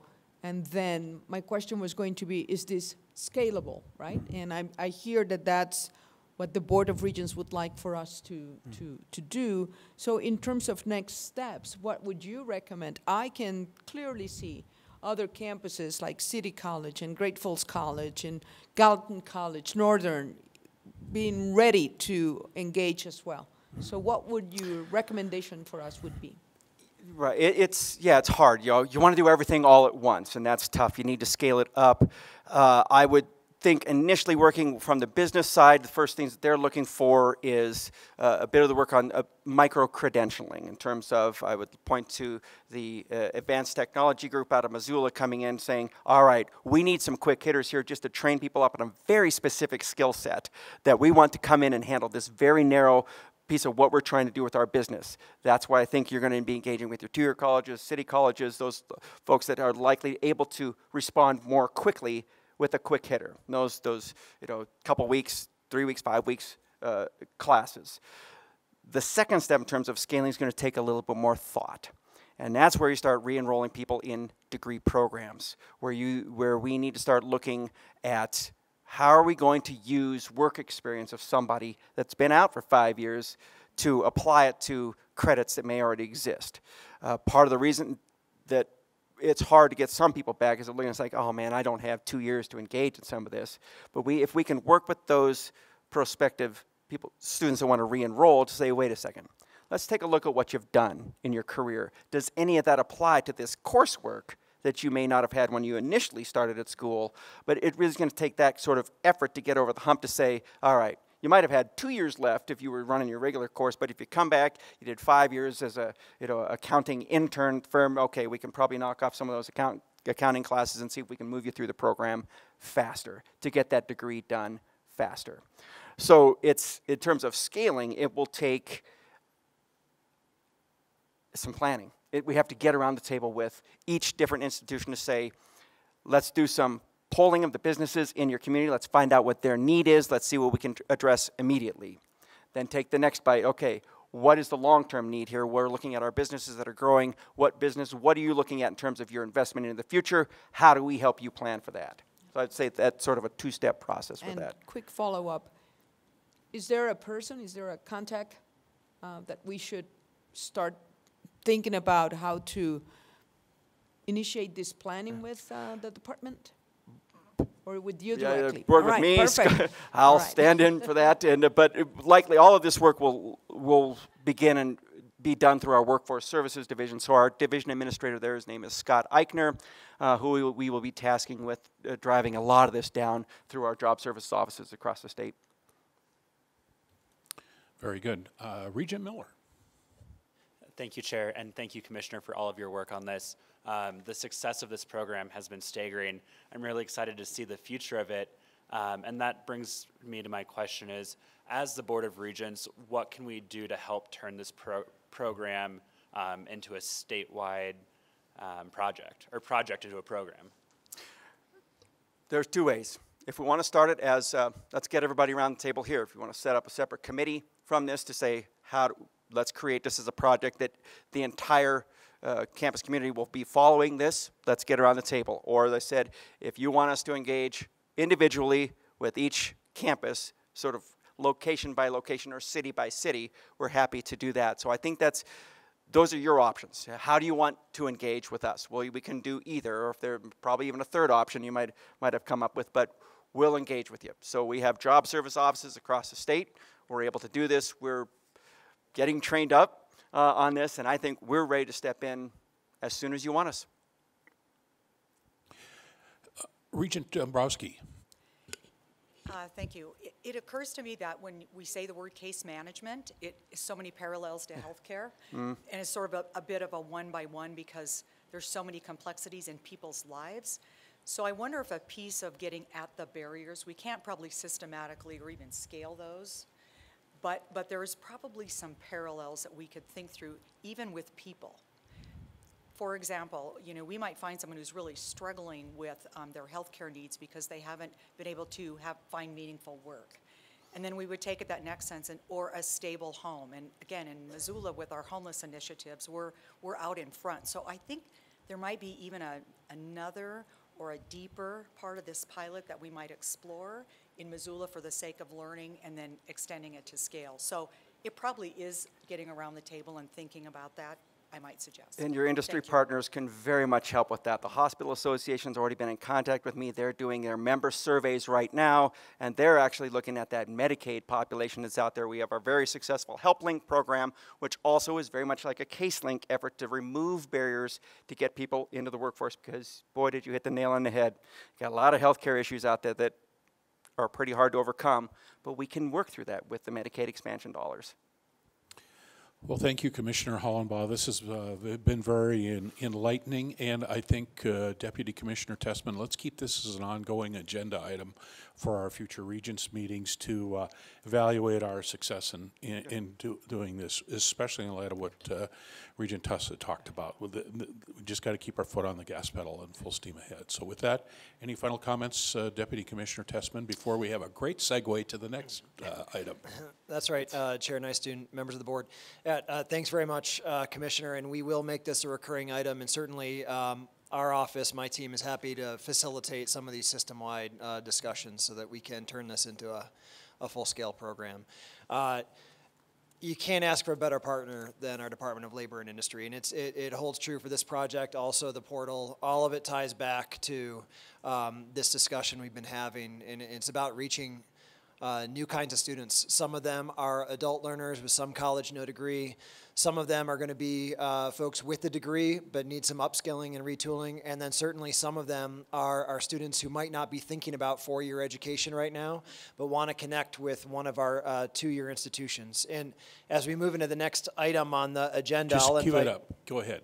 Yeah, yeah. I'll, I'll invite uh, four of our, our two-year leaders uh, to to the chairs here, and, and I'm gonna gonna ask each one of them a a, a question about. Um, this, this particular stage of our year of assessment, engagement, and planning. Thanks, Galen. uh, our, year of assessment, engagement, and planning. I mean, you, you could argue, and I, I bet it's a safe argument, two-year education's never been more prominent, never more important in this state, uh, and, and you really work on, on two ends of the spectrum there. One is expressing uh, the value of two-year education to potential students, and the other one, to echo President Bodnar and others, is to reduce the barriers to entry so that no matter what type of student we're talking about, we make it as easy as possible for those students to find options within our two year system to enroll and then to succeed. Um, this year uh, started really in September for us, and, and we heard from actually all 12 of our two year leaders about mission fulfillment in the system. And uh, I, I'm cognizant of our time. I don't want to dive into a recap of that, but it was really inspiring for me, for me to hear a little bit about how, uh, for example, at MSU Northern, we were working with Native American students on tribal college transfer through the Little River Institute.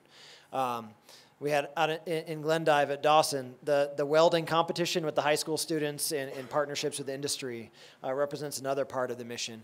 Dean Gallagher, the apprenticeship programs at Missoula College. It was a really a heartening conversation. And from here on out, what we'd like to do is to start to focus the conversation a little bit in May uh, in Havre, uh, what I'd like for us to do is actually have a set of, of action items uh, for the board to look at with respect to two-year education and the way that, that you all as board members can, can better support uh, two-year education in the state.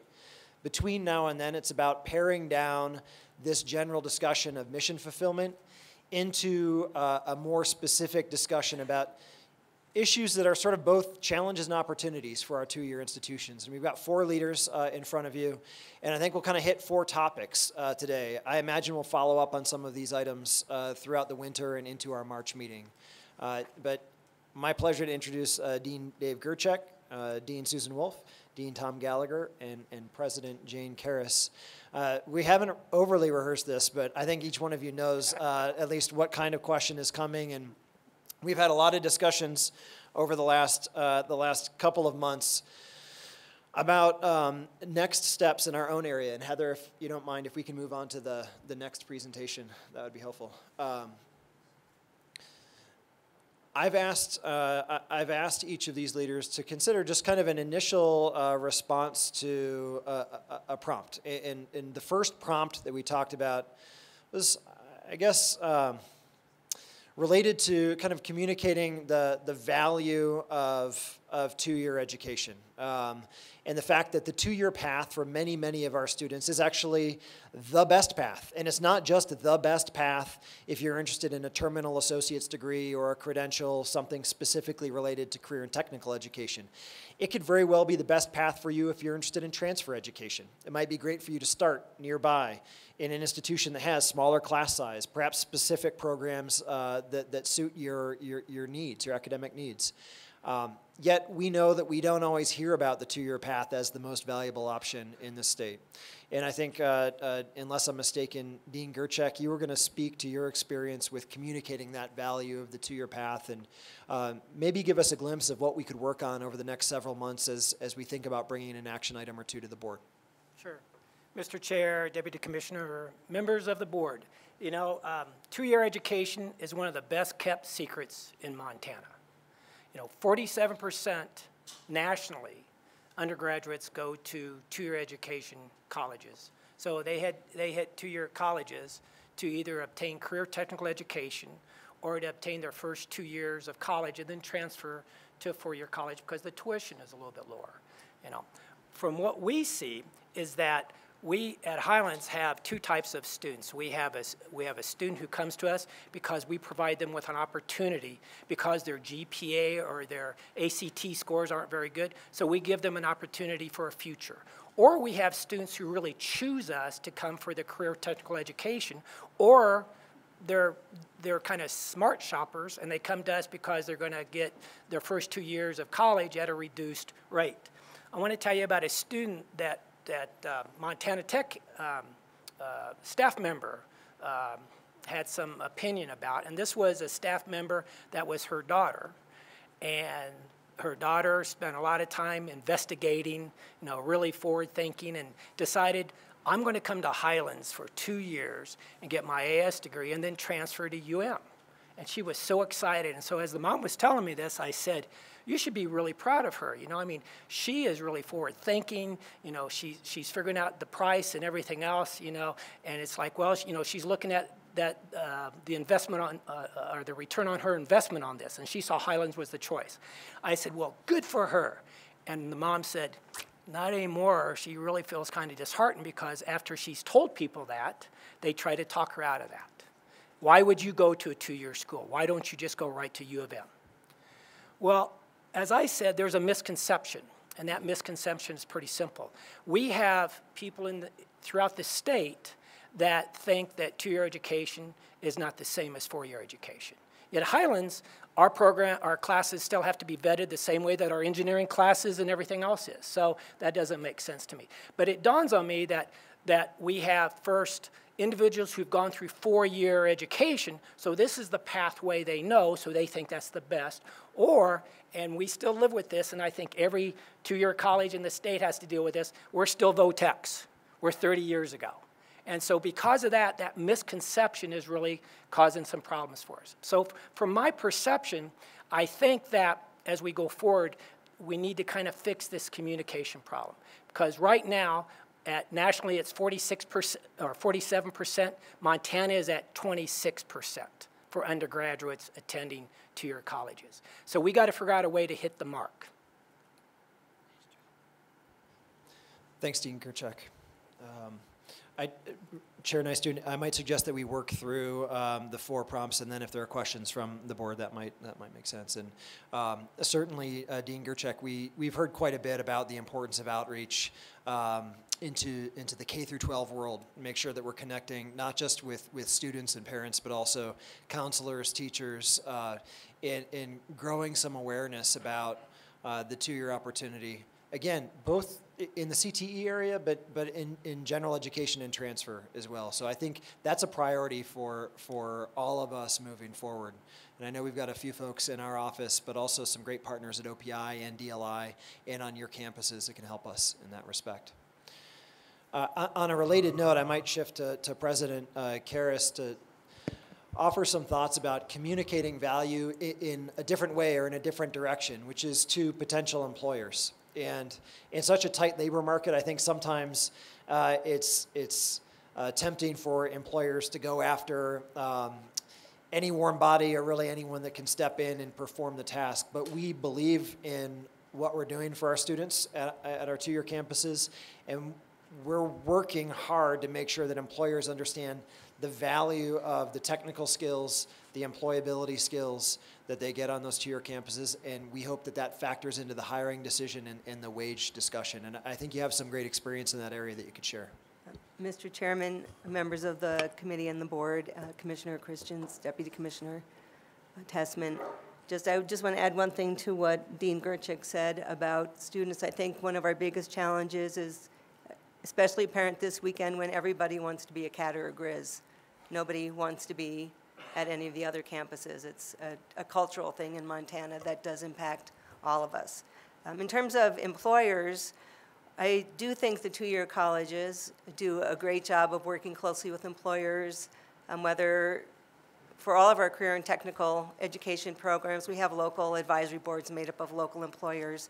Those employers are very clear to us what they expect, what they want. They understand the value of a two-year degree, but they very rarely offer a pay differential. Now, certainly in certain careers where licensure requires a two-year degree, maybe it's in healthcare and nursing and dental hygiene, those programs, EMT, paramedicine, you have to have that two-year degree to pass a national licensing exam to be um, approved to uh, work in that field.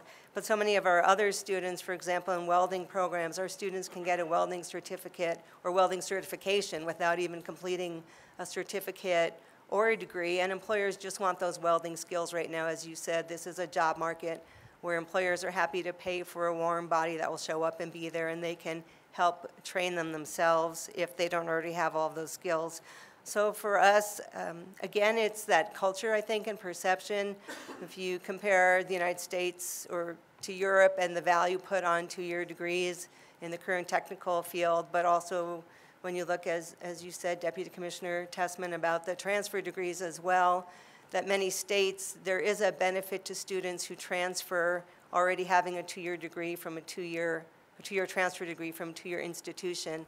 That isn't really a benefit in Montana. You can take your gen eds, you can take a few classes, you can transfer easily, which is great, but the data does show that students who have that two-year experience and two-year degree are more successful in completing their four-year degree in fewer years and with a higher grade point average, therefore saving themselves and the state money. Same thing for employers. Those students who are well prepared, when they go to the employer, they're more likely to stay there, to be productive, and to continue being a good employee. So um, I think it's a very complex issue that we really need to take some time to look at. We've done a great job over the years in sharing that information. I think, as I said earlier, many employers are aware of the value of a two-year degree, but for a number of reasons, they can hire employees without that degree, and so therefore there is no reason for them to have that pay differential and for students then to spend the money on a two-year degree when they can get that job without it.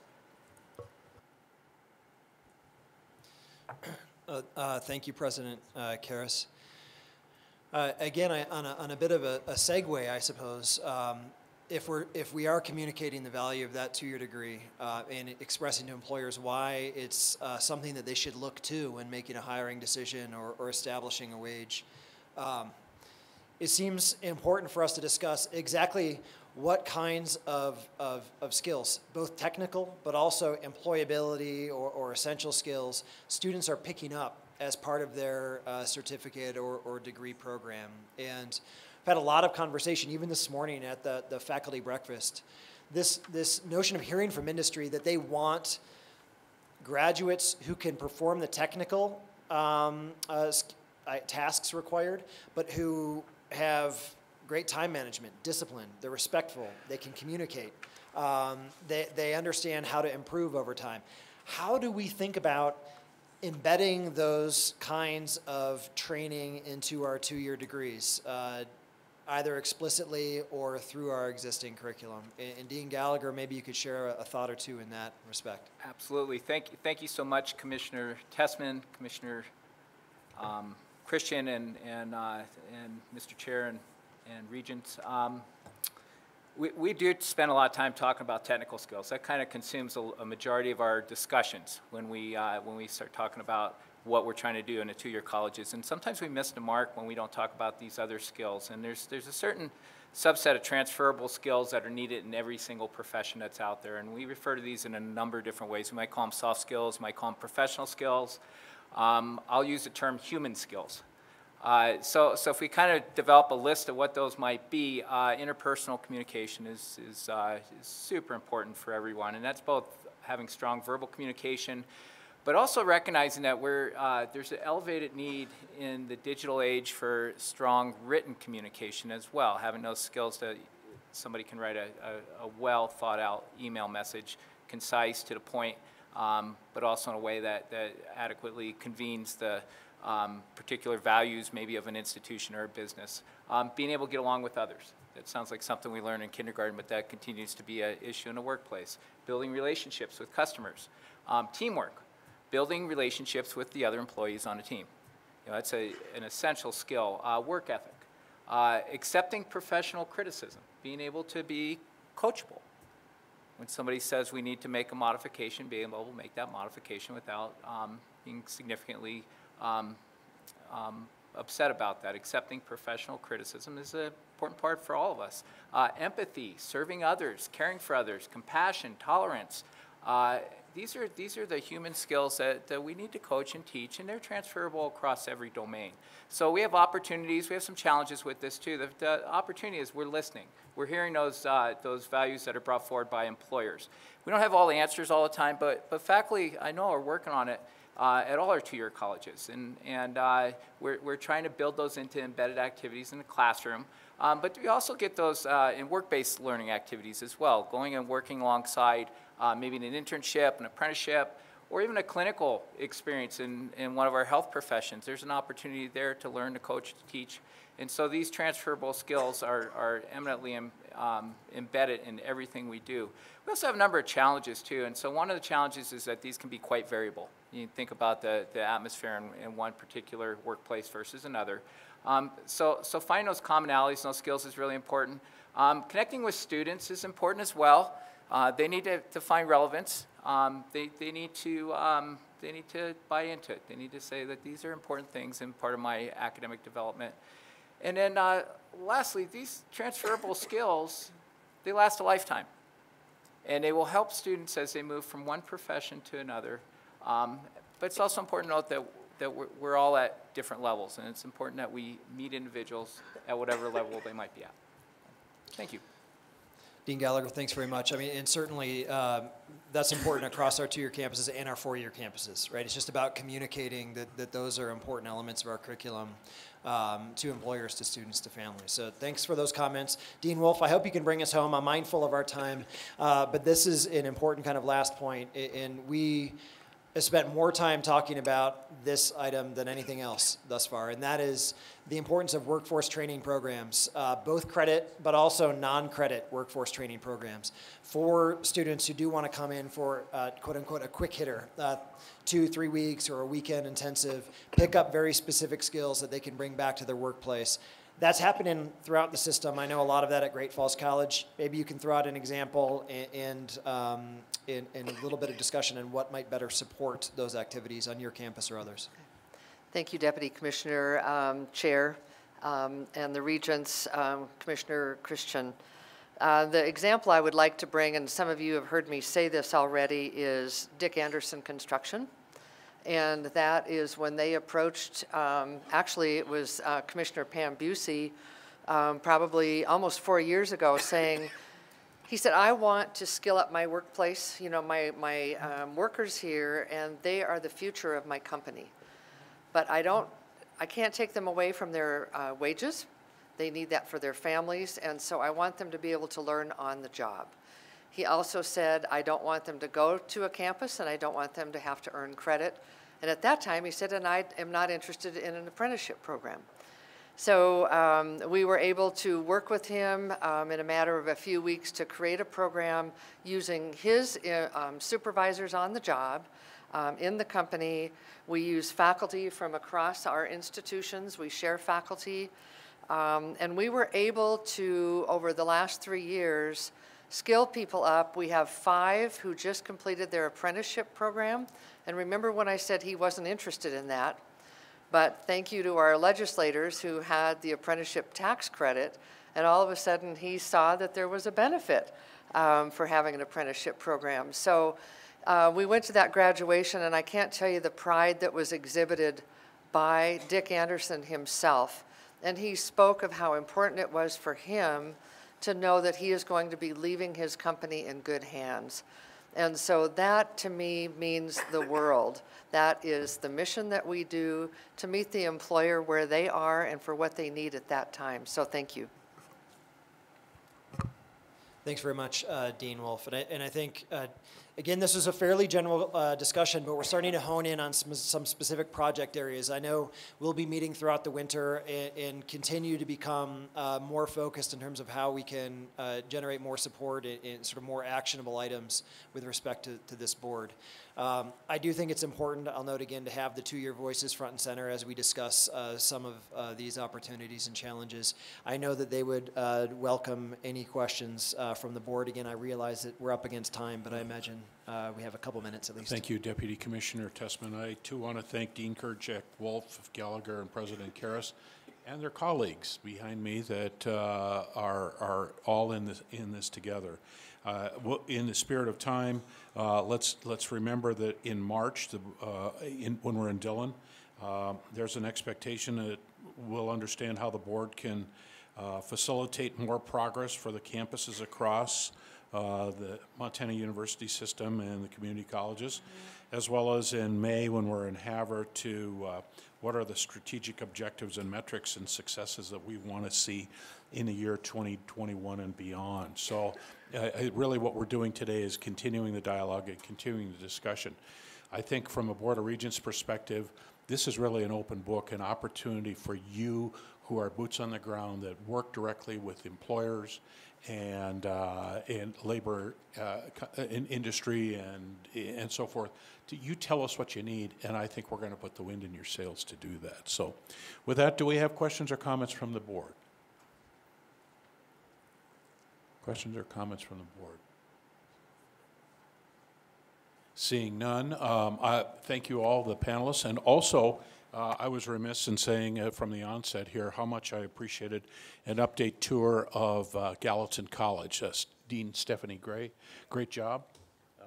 Uh, That was, uh, that was uh, an hour extremely well spent and so forth. I was so impressed about, I made the comment, you used every cubic foot of that building, and, and you're soon going to be out of space and so forth. So uh, don't take your foot off the gas as it relates to uh, continuing to look at programs and so forth as, for, the, uh, for your students, the Gallatin Valley and beyond. So with that, uh, we will turn the, the uh, meeting back to you, Chair Lozar. Thank you. Uh, uh, Thank you, Regent Nystuen. I just want to make a, a quick comment um, about the, you know, the communication of the value and the value proposition of two-year um, education in Montana. And I think um, that was covered to some degree, and I think it's being covered more and more in our, our Regents meetings, knowing this is a, a top priority for us, a top priority for workforce and for government. And so I, I recommend we continue to have this dialogue, and I wanted to to uh, thank the panelists for spending time with us, and I wanted to, to thank um, President Karas and, and uh, Dean Wolff and uh, Dean Gallagher for joining the two-year study commission uh, a couple weeks ago, uh, the legislative commission that we had around two-year education, and um, I, I think they did a fantastic job of putting a voice to um, some misconceptions that come about in regards to CT and two-year education, and I think that level of education is absolutely critical for all the stakeholders, for parents and for students. So uh, thank you for taking your time to, to travel to uh, Helena for the study commission. Uh, with that, we're, we are just slightly behind. We're just going to go ahead and take uh, a, about a nine minute, 10 minute break. Uh, it's about 3.15 right now. We're going to start uh, at 3.25 uh, with the Academic Research and Student Affairs Committee. Next up on uh, this afternoon's agenda, we're going to move over to uh, our last committee meeting for the day. Um, Academic Research and Student Affairs Committee chaired by Regent Sheehy. Regent Sheehy. Thank you. Um, In an effort to provide opportunity to other board members, I'm going to ask Regent Rogers to run this portion of the meeting. And uh, with your permission, Chair, that's how we'll handle this. And I plan to do the same thing with Regent Miller at the next meeting before his term is up. Regent Rogers. Thank you, and thank you, Reg- Regent Sheehy, for your shared leadership uh, approach. I really appreciate it. Uh, So, to get started off the top, uh, we have two items on our consent agenda. Um, They're related to BOR policy changes. Uh, Would anyone like to move these to the action agenda? Seeing none, we'll go ahead and move to our action agenda. Uh, So first, we'll start with item A, uh, which is the consideration of a candidate for an honorary doctorate uh, from Montana State University. And I'll turn it over to President Cruzado. Yes. Uh, Regent Rogers, members of the board, it is my honor to introduce to you for your consideration an honorary doctorate uh, of humane letters to be conferred at our next commencement ceremony to Mr. Mike Clark. Mike Clark has provided unprecedented service for the people, wildlife, and landscapes of Montana its minorities throughout the United States, and for visitors from all over the globe who come to experience the natural wonders of our region. Clark's actions in Montana have supported sustaining one of the most unique ecosystems in the world, the Greater Yellowstone. The community of Bozeman, fortunate to have Yellowstone National Park in its backyard, owes a debt of gratitude to a person who has dedicated a large part of his life to protecting the integrity of this place as wildlife habitat, critical global ecosystem, an environment, and, and an environment for living, recreating, and studying its distinctive features. Much of the research conducted in Yellowstone National Park is coordinated by Montana State University, and Mike's contributions have helped to maintain the park's ecosystem as a research laboratory. The faculty, the students, and the alumni at Montana State University think Mr. Uh, Mike Clark is most deserving of this honor. Thank you, President Cruzado. Any comments or questions from the regents? Regent Sheehy. I sus- suggest that we move this to vote today. Yep. Is this the one we're voting on today? No, never mind. Any other additional? May I second that? Any other additional comments? Wonderful. Well, we'll move on to item B next. Um, So this is a very exciting item. Um, As we know, the appointment of an individual to the rank of Regents Professor is the highest honor in the Montana University system that we can bestow upon a professor. Uh, The faculty member must have demonstrated exemplary performance in teaching, research, and public service. Uh, We, we as a Board of Regents take this very seriously, and I'm honored to invite President Cruzado to come forward with comments.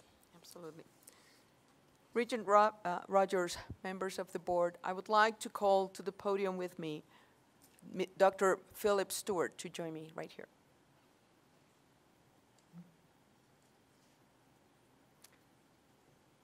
Today is a very special day as we honor one of our very accomplished faculty members at Montana State University.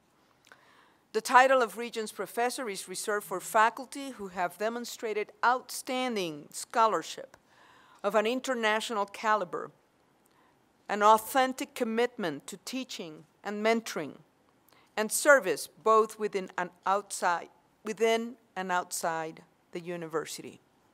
Dr. Phil Stewart, a professor of chemical and biological engineering, meets and exceeds all of these criteria. As a world leader in the study of biofilms, Dr. Stewart has played a central role in advancing our knowledge of the complex microbial communities that form on the surface of such things as medical equipment. Since coming to Montana State University in 1991, he has published groundbreaking studies about how microbes, including harmful bacteria, resist being killed by antibiotics. His publications have been cited more than 41,000 times.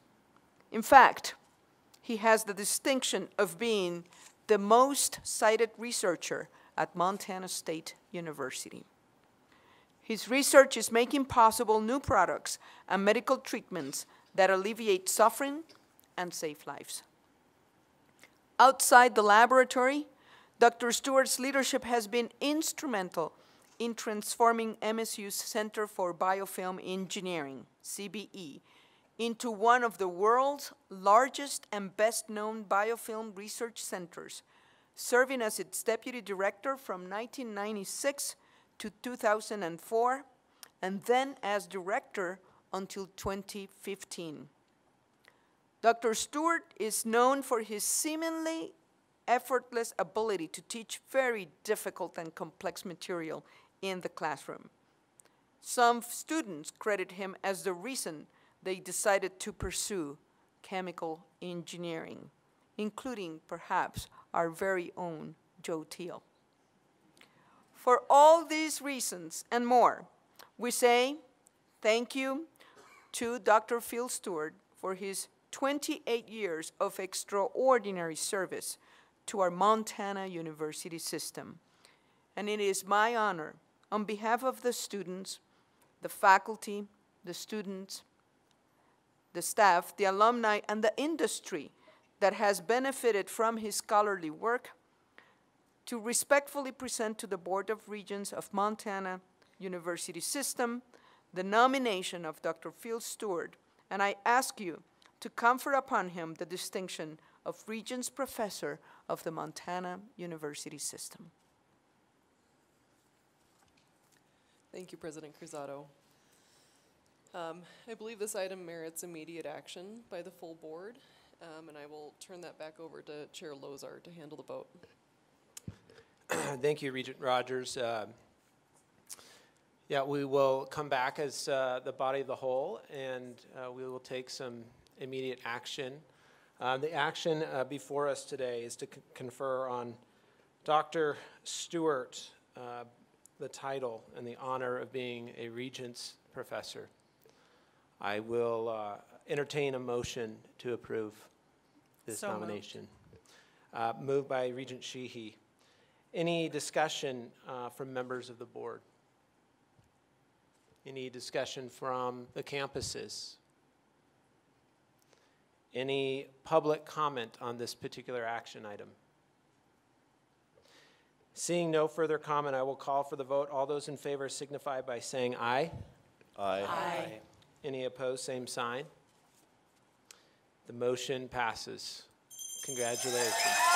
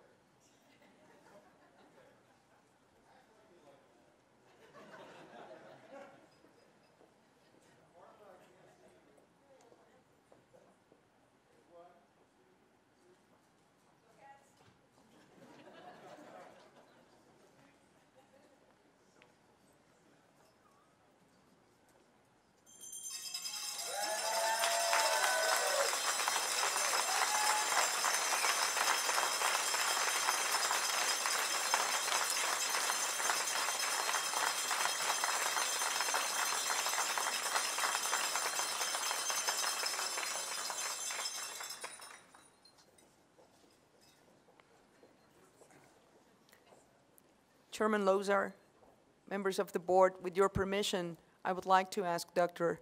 um, Stewart, now Regents Professor Stewart, to please share a few remarks with us. Thank you, President Cruzado. Uh, I'm deeply honored and very grateful to my terrific colleagues in the Department of Chemical and Biological Engineering, to everyone at the remarkable Center for Biofilm Engineering, to collaborators all across campus from other departments and colleges, and to many, many hardworking students.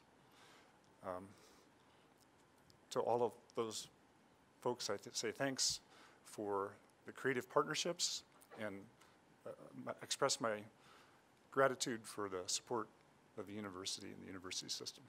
Thank you.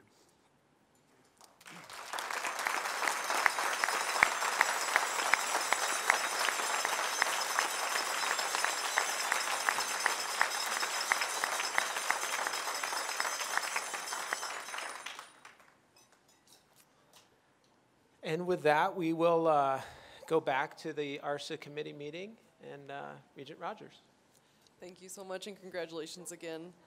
Uh, we'll now move to item C, uh, which is the Great Falls College MSU mission statement revision. Uh, Dean Wolff, would you like to speak to that?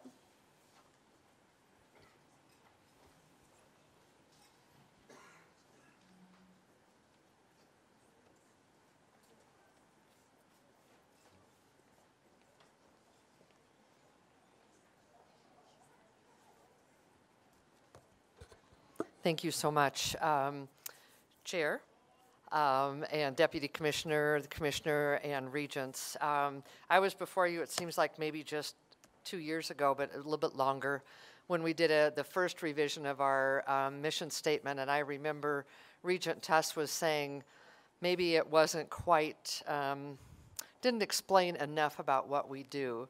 And after working on our new strategic plan, um, a lot of work was put into this with the help of um, our mid-cycle Northwest um, Commission accreditation visit. Then we brought in some people. And um, so we think that the revised mission statement truly reflects what we do, what you're hearing about all of our two-year institutions.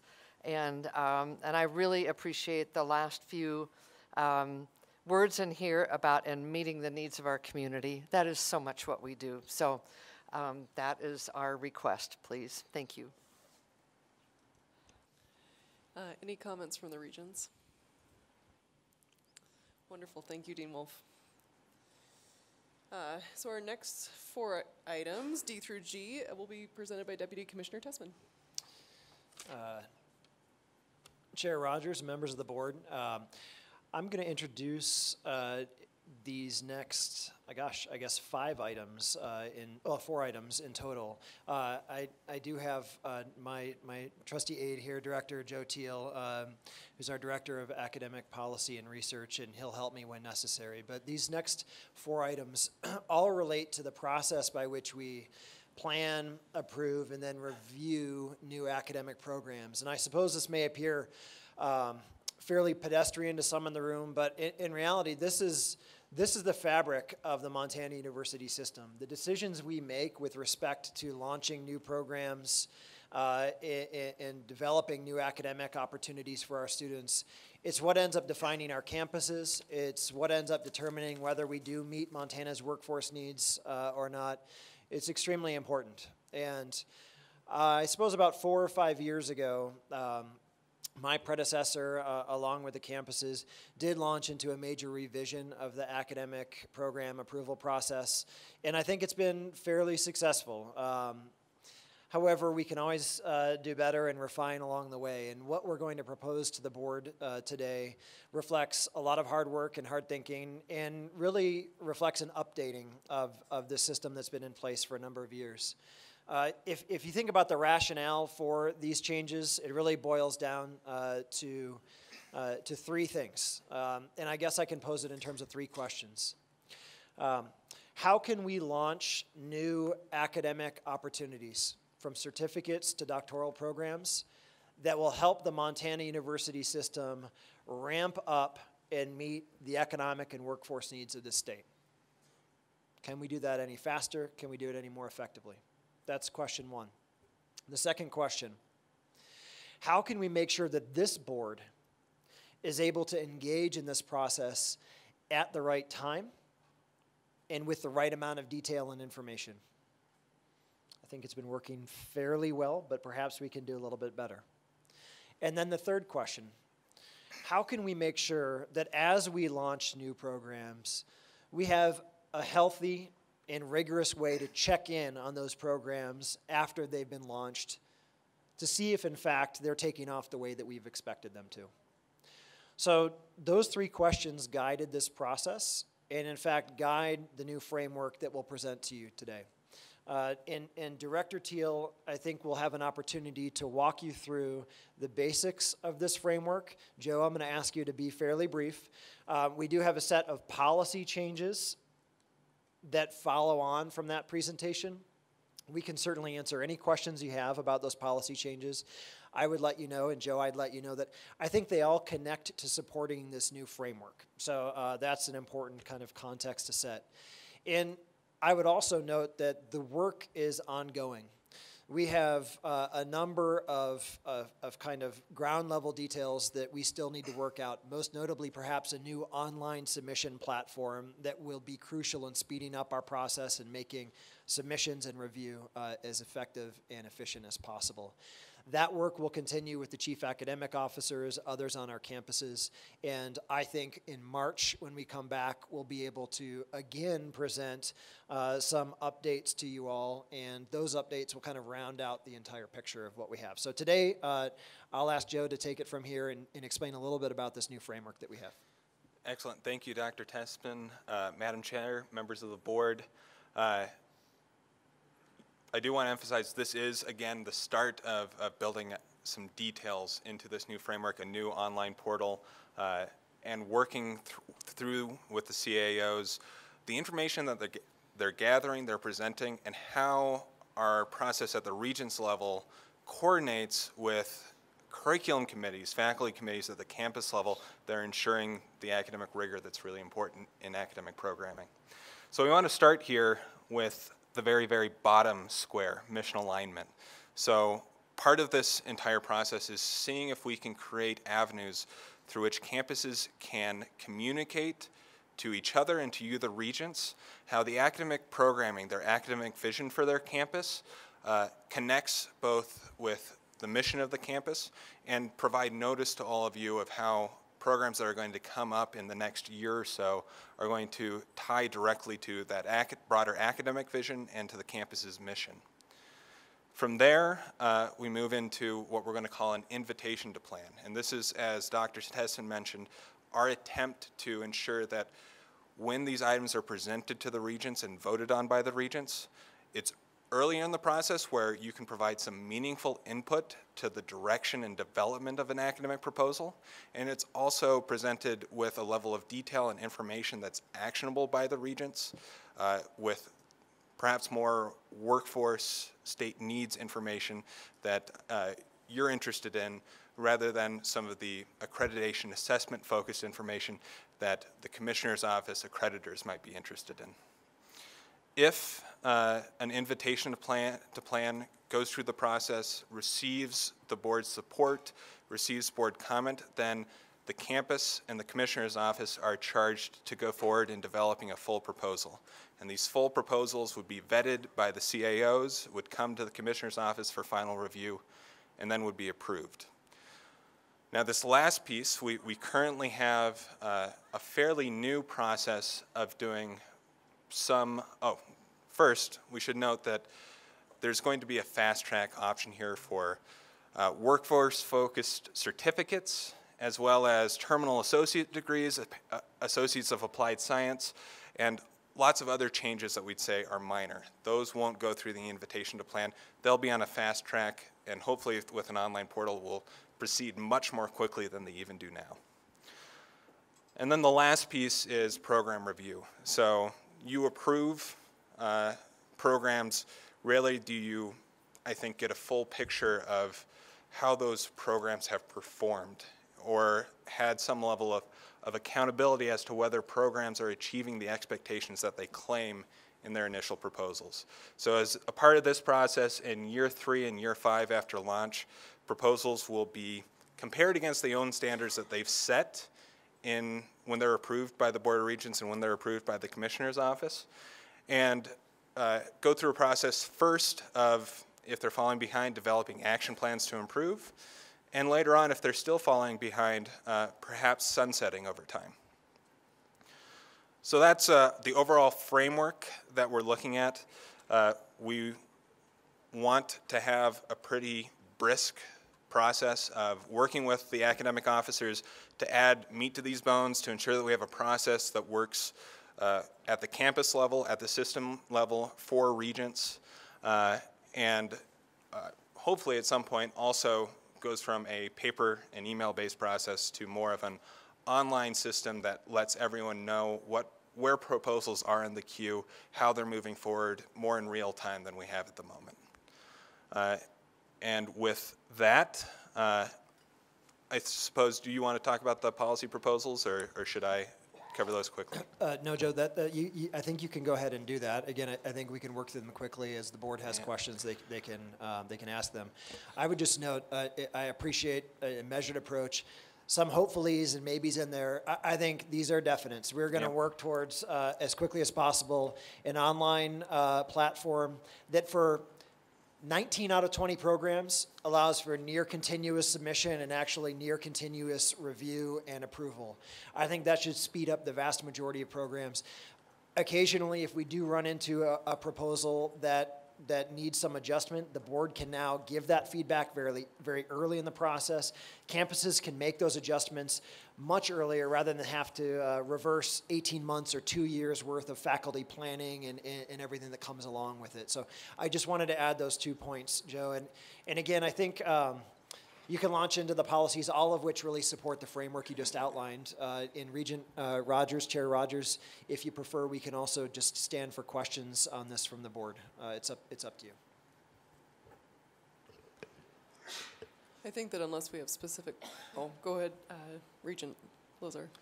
Uh, Thank you, Chair Rogers. Uh, I think this is fantastic, and I know this has been the, uh, a product of years and years of, uh, of work, and I appreciate everyone's attention on this. Um, Just kind of looking at the model uh, that was designed, particularly the new program review, we had the conversation a couple years ago here about reviewing, and I know you're, you're updating and amending that process. Uh, As it relates to going beyond year five, when you move into a mature, mature program goes into the inventory, what happens in year 10, year 12, when uh, programs maybe are, are not viable anymore? Is, does that just follow the typical process of moratorium in level ones? Is that, is that how that works? Um, Chair Lozar, I think um, that's, that's an important part of this conversation. Uh, I'll be as, uh, I guess, straightforward as possible. We decided we, we wanted to move forward with some changes to the approval and kind of um, review of recently launched programs now. I think when it comes to our mature program inventory, most systems, in fact, yeah, most systems across the country have some kind of system set up so that if headcounts or uh, some other indicators start to lag on, uh, in certain program areas, there's an opportunity for an improvement plan uh, to be developed with, with departmental leadership. And then ultimately, if that improvement plan doesn't lead to results, um, there are some systems where the board then takes action on those programs. I think we need a little bit more discussion about what the sort of floor would be uh, in terms of, of head count or graduation numbers. Uh, that'll take some more analysis. Joe and I have been working on that, but we felt we'd move ahead with this and then work on that mature program inventory later. Other comments? Regent Sheehy. I've served on this committee, I think, for about six years, and I think we initiated the first rendition of this right about at the time I was starting with uh, Dr. Seck. And then Casey got on our committee and really started rabble rousing that we should be doing more or sooner or faster or harder. And it was a great impetus. Thank you, Casey, for that. And then what looked like a tragedy, which was Dr. Seck leaving us, uh, turned into a set of new eyes. And thank you, Deputy Commissioner, because you've done a, just a really bang-up job on looking at this completely new and revamping it. I think you've posed the right questions. Um, we were all mumbling around questions for about six years about what was going wrong, and we're not putting our fingers on it, and you summarized it in, in those three questions. It is true that this is a work in progress. Uh, I think it's a lot of progress and a lot of work. So uh, thank you for all of this. I think this is the right, I really think this is the right direction. I think this is going to work. I think the regent involvement, as I've said to, to Brock many times, I think regent involvement earlier is better. Um, You know, we tried to wait until the end so that we could take a deep dive, but we're really precluded that late in the process from doing anything that we couldn't do right up front. So we've done a lot of learning, and I, I think this is the right way. I'm very excited about the progress, and uh, I'm fully supportive. Uh, Madam Chair, Regent Sheehy, can I accept your thanks but actually redirect them? So, Joe, uh, a ton of work, and, and a CAO colleagues, a ton of work as well. So, thank you. I think it's a step forward. And uh, certainly happy to answer any more questions about the board policy changes. Again, there's nothing out of line with what we've discussed already, and would be uh, excited to see a vote tomorrow on these. Any additional comments? Um, I'll certainly echo Regent Sheehy's sentiments. Uh, I feel like so many of the comments that we've heard from faculty and campuses and even other regents are really well addressed in this new proposal, and it's really exciting. The one question of clarification is, just to be clear, existing programs that are on the books in the future, if this were to pass, would then be um, carried out through this review process in the future? Or would it apply only to new things No, so, so programs, the review process at this point only looks at newly approved programs in year three and year five after launch. As Dr. Tessman has mentioned, you know, other states have processes to look at the full array of offerings, of mature offerings, and, and we've, we've looked at some of those policies in other states and, and are investigating whether some approaches might, might be sensible for Montana. Thank you. Okay, uh, move ahead to the next item. Um, Madam Chair, uh, members of the board, thank you very much. Uh, and as as we move to the next set of items, um, they they relate to our level two proposals. So under the current um, system for program approval, we know that we have. Um, a, a, long process that involves a lot of engagement uh, from the chief academic officers, oftentimes faculty, department chairs, uh, who are responsible for putting together uh, the new program proposals. And today we have um, items from three different campuses. Um, the three different campuses, uh, uh, Montana State University Billings, and then uh, one item from Montana Tech, and then one item from uh, Montana State University here in Bozeman. To begin the discussion of these level two proposals, I will invite Provost Melinda Arnold from Montana State University Billings to join us at the podium. Thanks, Melinda.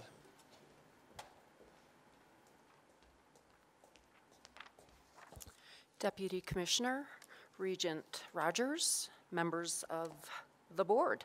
Greetings from MSU Billings and um, apologies that uh, Chancellor Edelman could not be with us today. I am thrilled to request authorization to rename our College of Allied Health Professions to the College of Health Professions and Science. As you all know, we've been working on this little science building for a while, and uh, we finally literally broke ground and brick. And so, as a function of doing so, we have been working with our faculty, students, and staff to ask them their opinions about changing the college name, which everyone agreed to. So, uh, that is our request. In so doing, we can no longer have a College of Arts and Sciences if the sciences move to the College of Health uh, Professions and Science. And so at the same time, we are requesting to rename the College of Arts and Sciences to the College of Liberal Arts and Social Sciences. I stand for questions. Thank you so much, Provost Arnold. Uh, any comments from the regents? So I think we will continue continue with you for the next item.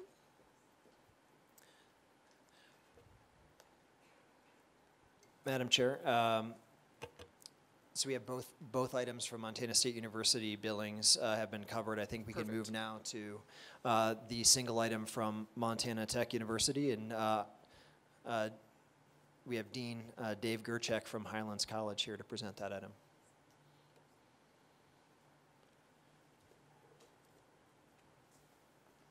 Uh, Madam Chair, Deputy Commissioner, members of the board, Highlands is, is trying to do some unique things like all the, all the colleges.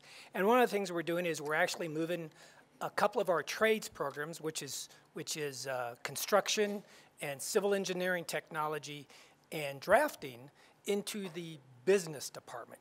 And the purpose of that is to develop more synergy between programs. Because it dawned on us, an example, our civil engineering technology program, they should become civil engineers. But guess what? They don't they become surveyors, and surveyors start businesses. And so, from our point, we thought this is more of an alignment with what we should try to do. So, therefore, what we're asking is we're taking three trades programs and moving them to business, and then we need to change the name of the department to better suit what they're doing, which hence is the name business and industry. And that's our request. Thank you, Dean Gerchik. Any comments from the regents? Thank you. Thank you. Deputy Commissioner Tessman. Uh, Madam Chair, members of the board, um, our last item is from Montana State University Bozeman. I, will invite Provost Bob Mokwa to the podium, and um, in a slight uh, adaptation or adjustment to our usual process, I find that it's really helpful in this moment to give Provost Mokwa perhaps a few extra minutes of your time, really to highlight um, the process that led to this agenda item. And I, I um, would emphasize that uh, this board, um, our office, asked all campuses in the Montana University system to undergo um, some version of program prioritization um, on their campus. And at Montana State University, that involved a prioritization process focused on, on, on doctoral programs. I think Provost Mokwa will spend a little bit of time outlining that process and then segue into the agenda item itself. Is that correct, Provost Mokwa? Uh, that's correct. Thank you, Deputy Commissioner. Thank you. Um, if we could have the, the PowerPoint on the uh, program review process.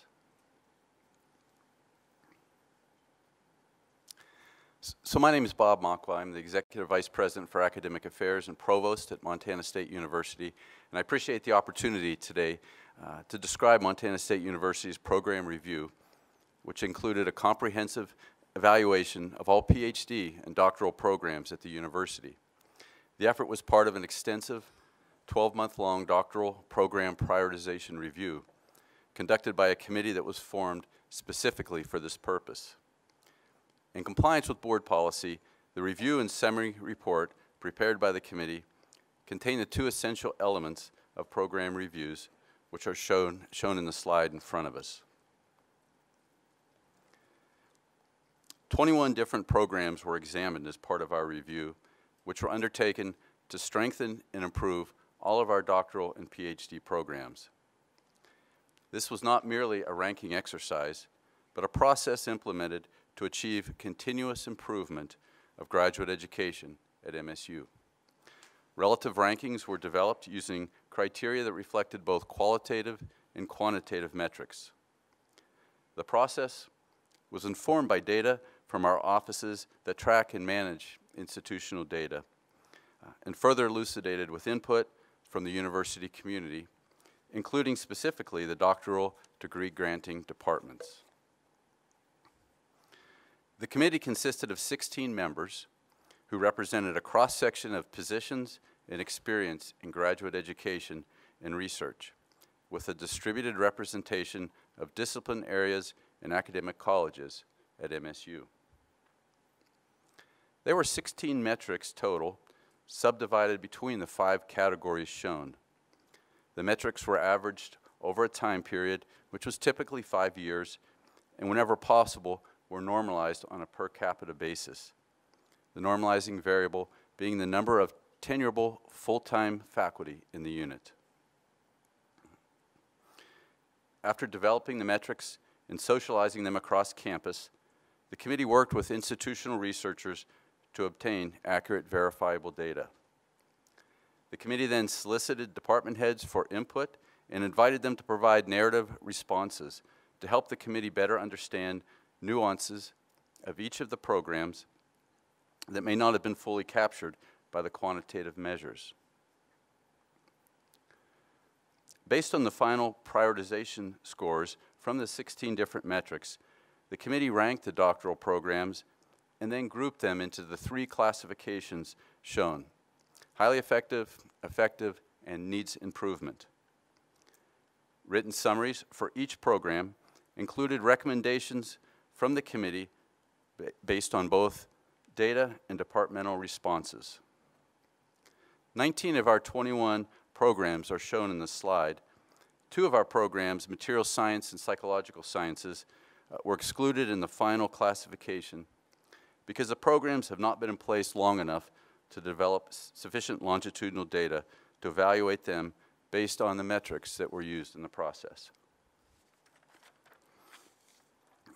As we saw in the previous slide, five programs were in the highly effective topmost category and, and 10 were classified as effective, the middle category. Each of these 15 programs submitted responses describing their plans for further improvement. You know, for example, physics, one of the highest rated and most successful PhD programs at MSU, was also one of the first departments to submit a plan for further strengthening their program. In general, these improvement plans included items such as practices to enhance graduate student recruitment and graduate student support, expectations for including graduate student funding in grants, and including additional graduate students on research projects, examination of time to degree and graduate student retention, making updates to existing academic programs, which might involve updates to existing courses, perhaps new courses, and even new relevant programs. Each of these 15 programs will undergo review again as part of the normal seven-year review cycle. Department heads in the departments in these three areas, history and philosophy, animal and range sciences, and civil engineering, acknowledged and agreed to address weaknesses and areas for improvement that were identified by the committee. Each department provided details about changes that are being made or in the process of being made. Many of those changes are, are, are similar in line to the, to the uh, uh, areas of improvement that I, I mentioned previously. Each department submitted plans and are, are taking steps to improve. These three programs will be re-reviewed in three years. The fourth program that was ranked as needs improvement by the committee was Cell Biology and Neuroscience, CBN. In this case, the discrepancy between high expenditures, the low number of graduate students and doctoral degrees granted, the low teaching loads, and the deficiency of graduate courses offered was unique among the doctoral programs reviewed and was highly concerning to the committee. The performance of this department was not meeting the standards expected of all departments at Montana State University, and the graduate program was no longer in compliance with the program that was approved by the Montana Board of Regents, your predecessors, in 2004, and by our regional accreditor, NWCCU. The faculty in, in the department were resistant to change, refused to address recommendations from the committee or recommendations from their previous program review in 2005. On the screen in front of you are five of the areas of underperformance that are described in the report and thoroughly substantiated. Unless you have questions, my plan today is not to spend time dwelling on these issues, but rather to direct our energies toward the future of this program and the opportunities that lie ahead. Joining the eight tenured faculty members and two instructors in MSU's former Department of CBN with close to 30 tenurable faculty, research faculty, and instructors in the Department of Microbiology and Immunology will provide a strong foundation for sustainability and future growth.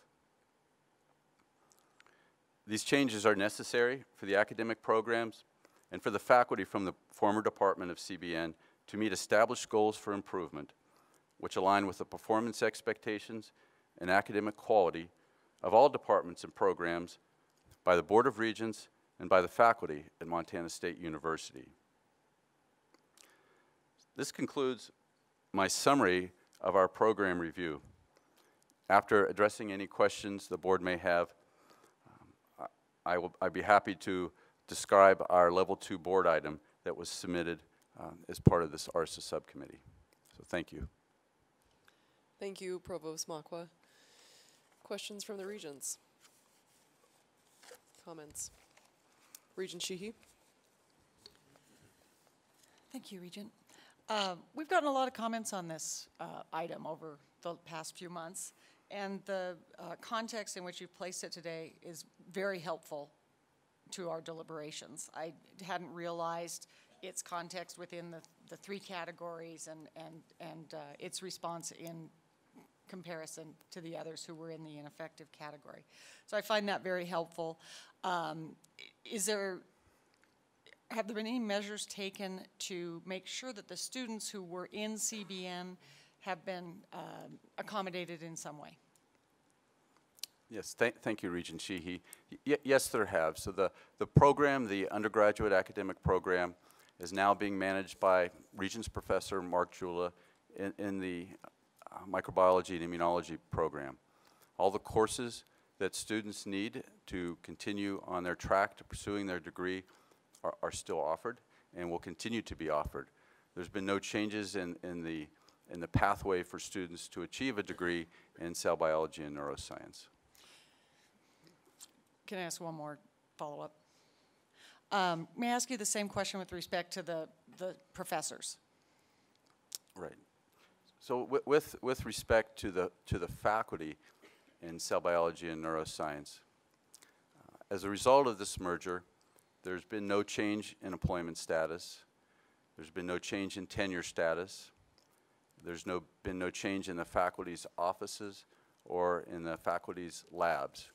And there's been no change to the curricula that's being offered. All the faculty uh, that were in CBN have been transferred into the microbiology and immunology department. It's true, and you've heard, there are some faculty who have taken leave for, for a variety of reasons. But they're still employees of Montana State University. I appreciate your candor on this and uh, appreciate that you've alleviated many of my concerns. Other comments from the regents? Regent, uh, nice Bob. You can just call me Bob. Well, um, I, I, what I would like to do, Madam Chair and uh, Provost Mokwa, is to say this has been an incredibly long journey for you, for us. Um, articles in the paper, uh, emails, scads of emails, including very long ones uh, from the campus here as well, explaining all this. I think it's gone on far too long, and I'd like to see that this come to resolution rather quickly here. I've uh, been a little surprised that uh, um, we've had the uh, the commentary back to us about all the things that uh, you know the personal agendas and all these related things here, but you know it really comes down to students' success, student performance, and so forth, and the ability for your peers across this great campus to really see that there's great value in this particular program. Um, I want to again acknowledge the work, uh, Provost Mokwa, you've done, President Cruzado, and the leaders on the campus here. You could have taken the easier path, and that would be to just uh, roll with the tide here, but you didn't. What I'd really like to do is to encourage, uh, you know, further dialogue as to how to get the healing process expedited and move forward with this. It's time to move on and do it from the basis of the student and student success and to heal this, heal this, uh, this, this issue. So thank you. Deputy Commissioner Tessman. Uh, uh, Chair Rogers, members of the board, and Chair uh, Regent Nystuen. Um, I, I, I- from my position as a staff member, I would uh, echo those sentiments. And this has uh, been helpful today to hear a little bit more of the background on, on the process of program prioritization. But in reality, this has been an ongoing communication, and I certainly have felt uh, connected to the process um, uh, since I started in this office and have been connected to a lot of the communication, much of it public, um, regarding uh, some of the decisions that, that you and, and the campus are making. Uh, I feel very well informed from a staff perspective. It's heartening for me to hear from board members that they feel well informed. And uh, I'm glad to see this as an item in front of this board today. Regent Tess. Thank you, Regent Rogers. I, I would just remind everybody that this program prioritization process has started with us. Um, we, we expect this from our campuses, and we've asked our campuses, campus leaders um, again and again, year after year, uh, to go through the various programs on all of their campuses. And uh, I, I just really want to applaud uh, you, Provost Mokwa, and Montana State University for, for executing um, kind of the, uh, the expectation that this board has, not just of this particular campus, but of all of our campuses, to periodically, on a regular basis, review our programs. Are they still relevant? Are they doing what they should be doing? And so I'd just like to remind folks that it really did begin with this board. And I want to thank you for executing that. Thank you. Regent Sheehy. Uh, I just want to say that I have appreciated the student comment in particular, and I've appreciated the way that while it has been a dialogue, that is something that we must do. This is a painful thing to do. And the uh, people who were pained by it had, uh, they spoke up. And I welcome their comments. I'm glad we received their comments. I'm glad you responded appropriately to their comments. And I, the thing I felt most about a lot of the student comment in particular on this matter was the pride that they have in their degree from Montana State University. And I think we should acknowledge that from that, that pain derived from the fact they're really proud of their degree. So I think that's something that we can take to heart and that we can get a positive out of on this. Hope that we can come to some resolution of it. I mean, obviously, we're going to vote on it and it'll, it'll be done one way or the other. But um, I really, I don't want this to be an episode where we think that the, the comments are a bad thing. I think they're a very healthy thing and a very good thing, and we did listen. Any other comments from the regents? Uh, Regent, Mich- M- Regent Miller. Thank you, Regent. I think along those lines of Regent Sheehy, um, I know there's a handful of students sitting behind me today that will be doing public comment on this matter. Um, and like everybody here has voiced, we all want a resolution. Whatever the board votes for tomorrow, we want this to be resolved. And this is just a request from a student who also likes his voice to be heard. But at some point, I would love if you could sit down with the students behind me um, and kind of heal these wounds. I, I would hate to see any students have hurt feelings over whatever happens, but um, I'd really appreciate if you could meet with them at some point in the future. Thank you, Regent Miller, for that suggestion, and, and I absolutely think it's a good suggestion, and I will follow through with that. Deputy Commissioner. Uh, uh, Chair Rogers uh, and, and, members of the board. Uh, Provost Mokwa, I think uh, we've we've heard a lot about the process, uh, and certainly we've we've walked around the item. I, I suggest that if you could introduce the item, we could then have any additional questions from the board. But to get that out on the table might be productive at this point. Okay. Thank you, Deputy Commissioner. Uh, with, with permission from the chair, I will do that. Montana State University has put forward this board item uh, to request approval for the merger of the departments of cell biology and neuroscience with microbiology and immunology. Many factors were considered as part of the merger, not the least of which is the high stature and reputation of the welcoming department, microbiology and immunology, which has a proven track record as one of the university's top departments in research expenditures, scholarship, and combined with an outstanding reputation for educational excellence. If you remember the, the, the top category uh, of, the, of, of, the top most ranked programs, microbiology and immunology was in that category. With the new changes in the administrative and management structure, CBN faculty have the opportunity over the coming months to work with colleagues in MBI to achieve stability and long-term viability in the undergraduate academic program and to examine new opportunities to revitalize graduate education and research. In closing, this action is in the best interest of current and future students who are interested in educational, research, and career opportunities in the, in the varied fields of biology, biomedical sciences, and neuroscience. I thank you for your consideration for this item. Thank you, Provost Mokwa. Questions or comments? Um, the two questions that I have are just um, would like to raise again in reflecting on the student comments from May. Um, there were a lot of concerns around ability to gain admission to medical school, um, research opportunities being available to students. Uh, could you just speak to those two items uh, to make sure that we're all on the same page of where those opportunities are at? Sure, sure Madam Chair. I'll, I'll, I'll address that, the first one about medical school. Certainly, our Department of Cell Biology and Neuroscience has had a strong track rec record of excellent students. Many of the award winners uh, that you have, you saw listed this morning in President Cruzado's presentation, several of them ha have come from the Department of Cell Biology and Neuroscience. Excellent students uh, go into that program, graduate, and pursue uh, professional degrees in, in, various medical fields, inc including um, medical education and, and, and, and pursuing MDs. Our acceptance rate into medical school at Montana State University is, is actually quite high. It's about 20% higher than the norm. That being said, we have many avenues and pathways for students at Montana State University to, to pursue that, that goal. Uh, cell biology and neuroscience is one. We have a number of other programs in the university that have higher acceptance rates. Microbiology and immunology is a very successful program and a good example. Um, chemistry and biochemistry is one of the highest departments. In fact, over the last five years, our acceptance rate has been about 7% higher than CBN. Most notably, our highest acceptance rate, which is about 14% higher than CBN, is from our post-bac program. These are non-science majors, engineering majors, e economists, history, English, geology. Uh, their acceptance rate is, is about 14% higher than our norm.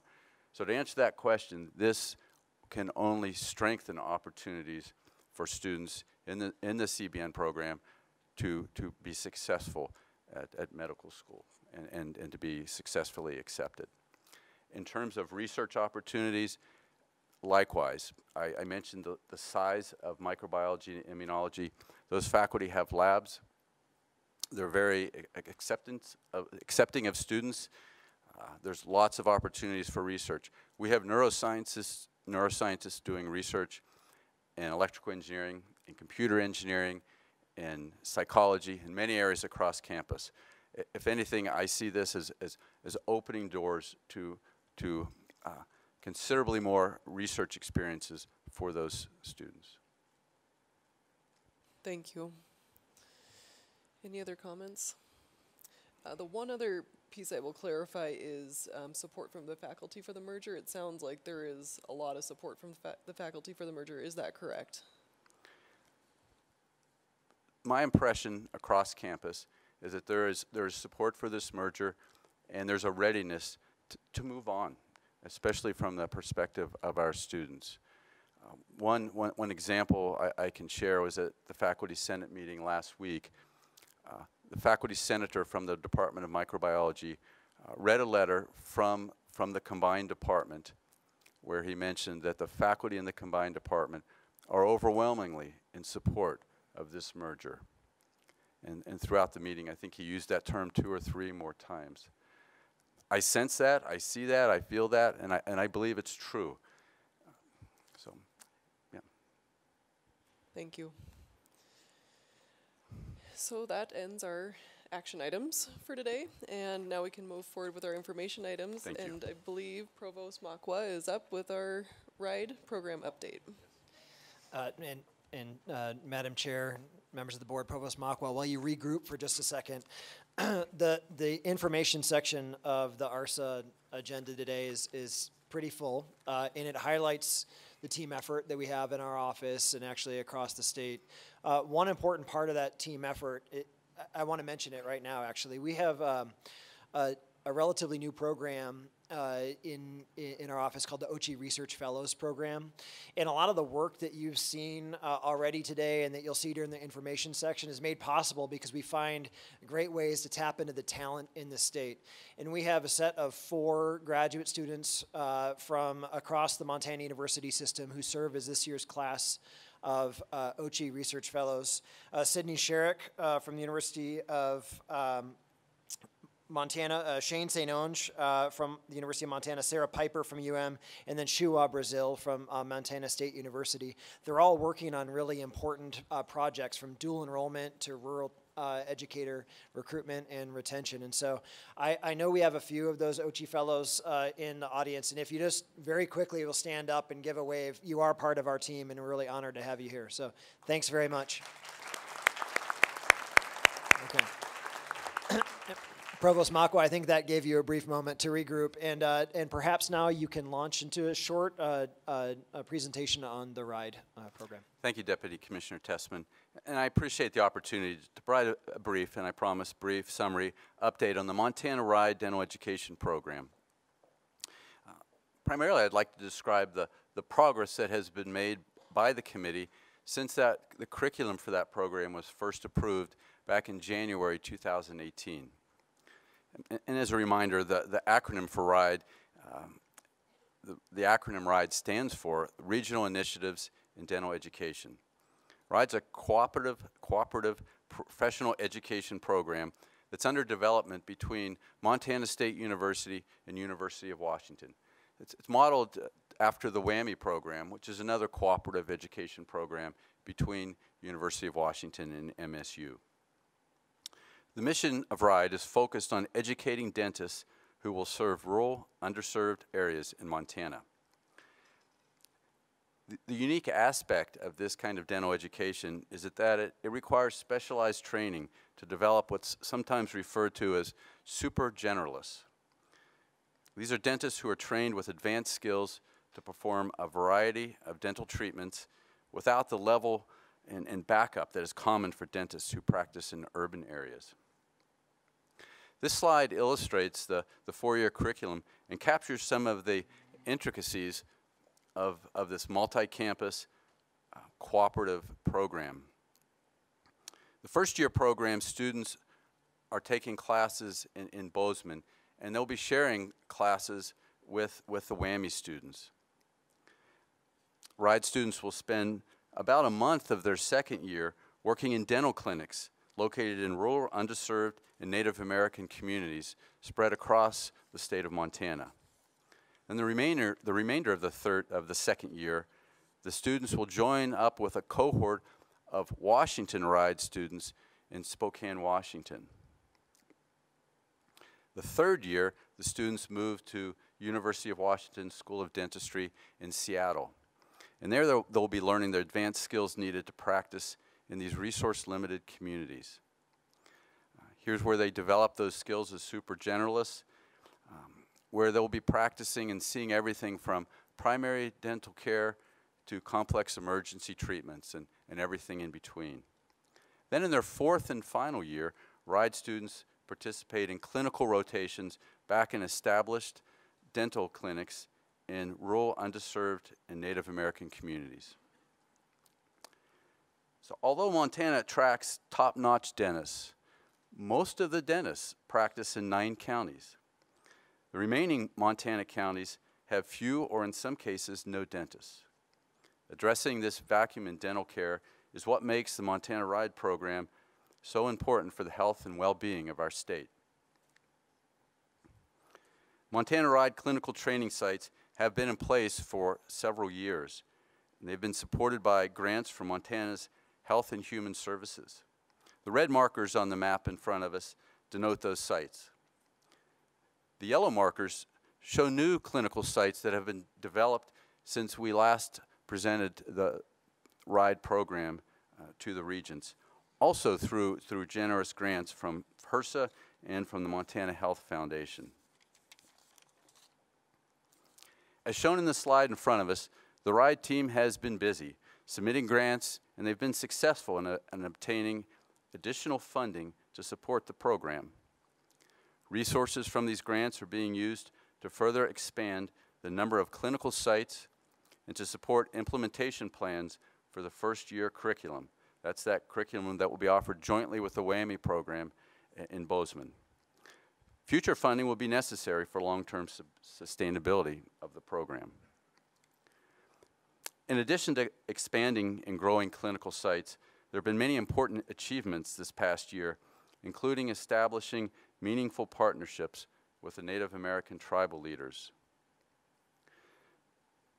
There's, there's several items listed on the screen. One that's noteworthy is the RIDE team has begun to establish uh, several teledentistry sites in some of the rural Montana communities. So in closing, I want to acknowledge the, the, members of this dedicated and, and, committed team, which is being led by Kathy Judela, the director of Montana State University Division of Health Sciences, Chris Juliar, director of Montana AHEC and Office of Rural Health, and Martin Teintze, MSU WWAMI director.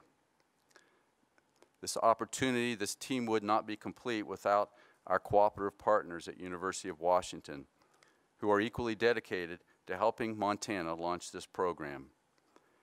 Two members I will, I will mention are Frank Roberts, the RIDE Program Director, Department Head at University of Washington School of Dentistry, and Suzanne Allen, the Vice Dean of Regional Affairs for the Uni University of Washington School of Medicine.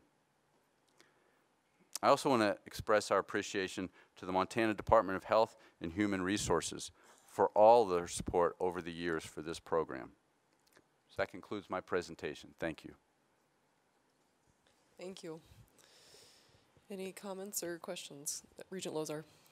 Uh, thank you, Chair Rogers. Uh, uh, Provost Mokwa, could you talk a little more about um, sort of sustainable funding uh, that you mentioned? There, there is some need for future funding. I know there was a conversation maybe a couple of years ago about the RIDE program around funding.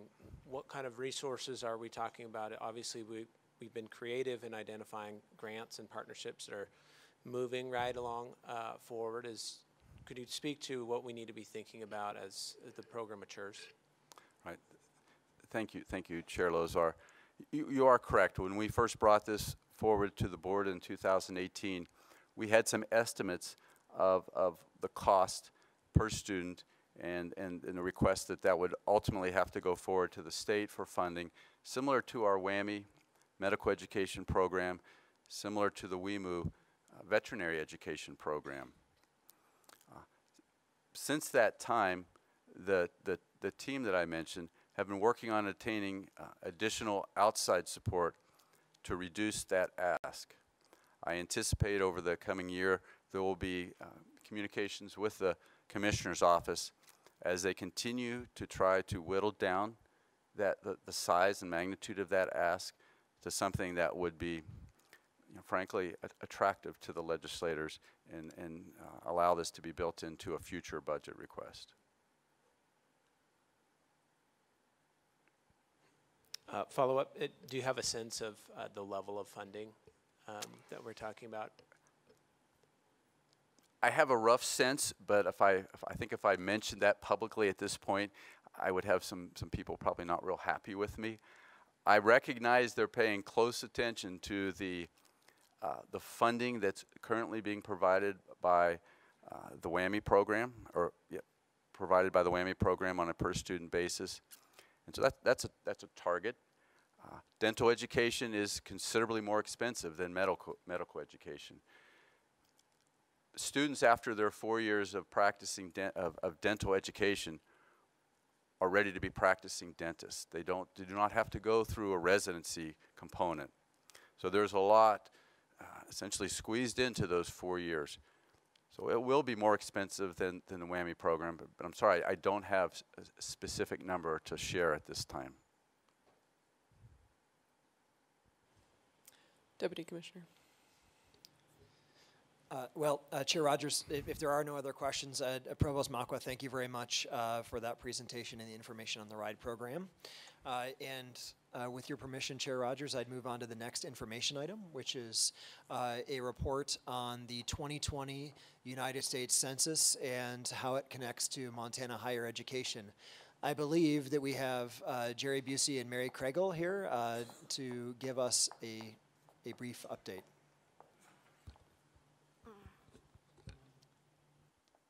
Good afternoon, Chair Christians, members of the Regents. I'm Mary Craigle. I am the Director of the Census and Economic Information Center uh, for the Montana Department of Commerce. And my cohort here, Jerry Bucy, is uh, with the U.S. Census Bureau. She is one of the partnership specialists that is working in Montana. I'm, I believe we have a presentation that is very brief. I promise to be quick.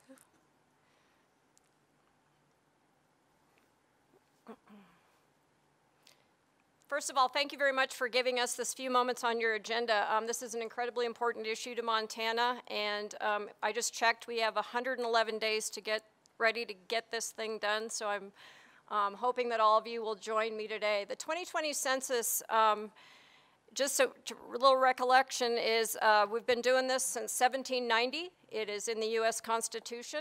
Um, and it's every 10 years. And so people forget between the period of time uh, what a census is and what it goes about, but it's actually incredibly important and particularly important this time to the state of Montana.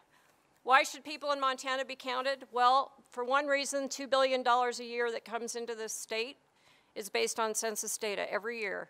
Um, and I'm going to get to a different slide that shows a little bit about some of the programs specifically that education cares about, but it's about $20,000 per person that we count in Montana.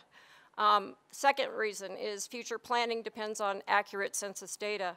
For census data, we live with for 10 years, so uh, it's those plans that we try to make going forward. Our campuses are too small, our programs are not structured correctly, our highways are the wrong size, et cetera, et cetera. So that census data is critical, not only for the count of everyone, but because it's the basis for so much of the other survey and projection data that we do.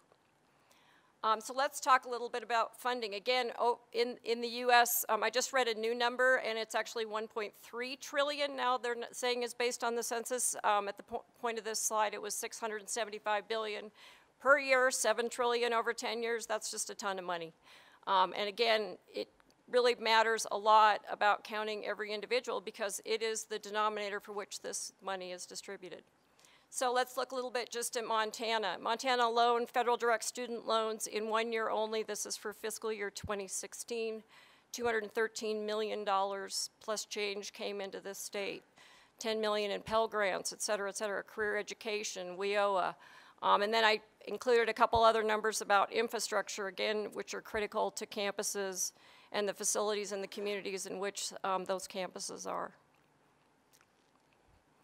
Um, again, we've talked a little bit about the data. I think for colleges in particular, the big two of the big areas are workforce development, um, knowing what our population is, what they, uh, the ages, what racial demographics, all of the different demographics about our students and our communities makes a big difference when we're doing training, when we're trying to decide the programs and offerings that each campus will have.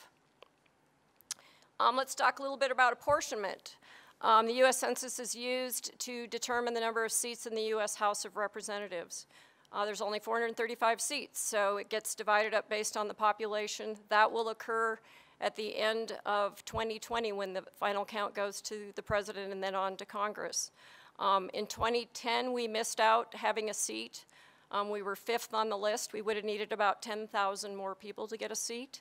Um, this time we are projected to get somewhere either seat 433 or 434 um, in mo most of the projection models I've seen. That would mean we would get two, S, two U.S. congresspersons rather than the single congressperson we have now. Um, that would be the first time a state has ever regained a congressperson.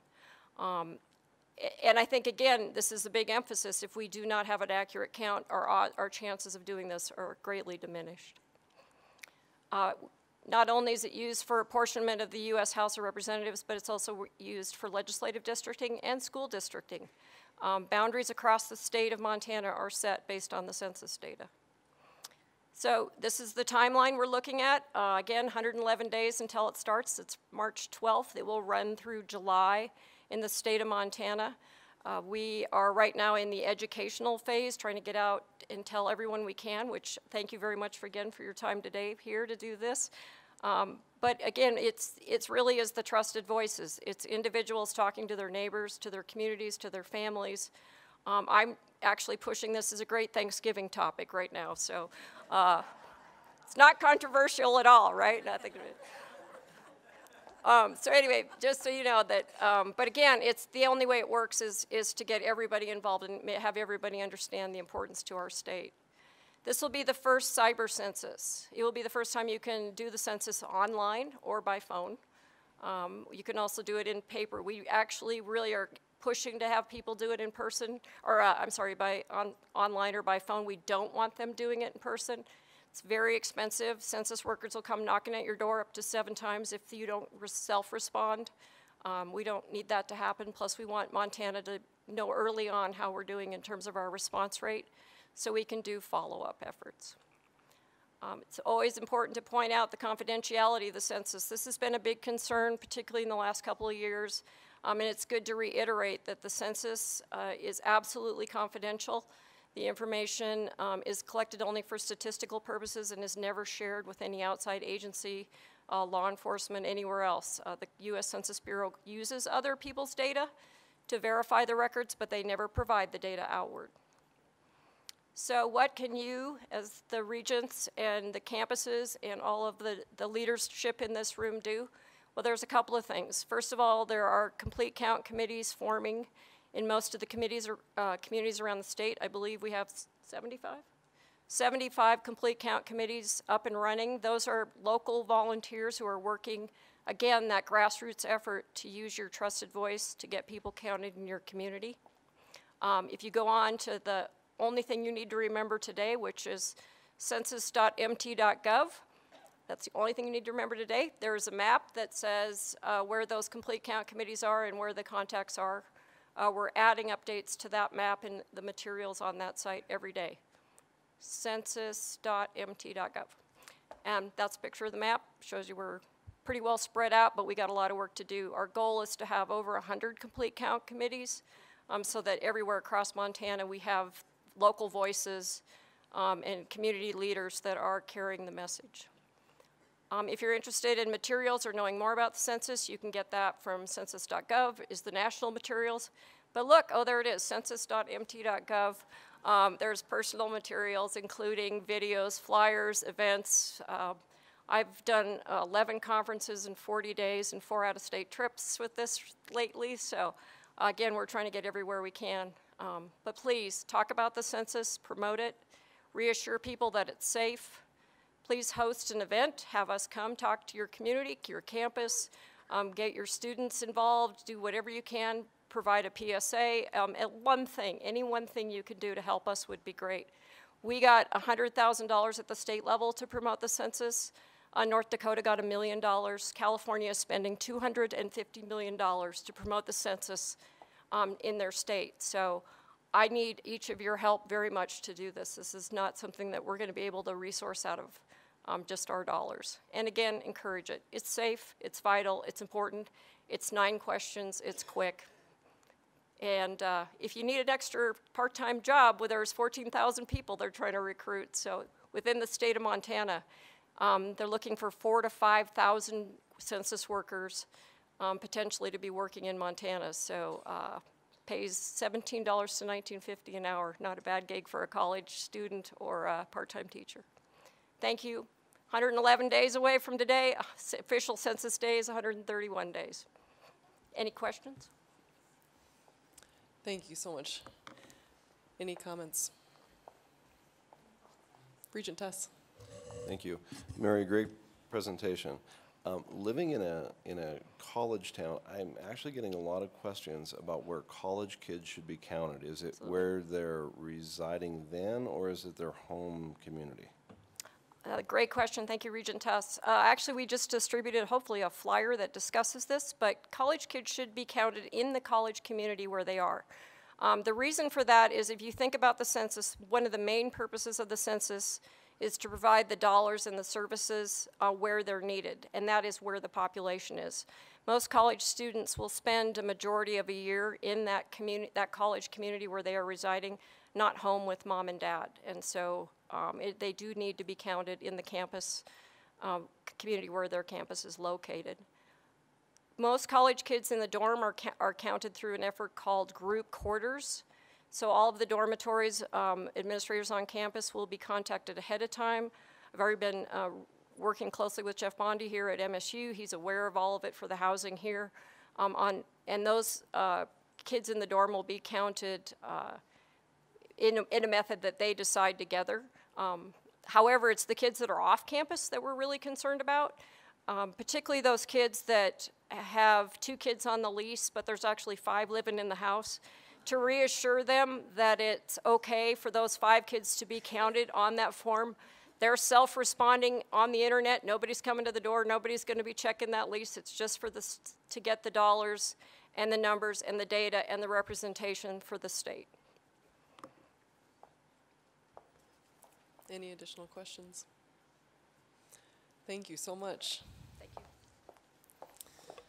Uh, next information item C, the rural teacher recruitment and retention update with Director McLean.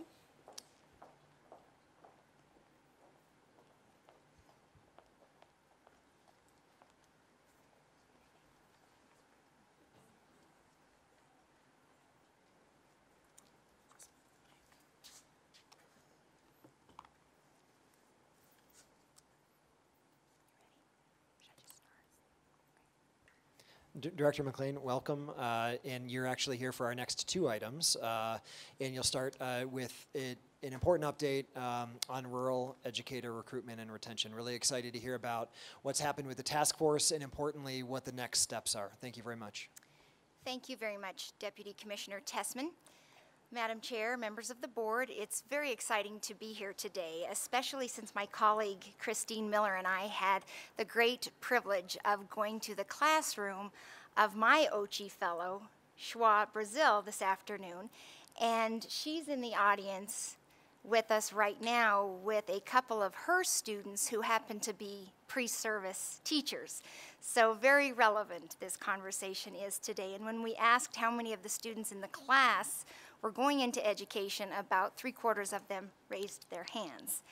So thank you so very much for the opportunity to be joined today by colleagues from Montana State University and the University of Montana Western to bring you back to a conversation that started in May of 2016.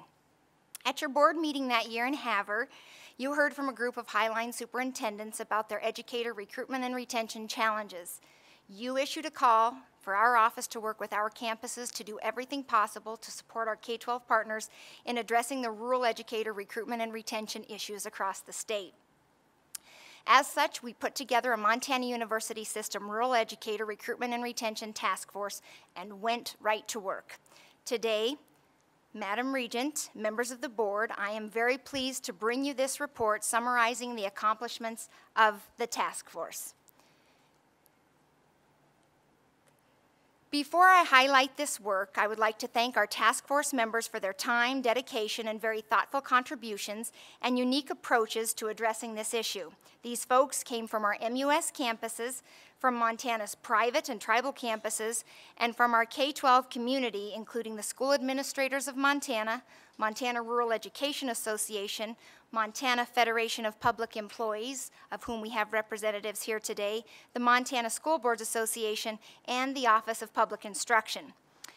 As you can see here by this list, in a very short time, the task force established new programs, advocated for successful legislation and Board of Public Education rule changes, and developed pathways and other pipeline programs.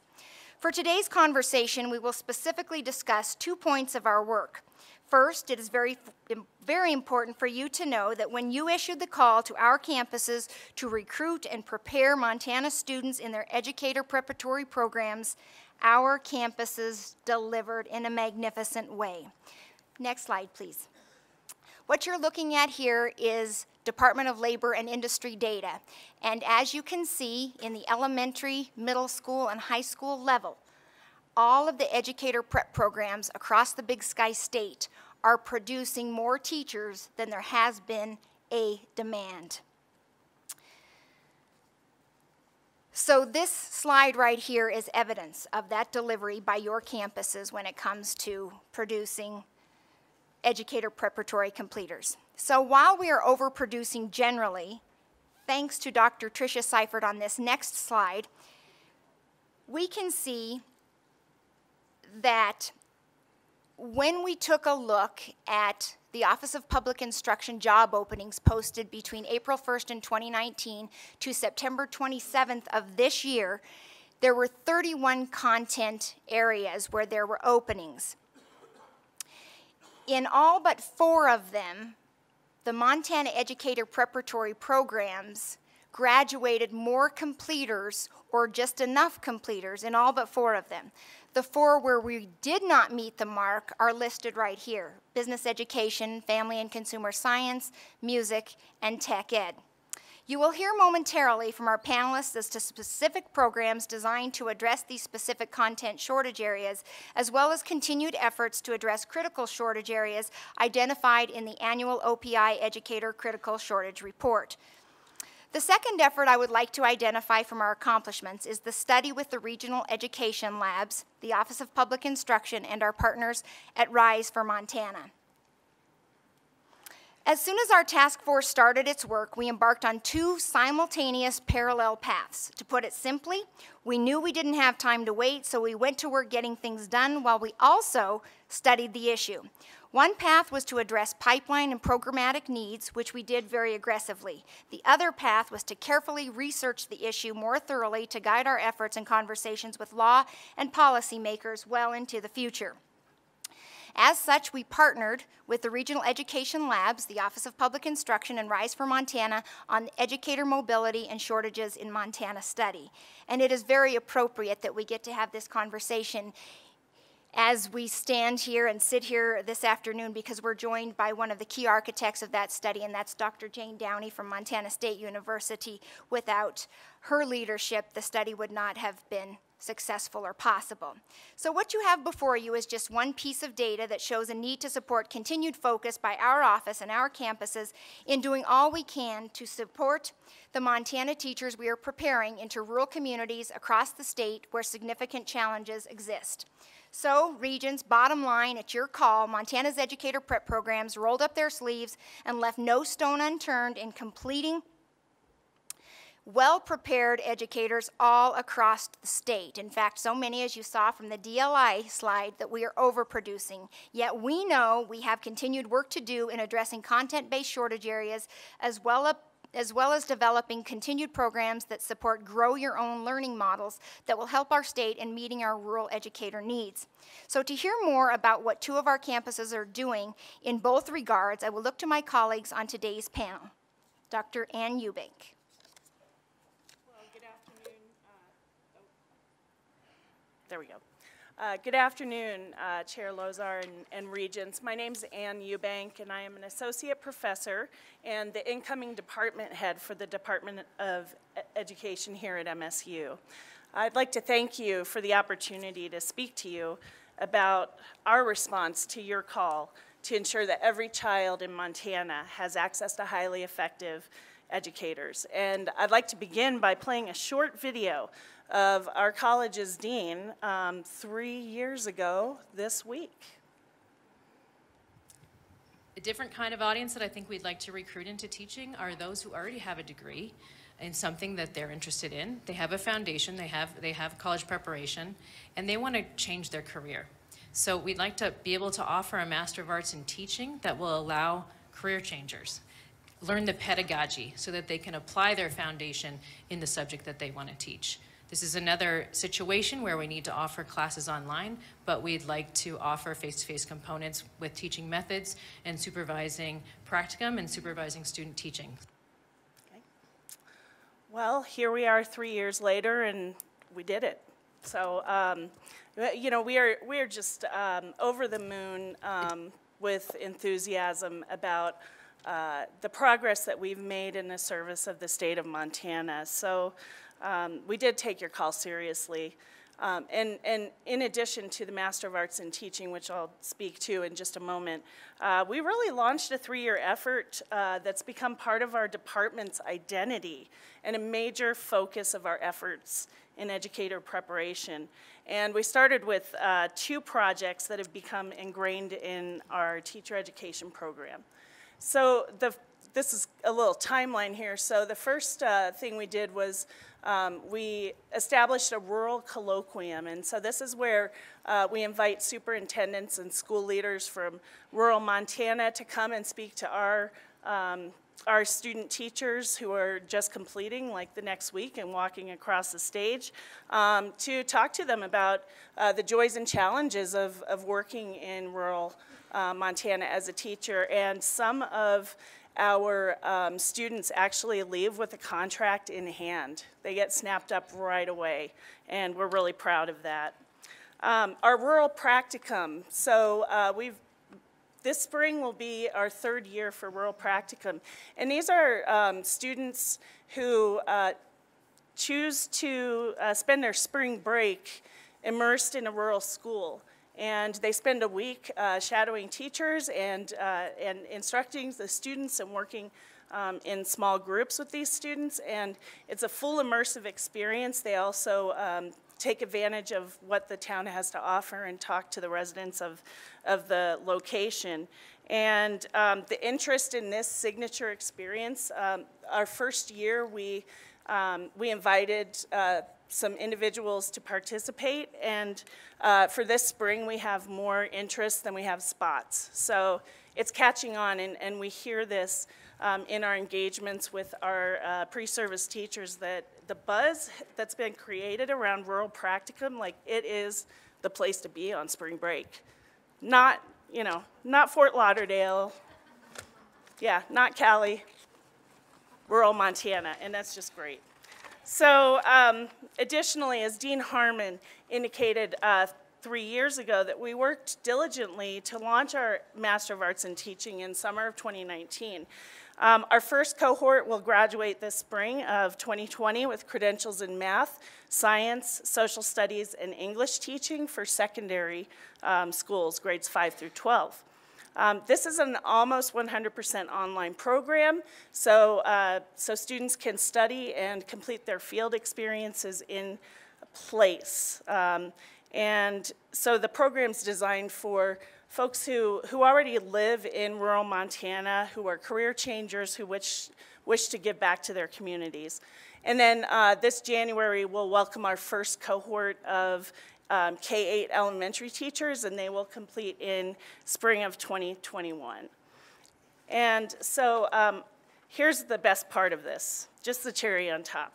Uh, thanks to a five-year grant from the U.S. Department of Education, we will uh, now be able to train nearly 80 teachers who will commit to teaching in a rural high-needs school for two years. Um, our program will cover uh, tuition and fees through a living wage stipend so that teacher candidates can complete that unpaid field experience and that full semester of student teaching where they really learn how to be a teacher. Um, the grant will also provide two years of mentoring support um, we know that, uh, that teachers, we have a body of evidence that uh, demonstrates that teachers who receive strong mentoring support in the first several years of teaching tend to stay. So it's a retention issue as well. Um, and then the third part of this grant is that, uh, that will provide uh, school leaders and school boards with professional development on best practices for teacher recruitment and retention. And this is critical because we also know uh, that organizational climate is a determining factor on whether teachers stay or leave. Here's the most remarkable part of this grant. In addition to $3.1 million in federal, federal funds, our many Montana education partners contributed $600,000 through either in-kind or financial support. And so what this, what I've learned through this process is when we roll up our sleeves and work together, we get things done for the benefit of all kids, and that's really the Montana way. Um, we take our land grant mission to serve Montana very seriously. We're very excited to be part of the solution to ensuring that every child, whether they're from Bozeman or Two Dot, is prepared for college and career. And I'd like to thank you on behalf of the department. I'd like to thank you for your support. Uh, we're more than excited to continue to help build an infrastructure in Montana that helps us to meet this goal. Thank you. All right. Uh, thank you, Ann. Um, thank you, Madam Chair, uh, Commissioner, and uh, Regents. I am Vicki Howard, Professor of Special Education at the University of Montana Western. Even prior to the teacher shortage, University of Montana Western was providing a variety of online and distance programs. Uh, for example, we offer online early childhood and PK3 programs and an endorsement in special education, which is rated as the most difficult area to fill by state administrators, and business education, which is one of the four high needs areas mentioned by Ms. McLean. About four years ago, our phones started ringing off the hook as willing but uncertified prospective teachers who were recruited by school districts to fill open positions sought a way to earn their credentials. We were offering some of the coursework online, but needed to uh, expedite, uh, create an explicit, streamlined program that met the needs of non-traditional learners who, will, who were already in the classrooms. Before we knew it, we had around 150 post-bac students in the pipeline Um, So we were absolutely building this ship as it was sailing. Even before the recent BOR approval, we had begun delivering the 29-credit post-bac certification with experimental coursework. And the, um, the certification areas that are delivered are uh, provided on the slide. Next slide, thank you. Uh, Grow Your Own reflects an acknowledgement that local communities may provide an answer to teacher shortages in rural and tribal communities by mining existing individuals who are unable to leave their community to attend college due to the cost of attendance and/or family obligations. Preparing this local talent has the dual benefit of rising people up while increasing the likelihood of retention because individuals are already where they want to be. Since 2017, Montana Western has partnered with Blackfeet Community College, Browning, and um, Heart Butte schools to co-develop and co-deliver teacher preparation for members of the respective communities. Most of our candidates were already working in the schools as aides, Class 7 language and culture educators, or as provisionally licensed teachers. In two years, 32 Indigenous elementary ed, uh, educators earned their degrees and became certified through our program. All of these completers were hired by the Browning schools, dramatically increasing supply while reducing teacher turnover. We are now working on a second cohort and have over 40 Indigenous candidates seeking credentialing in elementary education, special education, and secondary education. Due to their difficulty in filling teaching positions, Montana Western and Little Bighorn College were invited to partner, partner with Hardin Schools to collaborate on a replication of this Grow Your Own model. Though we just started our planning in September, more than 30 applicants have already come forward wanting to be a part of the program to become certified teachers. Most of these candidates are Indigenous. We will begin delivering classes in January. If all goes as planned, 15 of these applicants will be certified to teach by the spring of 2021. To finish, I'd like to tell a quick story that illustrates why this work is so meaningful. One of the questions we ask the candidates in the interview is, um, what do you need to do to put yourself in a position to be successful in the program? When we asked Lauren this question, she took a long time before answering, and then she said this, quote, I have been training horses for a living. My auntie told me about this program and said that I should, uh, should apply. I heard that you were only taking the top candidates, but I hoped that I would be selected. So I sold some of my horses and put the money aside to attend. We went hunting and bought, brought home some extra meat and put it in, uh, made it into dry meat so that we would have enough food. I put aside enough money to pay for internet service and bought enough gas cards to drive back and forth to class for at least three months, unquote. And because of this partnership, Lauren and other candidates will get their chance and amplify their potential to serve children in Crow communities. Thank you.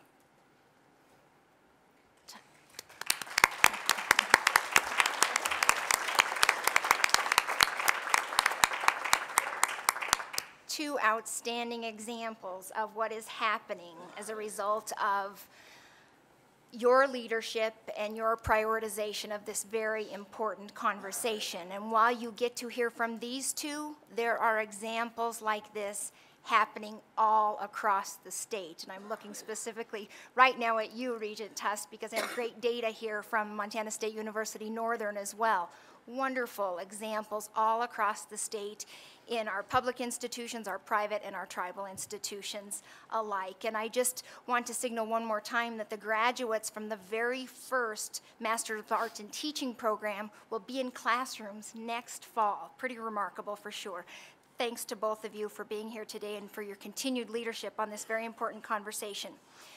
Finally, as our educator preparatory programs continue to do an outstanding job, as you just heard, in answering your call in preparing teachers, we know we still have work to do to support this effort, and presently our office is poised to work with our partners to take the study that I referenced earlier and the study upon which I will momentarily share with you a one-pager so you can take and read it and use it to guide future work at this table, but we're going to take that study and put it to work in guiding policies and legislation just as we've done already. We're also going to continue to monitor and address geographic and content shortage areas. And then finally, right now we are in the process of working with our partners to develop and roll out an advertising and a marketing campaign aimed at more rural educator placement. I want to thank you very much for this opportunity, and we now stand for questions.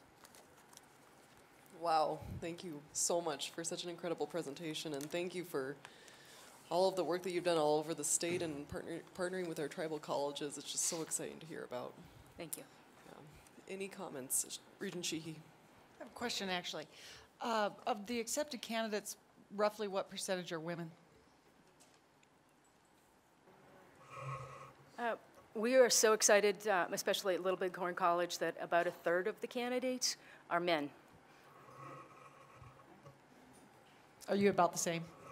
Um, We currently um, have nine candidates, and I am not entirely sure of their gender. One of the things I think is really interesting about this is that uh, it, all across the West, the rural tradition was to hire women teachers who then didn't get to keep the job once they had families. And I think it's so interesting that we're providing an opportunity for a second career for a lot of women out there. It's really exciting. Um, thanks for your work. It's just it, really, really, really gratifying. Regent Lozar. Uh, Thank, thank you, Madam Chair. Uh, I just wanted to echo that, that last comment you made, Regent Sheehy, that you, you referenced uh, a meeting uh, three years ago, and you can go back even three and a half years ago, the meeting in Havre, uh, where we did have a panel that discussed incredible anxiety around what, what do we do in Montana around, I think at the time was 350 uh, jobs in rural Montana that needed to be filled. And obviously, um, quite quickly, you were able to, to respond and do it in partnership with uh, a, a long list of, of partners and making sure that um, that our, our young people in, in rural Montana have high quality teachers and they, they see themselves uh, eventually coming back to their rural communities. I think it's one of the things that is important as we look at uh, migration in, in and out of uh, rural Montana. Having strong teachers is one of the things studies have showed that keep people in their community and keep their communities vibrant. So your work goes well beyond what's happening in schools. It, it, it is preserving um, rural Montana, so we appreciate you for that work. Regent Tuss. Uh, I'd be remiss if I also didn't say thank you. Um, I remember the meeting three years ago, but I also remember the meeting that precipitated that meeting, which was in a small room in Robbins School in Havre with the superintendent for, for Havre, Fort Benton, Big Sandy, and North Star. Uh, and they talked to me about this crisis that I wasn't really aware of. And I said, well, let's, let's do what we can. Let's bring this crisis before the Board of Regents. And, and it just goes to show what you can do when you focus. It, it just goes to show when you put your heart into something, and I can't thank you enough and everybody involved in this effort. Thank you very much. Regent Miller. Again, to echo all of these comments, as somebody from a rural community not too far from Tudot, a town called Judith Gap, Montana, this is so important to me and is near and dear to my heart. I'm excited to see where this program goes and um, just thank you so much for everything you're doing for our rural communities in Montana. Deputy Commissioner Tessman. Uh, Madam Chair, members of the board, uh, yeah, Professors Eubank, uh, Howard, thank you so much, and, and Angela, thank you for your leadership uh, on this. Uh, I think I can invite you to uh, stay at the podium and give us uh, a brief update on the American Indian and Minority Achievement effort. But once again, thanks to all three of you for your leadership on this really important effort. Thank you. Thank you,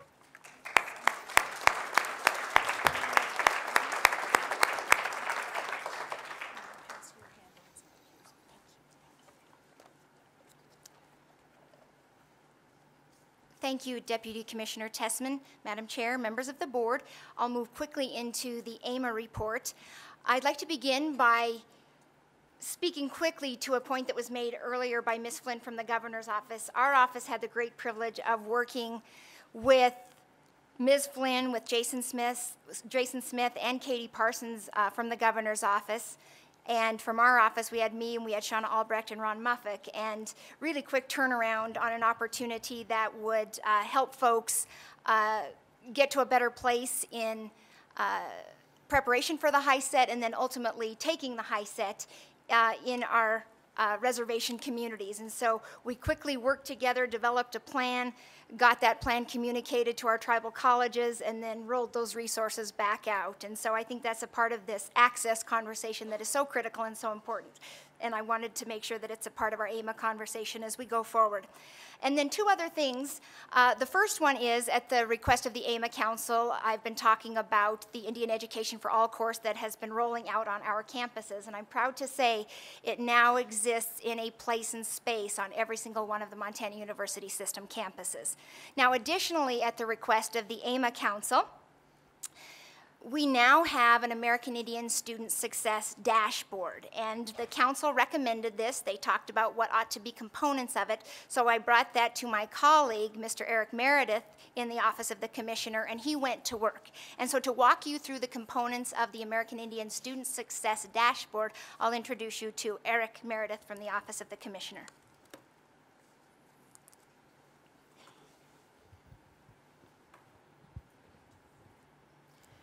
Uh, Thank you, Angela, uh, Deputy Director, uh, Madam Chair, and members of the board. Um, So I'm going to quickly go over this dashboard, and I'm not going to uh, dive too deep into the numbers so much.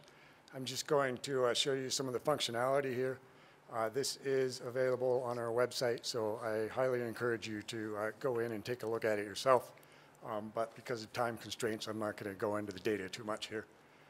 Um, So a lot of these are very similar to uh, some of the dashboards that you saw this morning from uh, John Thunstrom. Um, There's a little bit different functionality to some of them because they have a different purpose. Uh, So this particular one is just on the enrollment, but the important piece here is over here on the right, you can actually uh, select the different campuses that you'd like to um, uh, look at. And uh, maybe the more important part here for this being the American Indian uh, dashboard is we can look at uh, by race and select any race that you would like to look at or any combination of them. Um, so, uh, for example, if I deselect one, it'll update automatically. I can add and uh, uh, get rid of as many as I'd like. Um, then down here at the bottom, it'll show you the actual numbers. And uh, one common theme that you'll see in some of these dashboards is that uh, I, I, actually set it up so that you can see the American Indian counts and non-American Indian counts. And the reason it's set up that way is so that you can select as many of the different races as you'd like, and it'll give you the two counts to compare. Uh, so that's the common theme throughout all of these. This one here is just the enrollment counts.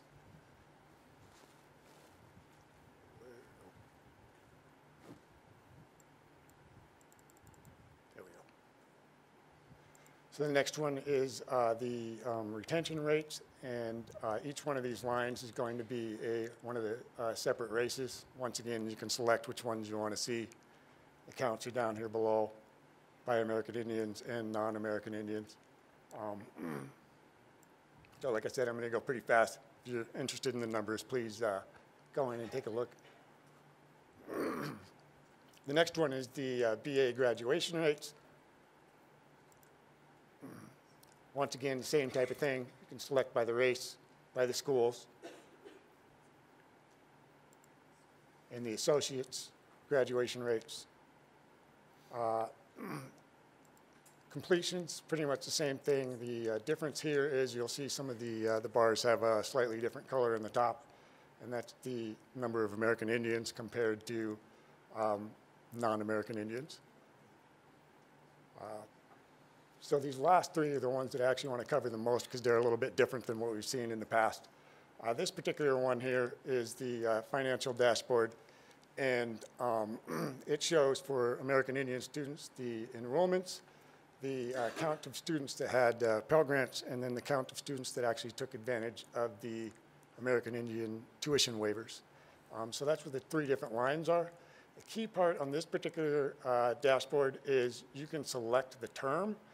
Currently, the term is selected for all, so it includes students from the entire year. So some students will actually be counted twice, because if they took the American Indian waiver in both the spring and fall, they'll show up twice. So that's why you may notice the enrollment counts here are almost 5,000, when really for, uh, if you look at one semester, which I can go ahead and do here, if I click on fall semester, now you'll see the enrollments are down to 2,000, which is uh, the number of American Indian students that we have in one particular semester. Next one is the employees, uh, same type of thing. You can look at the employees by uh, the race and by the location. The location in this particular uh, instance is by town. Um, one key that I do want to show on this one is for employees, uh, it is not required for the employees to actually tell us which race they are. And so there's actually a fair number that are in the unknown category. So that is something to keep in mind when you're looking at this particular dashboard. And then uh, this last one is, uh, if you're familiar with the Sankey diagram, uh, that's what this is, and it's the transfers. Um, and when you first go to this particular uh, dashboard, it will, uh, it's already selected for only looking at American Indian students. And what's the, the schools on the left is the school that the student is actually exiting, and the schools on the right is where the student is landing currently. And if I hover over, for example, this one is the Montana Tribal Schools, it'll tell me exactly how many students uh, went to each individual school for uh, this particular fall. So last, uh, last year, they would have been in a Montana Tribal School. And so, for example, we have 15 students here that went to MSU Northern uh, this fall that were American Indian students. So this is a very uh, interesting graph and very interactive. Um, like I said, I highly encourage you to uh, investigate all of this yourself. Um, and so, yeah, I'm going to open it up for any questions that you may have. Thank you so much. What a great presentation. Any comments or questions? Regent Lozar. Uh, Thank you, Madam Chair. This is, uh, this is fantastic. I had the opportunity a couple years ago, maybe three years ago, to be a part of the American Indian uh, Minority Achievement Council when we developed uh, some of these core objectives, and to be able to see that, you know, one of those discussions, uh, and early, early on in the council discussions was, um, what should we focus on, um, and how the heck are we going to find this information? And it's pretty obvious that you guys have made significant progress um, in being able to track this. So this is this is fantastic. This is a great for, thing for us to be able to refer to as um, as we're continuing to have conversations around performance funding. And and um, I would I would just and we don't need to go there right now, but I would just uh, take take a look at um, the difference between graduation rates uh, with bachelors and associates of arts and um, you will see that we have a ways to go with our American Indian students. And I know, I, I'm confident that we're putting in the measures that we need to put in to make um, continued progress, but um, it'll be great someday to be able to see these bar charts on, uh, with equal patterns. Thank you so much. Uh, Deputy Commissioner Tessman. Madam Chair, members of the board, I'm so happy we had a chance to hear uh, at some length uh, information on the rural educator recruitment and retention efforts, huge success there. The AIMA dashboard uh, is such an important part of the equity question in the state, and, and certainly tracking uh, some of this information is a first step towards making more progress. And so, really happy that we spent some time on that. I do know that we're past uh, time uh, in, in terms of the ARSA committee. I would, with your permission, uh, draw the board's attention to our normal items, uh, level one uh, memorandum and the intent to plan proposals. There's information available um, uh, on our website with respect to program proposals that are coming down uh, the road. Um, I would request that we uh, postpone the report on e-learning. It's also a tremendously important area in terms of uh, access to rural students, underserved students, so much innovation there. I want to give that item the, the time that it deserves. We actually had a couple of individuals uh, uh travel to the meeting in order to present, so I apologize to them, but I, I think that it's better given the airspace it deserves. So with your permission, I would postpone that agenda item until a later time. Yes. With that, I think we have concluded the business of the ARSA committee. Uh, so I'll turn it back over to Chair Lozar. Uh, Thank you, Madam Chair. Uh, We are at this point in the meeting and the day that uh, we are going to focus on public comment. And I just wanted to kind of go through a couple items. One, I wanted to underscore uh, a a point that Regent Sheehy made uh, when we were looking at level two uh, proposals, in that uh, this board very much values public comment, and we use it to deliberate, we use it to better understand what's working, what's not working, and to get insights about uh, the work of the university system. So we very much value uh, public comment. Um, and just want to also make a note that uh, in addition to providing verbal comment, you can also provide written comment. We have that process in place. Um, and then lastly, uh, we ask those who are going to provide public comment uh, to keep your remarks to a couple minutes. Um, and then if we have, uh, we, if we have very, very similar public comment that uh, we ask you to go to the mic and um, uh, uh, share just the point that you uh, concur with the previous person who shared public comment. Uh, with that, um, can I just get a sense of how many people are interested in providing public comment this evening? Okay. Excellent. Perfect. Yep. As is the case with all public comment, uh, it's a process not of Q&A, but uh, we will not respond. Um, but again, like I mentioned, this is the opportunity for us to, to get feedback. So we very much appreciate uh, you taking the time to, uh, to join us today. Uh, with that, uh, we will open up the, this portion of the board meeting for public comment. If you could come to the podium and please share your name.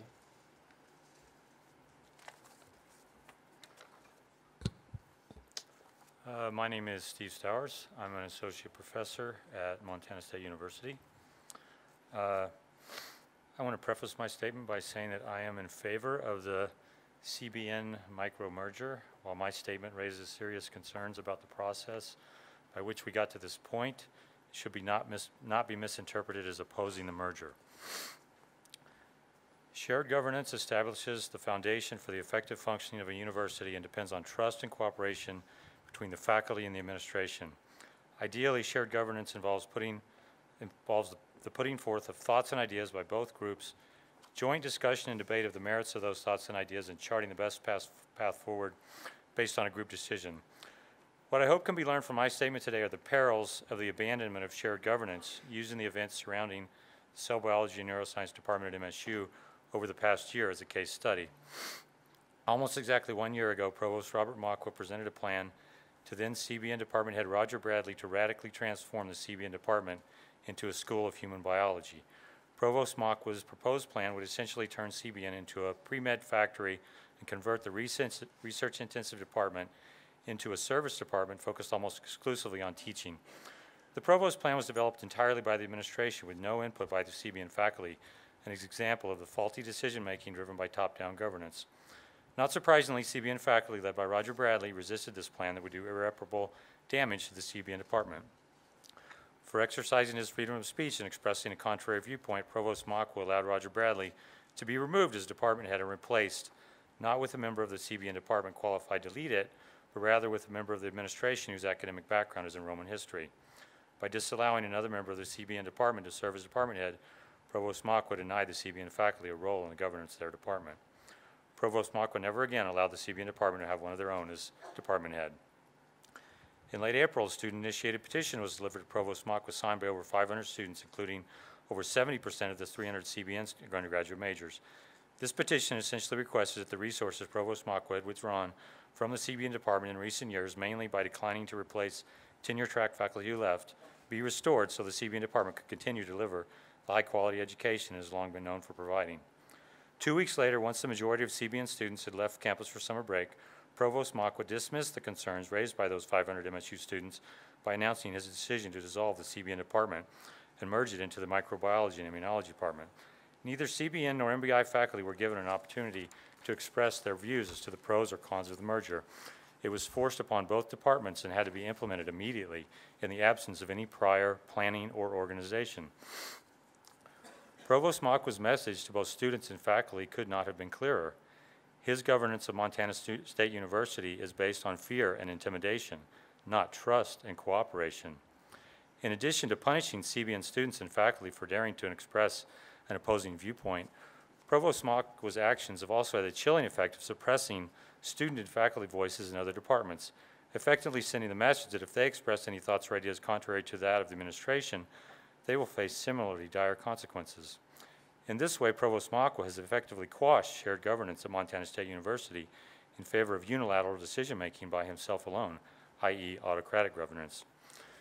If your intuition tells you eliminate an entire department from MSU should not depend on the judgment of a single visual, individual, your intuition would be correct. Montana University System Board of Regents Policy 218181 states, the following matters require review and approval by the Board of Regents before they can be announced and implemented. Formation, elimination, or consolidation of a college, division, school department, institute, bureau, center station, laboratory, or similar unit. There is thus a required process codified in the Board of Regents policy that must be followed before department, before department consolidation. The reason the CBN MBI merger approval is on today's agenda is that Provost Mokwa did not obtain the required approval for the Board of Reach, from the Board of Regents six months ago before he implemented the merger, thereby abusing the power of his office. By blatantly violating Board of Regents policy, Provost Mokwa usurped the power conferred by the state to the Board of Regents and illicitly appointed himself judge, jury, and executioner of the Department of Cell Biology and Neuroscience, in so doing denying due process to all the negatively impacted stakeholders. Ramming through approval of the merger here today ex post facto does not remedy the damage already done by the earlier denial of due process. The subject line of Provost Mokwa's email to faculty announcing his decision to dissolve the CBN department was, "Important changes to strengthen cell biology and neuroscience." Provost Mokwa's approach for strengthening strengthening the discipline of cell biology and neuroscience was to dissolve the cell biology and neuroscience department. This strategy defies all logic and common sense. In addition to the faulty reasoning underlying this approach, CBN faculty were also surprised by Provost Mokwa's merger announcement because we had been working in good faith with the administration throughout the spring semester. This included developing a five-year neuroscience doctoral plan to address the weaknesses of the CBN graduate program identified in the doctoral program prioritization the provost uh, has been citing as a justification for the merger. In February, three months before the merger, the provost signed the plan, thereby agreeing it was sufficient to address the weaknesses of the CBN graduate program. I would note that this is in direct contrast to what uh, Provost Mokwa presented uh, a little bit ago, where he said that the um, cell biology neuroscience faculty were unwilling to recognize the weaknesses of uh, the report and, uh, and work to uh, address them. CBN faculty followed the plan to the letter during the intervening three months, including admitting three new doctoral students and submitting proposal- proposals for two graduate courses. Simply moving the CBN faculty to another department in no way addressed the concerns Provost Mokwa used earlier to justify the merger. It is also unexplained why the other three departments classified as needs improvements in the doctoral program prioritization report were allowed to address their weaknesses with a written plan instead of facing dissolution or merger. For some non-transparent region, CBN was singled out for punishment by Provost Mokwa.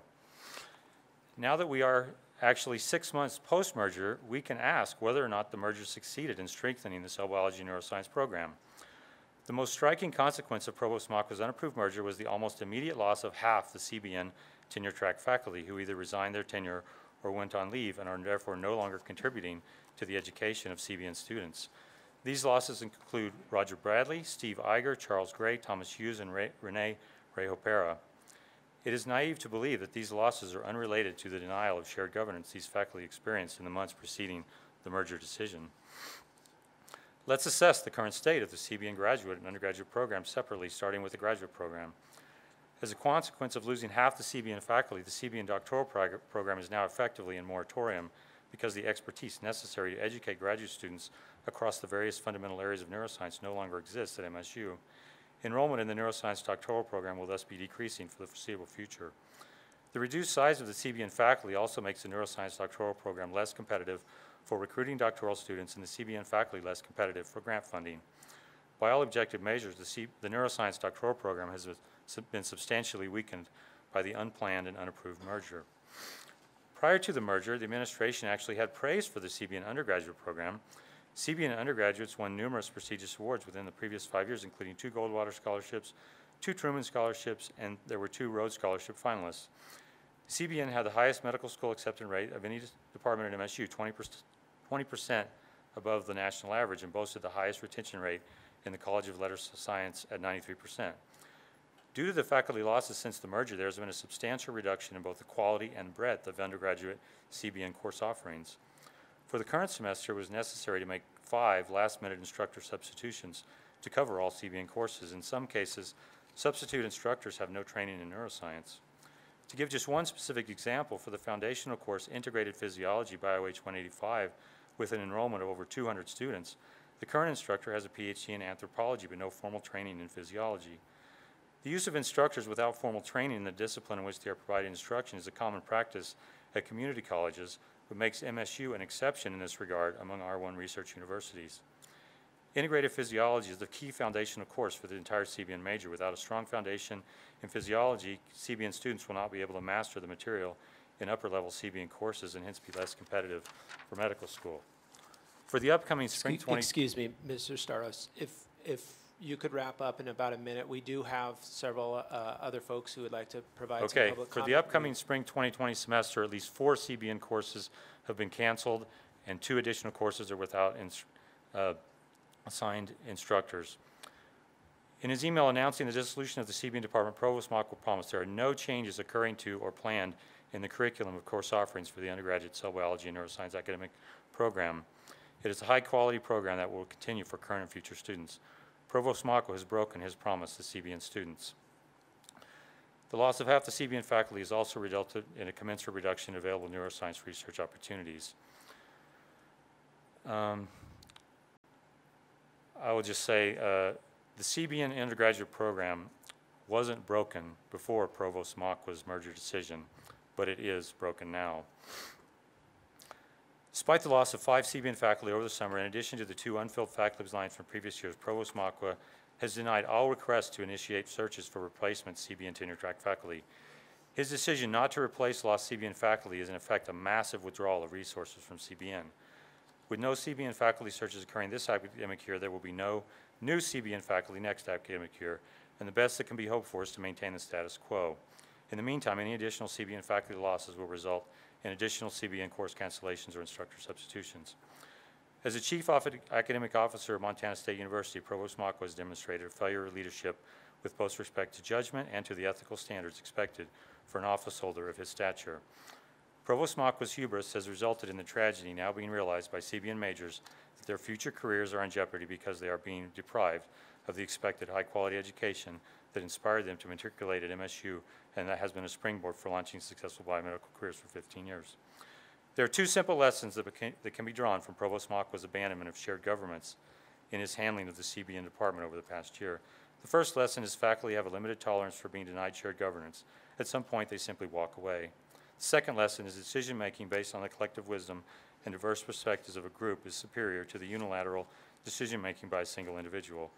If the provost had sought and assimilated input from CBN and MBI faculty prior to announcing and implementing the merger, the outcome would have been far better for both students and faculty. I hope other Montana University system administrators hearing this will take these lessons to heart and won't have to learn them through firsthand experience. Thank you. Thank you, Mr. Staros. Uh, Other, uh, other public comment? And I'll, I'll again repeat, you do have the opportunity to uh, submit written uh, comments, and we ask that you, knowing how many folks are here to provide uh, public comment, that you limit your comments to about two minutes, and uh, please refrain from repeating uh, previously noted comments. Um, I'll say, so uh, Commissioner Christian and, and Regents, I would like to take a minute to address some of the questions that Regent Rogers raised in her questioning earlier. So um, it's difficult to get everything into two minutes. There's 800 students involved in this, and I think it's important. Excuse me, uh, could you state your name, please? I, oh, sorry, my name is James Mazer. And until last May, I was an associate professor of cell biology and neuroscience at MSU. Today, I stand before you as a member of MSU's Department of Microbiology and Immunology. I've been doing neuroscience research for more than 30 years at five different R1 universities. Before moving my lab to MSU in 2016, I spent 12 years on the faculty at Yale School of Medicine, where I taught undergraduates, graduate students, and medical students in the area of neuroscience and rose to the level of associate professor. In 2016, after careful consideration of both the strengths and weaknesses of MSU's neuroscience program, I made the difficult decision to leave Yale and join the CBN department at MSU. That decision was driven in large part by the tight-knit community of faculty and students, both graduate and undergraduate, working effectively together as a team, and the excitement for neuroscience I saw among the CBN students I met when I first visited here in 2015. Last week, when I first read the Level 2 proposal under discussion today, a proposal developed without input from either CBN faculty or MBI faculty or students, I was shocked to learn that the provost's decision to eliminate my new home department as a freestanding academic unit was based solely on the results of the 2018 doctoral prioritization report. A report faculty were repeatedly told would only be used to help units improve and not to punish or eliminate programs at MSU.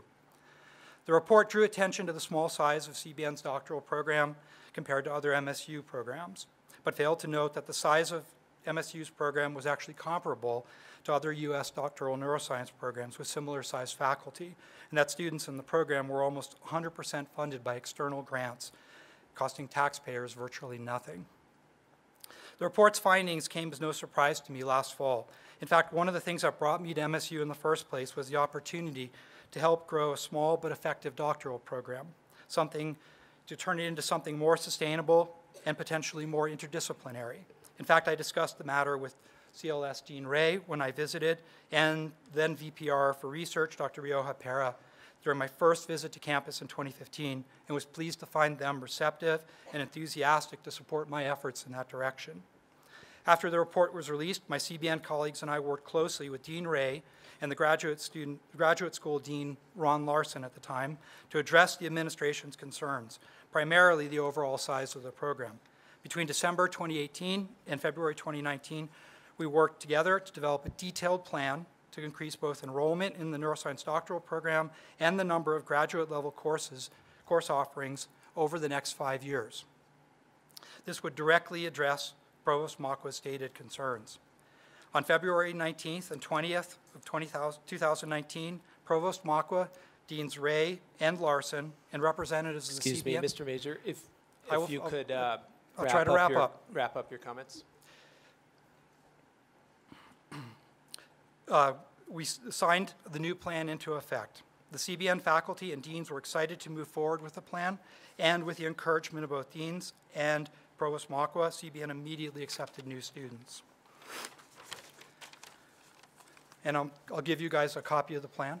Uh, Yeah, Mr. Major, the, um, uh, Ms. Unsworth here has a form that you could fill out and- Okay. and provide. uh, I'll do it- the I can do it after. I'll do it after. Testimony. Uh, Um, so- We have spent uh, about four minutes, and I want to be, uh, I want to be um, I will try to- let that we have enough time for the rest of the folks that are providing uh, public testimony. Okay. let me let me just let me just make a couple of points and then I'll, I'll leave. Okay, so as I stand as I indicated today, I stand before you as a member of the new merged microbiology and immunology department, a diverse biomedical department that includes microbiologists, immunologists, virologists, cell biologists, and neuroscientists. A department now responsible for teaching more than 800 MSU undergrads annually and for providing cutting edge research opportunities for those students, both in the lab and around the world. Although you will vote tomorrow on whether or not to approve the merger, for the remaining five professors from CBN and the original 19 MBI faculty, the 300 CBN students and 400 MBI students, this merger happened six months ago.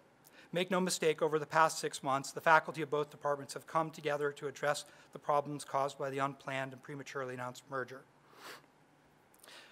In what, despite what people might say or think, CBN and MBI faculty are excited about the opportunities this merger could bring, right? But it's not all roses.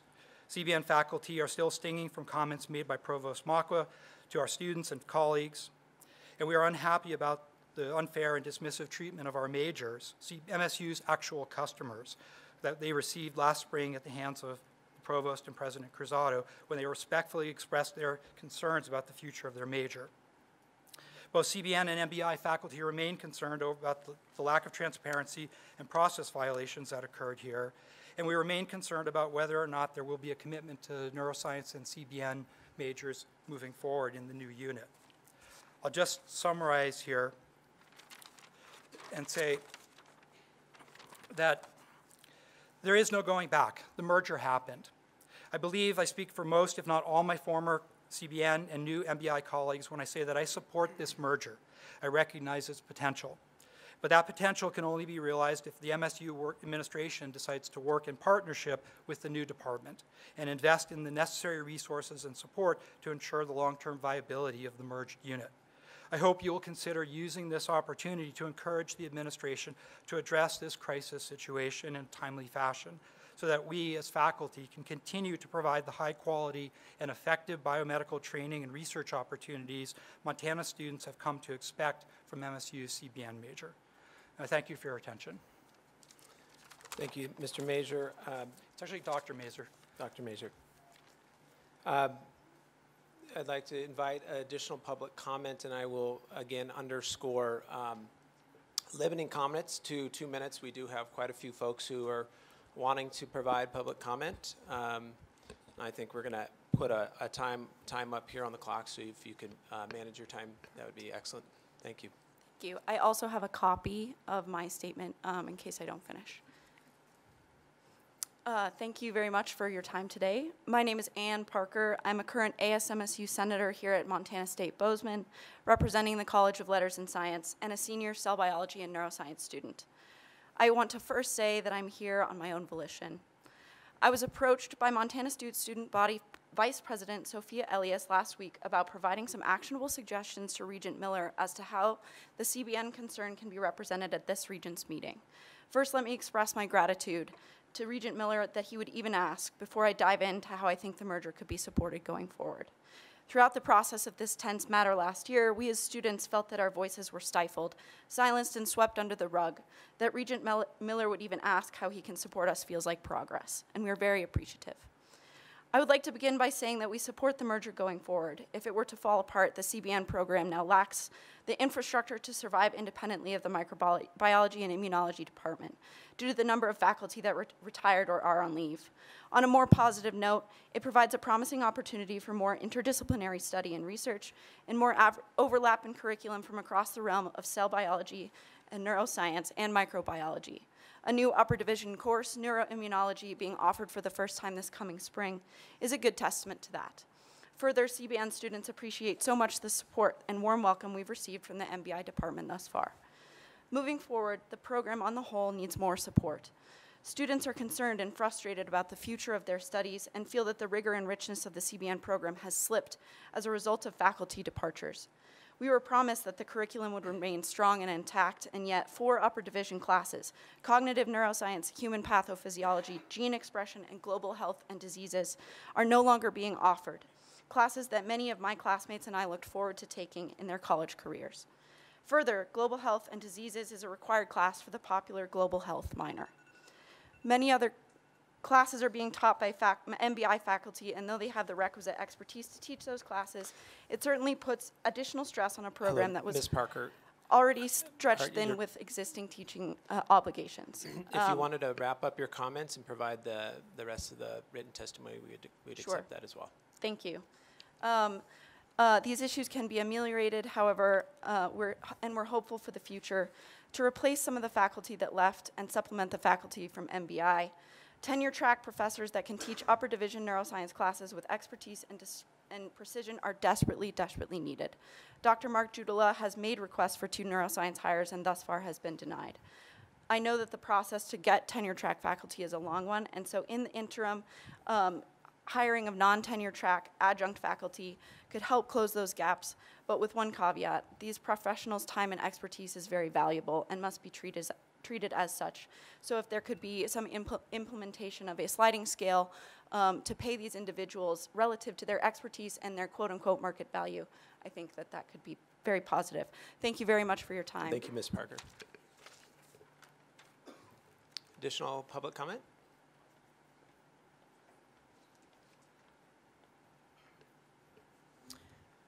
Good evening, Mr. Chair, members of the board. My name is Colette Campbell, proud public employee for MSU Bozeman for 11 years now. Go Cats. And uh, also the president for MSU Bozeman's Federation of Public Federation of Classified University Staff. Um, I'm here today with an invitation, actually. Um, in 2017, the Board of Regents passed a policy uh, that said no employee would be, would be paid less than $10.70 an hour. And I stand here and thank you for that today.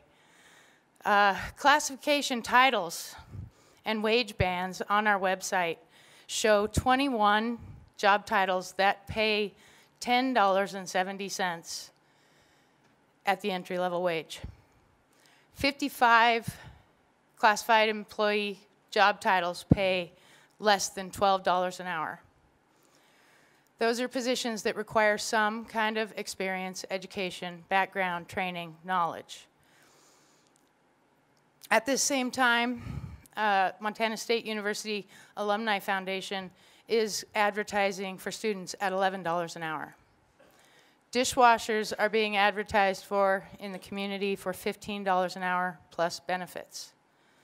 City and county employees are being advertised for $17 an hour, full benefits. DoorDash delivery will pay $18 an hour. some, some people would say this is unique to, to Bozeman, that this is Bozeman's deal.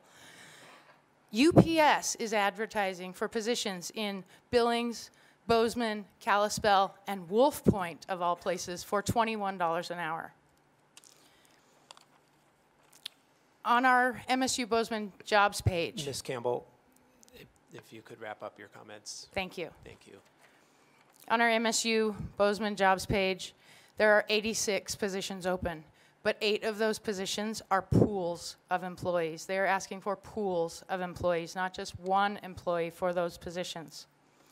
Our invitation is for you to follow along with our Labor Management Committee, our statewide Labor Management Committee, as they tackle their first task of studying these wage bands. And check in with our, check in with our CUFS committee when you meet later and, and see how that, that progress is going along. Complaining is finding fault. Wisdom is finding solutions. That was Ajahn Brahm. Go Cats. Thank you, Ms. Campbell.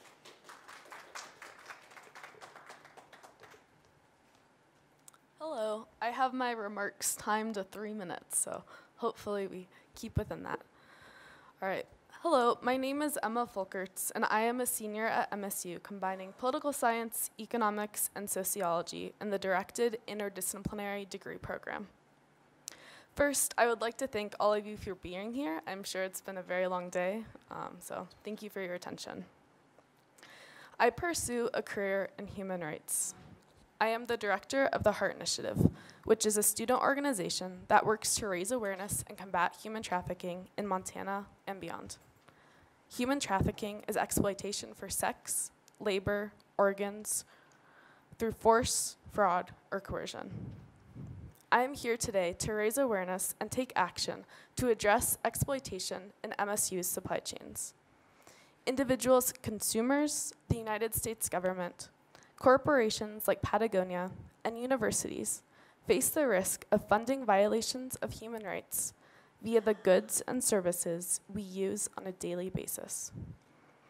My senior thesis addresses exploitation in MSU supply chains, and through partnerships with the HEART Initiative, MSU Procurement Services, and interviews with many stakeholders on campus, I'm identifying opportunities for more ethical practices.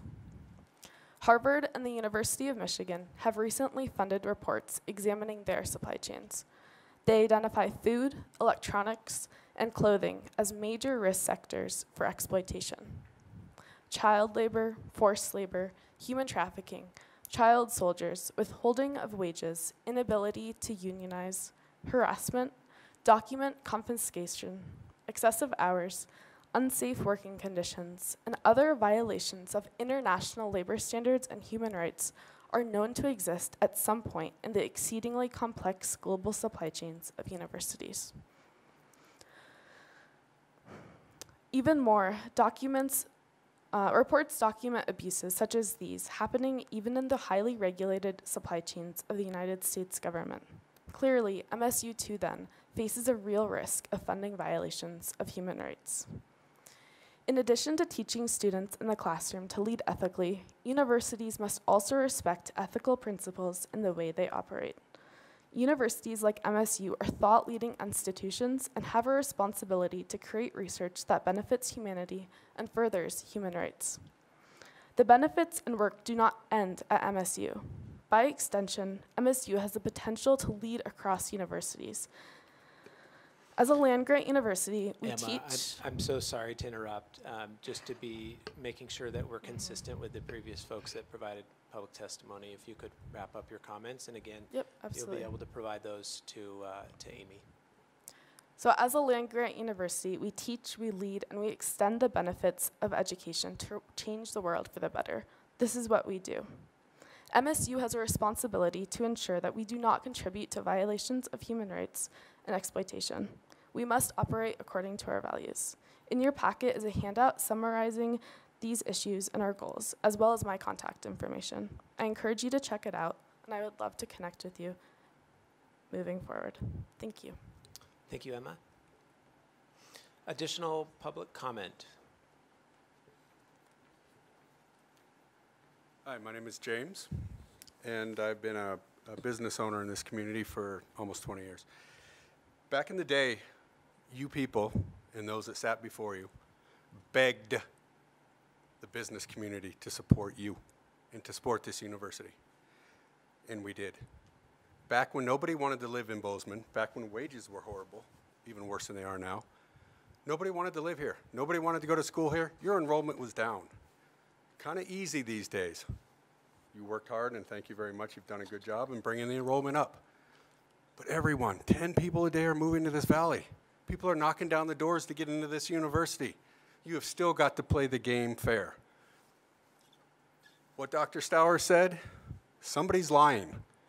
Somebody is lying. Either Steve and his department is not standing straight, or you guys aren't giving us the straight. Something is causing a divide between reality and truth, and falsities and lies. I haven't heard the answer yet. But my question, although this will not be answered by you, who's in charge of finding out who's telling the truth? Not who's right or wrong. That's not what matters. Is what matters is are you people? Are you going to stand up for the truth and find out what the reality of that truth is? Who is telling the truth? Either people got pushed out, moved out, or left because the writing was on the wall that their jobs were gone, or there was no jobs lost. Anybody have any answers for that? As a business owner, you owe this community to find out what that answer is. You owe it to me for begging me for support for 20 plus years. And now, you can't even get stand, get stand up and answer any of the questions. I haven't heard any rebuttals that are coming from you guys. And that's not saying that the department is right or wrong. And that's not saying that you are right or wrong for dropping this whole frickin' program. That's successful. Let me ask you guys you're educated, you have kids. Do you want your kids to go to pre med at MSU? It's a broken department now. There is no pre med program in reality. Are you willing to swallow that, take that home, and explain that to the public? Because I'm telling you what, if your kids want to go to pre med, you're not coming to MSU. It's a broken program. Period. I understand, and I'll stop here. Two parts to a good university in a successful town in a successful university. Student enrollment, you guys get an A for, thank you. Bozeman Town is building like crazy. I understand what you've done to do that. But you want to see a universal crumble, university crumble real quickly? You start eating away at the quality programs and getting rid of doctors. People who have their doctorate, for God's sake. You're willing to put them out on the street and say goodbye. I ask you one last thing. do the investigation before you make up your mind on this, on this uh, determination that you've already come to, and give us as a community an explanation for who's telling the truth and who's not, because somebody's not being straight. Thank you, James. Uh, Additional public comment. Ladies and gentlemen of the board, my name is Colin King, and I'm a senior cell biology and neuroscience student at Montana State University. Six months ago, I stood before you with my peers, pleading that you take action to support our major. We warned that we feared and expected a decrease in the quality of our education and career prospects in the face of the proposed hasty merger of our department with microbiology and immunology. We described a widespread concern in our department over the lack of administrative support we were experiencing. We stood before you worried. We feared that again our voices would be ignored. Today I am again joined by my peers, pleading that you take action. It has since been six months. Looking back, our warnings and fears have been realized. There has been turmoil and anguish as we scramble to pick up the pieces of our education and career trajectories. We, the students, feel that we are undervalued in the eyes of the administration. We fear that our needs will again be ignored. I am speaking today in the hopes that this time I will be heard. I understand that the potential exists for students to benefit from this merger. Unfortunately, the way the merger was conducted does not promote the success of either department. Every individual from either department who has spoken up, faculty or otherwise, has stated the necessity of additional support and resources from the administration. I am not proposing that this merger be reversed. What I am proposing is that, first of all, the administration be taken to task for the careless way this merger has been accomplished, and that the administration be firmly instruct instructed to rapidly mitigate the damage that has been done to the students of CBN. Then, the process by which the merger took place should be carefully and critically analyzed in the hopes that Montana State University and the Montana University system as a whole can avoid going through such a damaging and poorly structured process again. Furthermore, I think that the records of those responsible for this upheaval should reflect that responsibility. Finally, I am proposing an amendment to the budget neutrality of the Level 2 proposal and requesting that it be changed to include assurance that the merger will be given the resources needed to ensure success. This must put the highest priority on filling empty faculty positions with qualified professors and on replacing those current professors who, as a result of unfamiliarity with the material they are teaching or inadequate teaching competence, are degrading our educations. Our voices were not heard six months ago. Please listen to them now. We are the students of the Montana University system. As is your duty, please support us now. And I have the rest of my comment to turn in. Thank you, Mr. King. Additional public comment. And how many more folks do we have um, interested in doing public comment? Okay, thank you.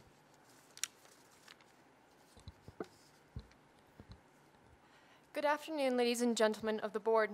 My name is Alessandra Miller, and I am a cell biology and neuroscience student at Montana State University. I would like to address you, the Board of Regents, regarding, regarding the merger of cell biology and neuroscience into the Department of Microbiology and Immunology. But first, allow me to clarify myself. I am not here to contest the merger, nor beseech you to reverse the merger. I am not here to speak on the behalf of faculty, nor the Department of Microbiology and Immunology. I stand before you today to address the failures of the Montana State University administration to uphold promises to students in cell biology and neuroscience regarding the merger. On May 15th of 2019, we received an email outlining promises that would be upheld in regard to the merger of our department into microbiology and immunology. The rest of my comments describe in detail how none of these promises were upheld. These promises include that our experience as students would be enhanced. They promised us that our courses would be continued, research opportunities increased, our degree would, quote, remain part of the College of Letters and Science, and finally that the merger would strengthen and stabilize our degree. As a student, I've experienced the realizations of none of these promises. As a student, I'm astounded that the administration presents the merger as being successful and is still ad advertising it as such to incoming students when the degree and its students are clearly suffering. So I address you, the Board of Regents, a body that is supposed to act on behalf of and for the students of the Montana University system, students like me, to hold the administration of Montana State University accountable for the promises it made to cell biology and neuroscience students. The administration is not supporting the degree as it claimed it would. Thus, I ask you to ensure that my degree is supported. The degree needs resources, specifically cell biology and neuroscience qualified faculty, so that the classes and research can be restored and our degree continued. If these resources are not provided and the trend of this administration's decisions continued, the degree, along with its students, students under your supervision, will suffer. If no action is taken, students like me will have to seek our education elsewhere at other programs, not at this university. Thank you. Thank you, Ms. Miller. Additional public comment?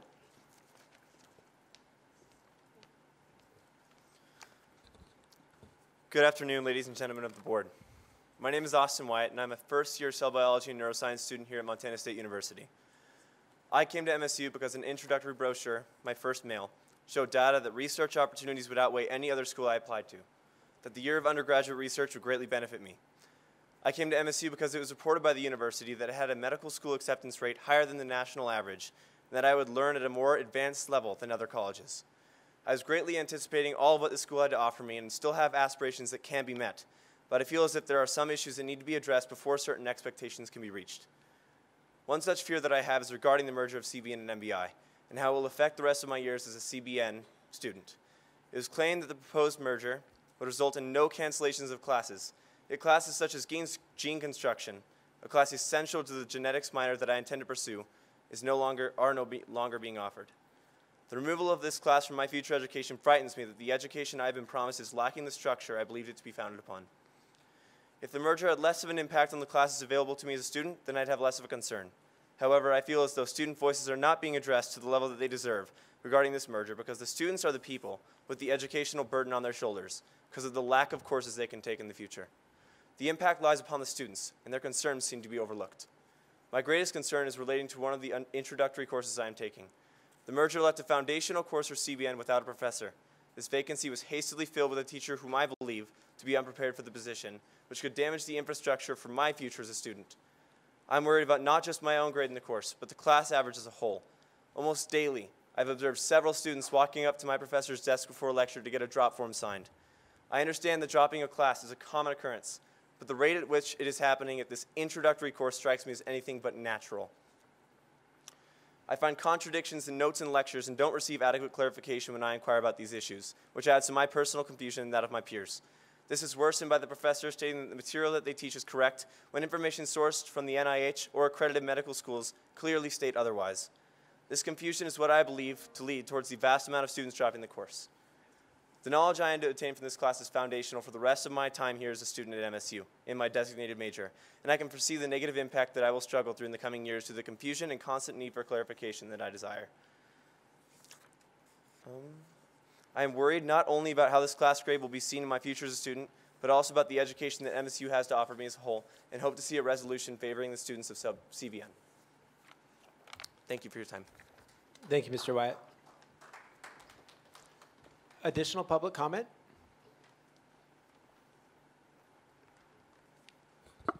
Hello, my name is Chelsea Kessel, and I am another um, senior here at MSU that's studying cell biology and neuroscience. I also would like to discuss the merger that occurred um, this past semester. So, as a lot of my colleagues have already said, there was a lot of issue. I felt like there was a lot of secrecy, and I felt like the administration was not honest with us. I myself had met with Dr. Cherry several times last semester to discuss the fate of our department, and I was told over and over that there would be no changes. Unfortunately, that was not true. Today, I come to you and I'm asking you to please consider. I'm not asking to re or to undo the merger, as I do see the possibilities that are associated with it. However, I do think that the way that it came about was unfair to the students and the faculty. I feel as though we were lied to, and I would like that to be addressed. In the future, I would appreciate if something like this were to go, or were going to occur again, I would like to see that the students were involved and the faculty were involved. Rather than telling us nothing was going to change and that everything was going to remain the same, I would like to be told the truth. I think that most of us actually would have been interested in learning about the merger, and I don't think you would have gotten nearly the pushback that you've received if it had been clearly stated all along. Um, as many of my colleagues have said, due to the merger, there's been a rush to fill in some positions, and unfortunately, I feel like that's giving a lack in education. We do have a very rigorous course, and I think that's a huge um, reason why a lot of our students are accepted into medical school, and I don't want to see that lost. I've had a great respect for our school up until this year, and I'd like to continue that respect, so I hope that moving forward, we're able to fill the positions with people that are appropriate to teach the courses. And I would also like to say um, that I would like to have the classes that are being canceled because of this merger reemerge so that our students have the opportunities that we were presented before. Thank you for your time. Thank you, Mrs. Kozel. Additional public comment?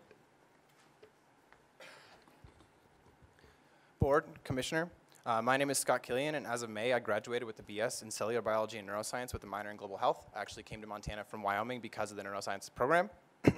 While a student, I represented my college as an ASMSU senator for three years. Some of you might even remember me as we had conversations a couple years ago about adding the student recreational facilities fee and um, that ended up funding the turf field.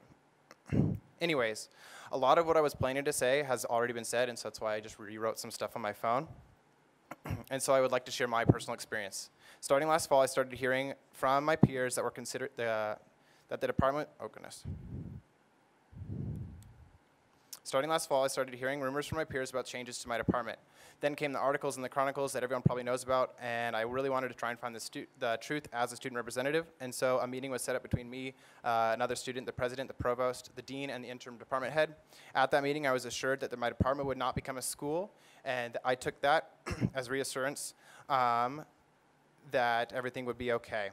I ended up spending the rest of my um, spring semester finishing up working um, as a student senator, on various projects like getting our teachers a $15 minimum wage and didn't consider what I could do to help my department. However, when I was in Germany in May, I heard word from my peers um, that microbiology and immunology would be merged with cell biology and neuroscience.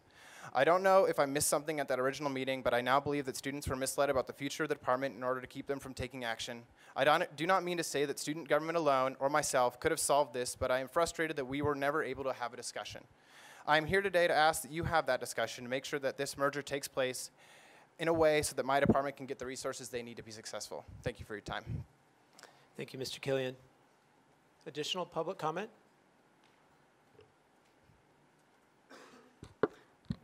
Hi, uh, I'm Becca Thurn, and I am a senior in cell biology and neuroscience. Uh, I came to the school because I'm interested in neuroscience, and I hope to pursue, pr pursue a PhD, which now I'm very worried about, because if I have a person try to call MSU and this merger doesn't go through, I'm going to be, they're going to ask about a department that doesn't exist. And then they're going to ask to talk to a teacher that is no longer there. And that's going to look really bad for me. So I am funding my education, and I'm about $30,000 in debt. I'm a commercial fisherman, and I work every summer to make sure I can come back here. And if you do not approve this merger, I'm worried that my degree will pretty much be the equivalent of recycling. So please approve this merger, and please fund this awesome program full of awesome teachers. Thank you for your time. Uh, thank you, Becca. Is there any other public comment? Any additional public comment? One last time, is there any additional public comment? Uh, uh, thank you all. Uh, that will conclude this portion of public comment for uh, today's meeting. It's been a, quite a busy day, and um, again, I want to un underscore what uh, what I shared earlier. We we do appreciate uh, public comment from all those that provided that to us today. Um, I want to take a minute, and I'm going to pass pass it over to President Cruzado to uh, provide some insights on what to expect uh, the rest of the evening. There are a couple of events I understand that will be available. Um, and then tomorrow we'll, we will start again tomorrow morning uh, here in the sub at 8.30. Uh, President Cruzado. Regent Lozar, members of the board, thank you so much for a very good and productive meeting. Um, you and the rest of, uh, of our audience here, uh, our campus affiliates and, and colleagues are invited to join us for a brief reception Uh, I apologize beforehand. The reception is not taking place as uh, last uh, time you were here uh, by acclamation in the pool of Romney Hall. Because it's, it's closed for construction now. So a second, uh, a second alternative, not as exciting as that option, um, would be for us to meet in the Inspiration Hall in Asbjornson Hall. Um, we have students uh, in the College of Engineering ready to assist um, with providing you with some tours of the building if you're interested. Any of you, not only our regents, but all our campus colleagues. So we look forward to uh, seeing you at that reception that we have prepared with a lot of care. And if I may, I just want to recognize uh, the incredible work of uh, Emma Dijksterhouse and Maggie Hayes in making all these events flow so, so smoothly. Thank you so much. Thank you. Enjoy your night, and we'll see you tomorrow morning at 8:30.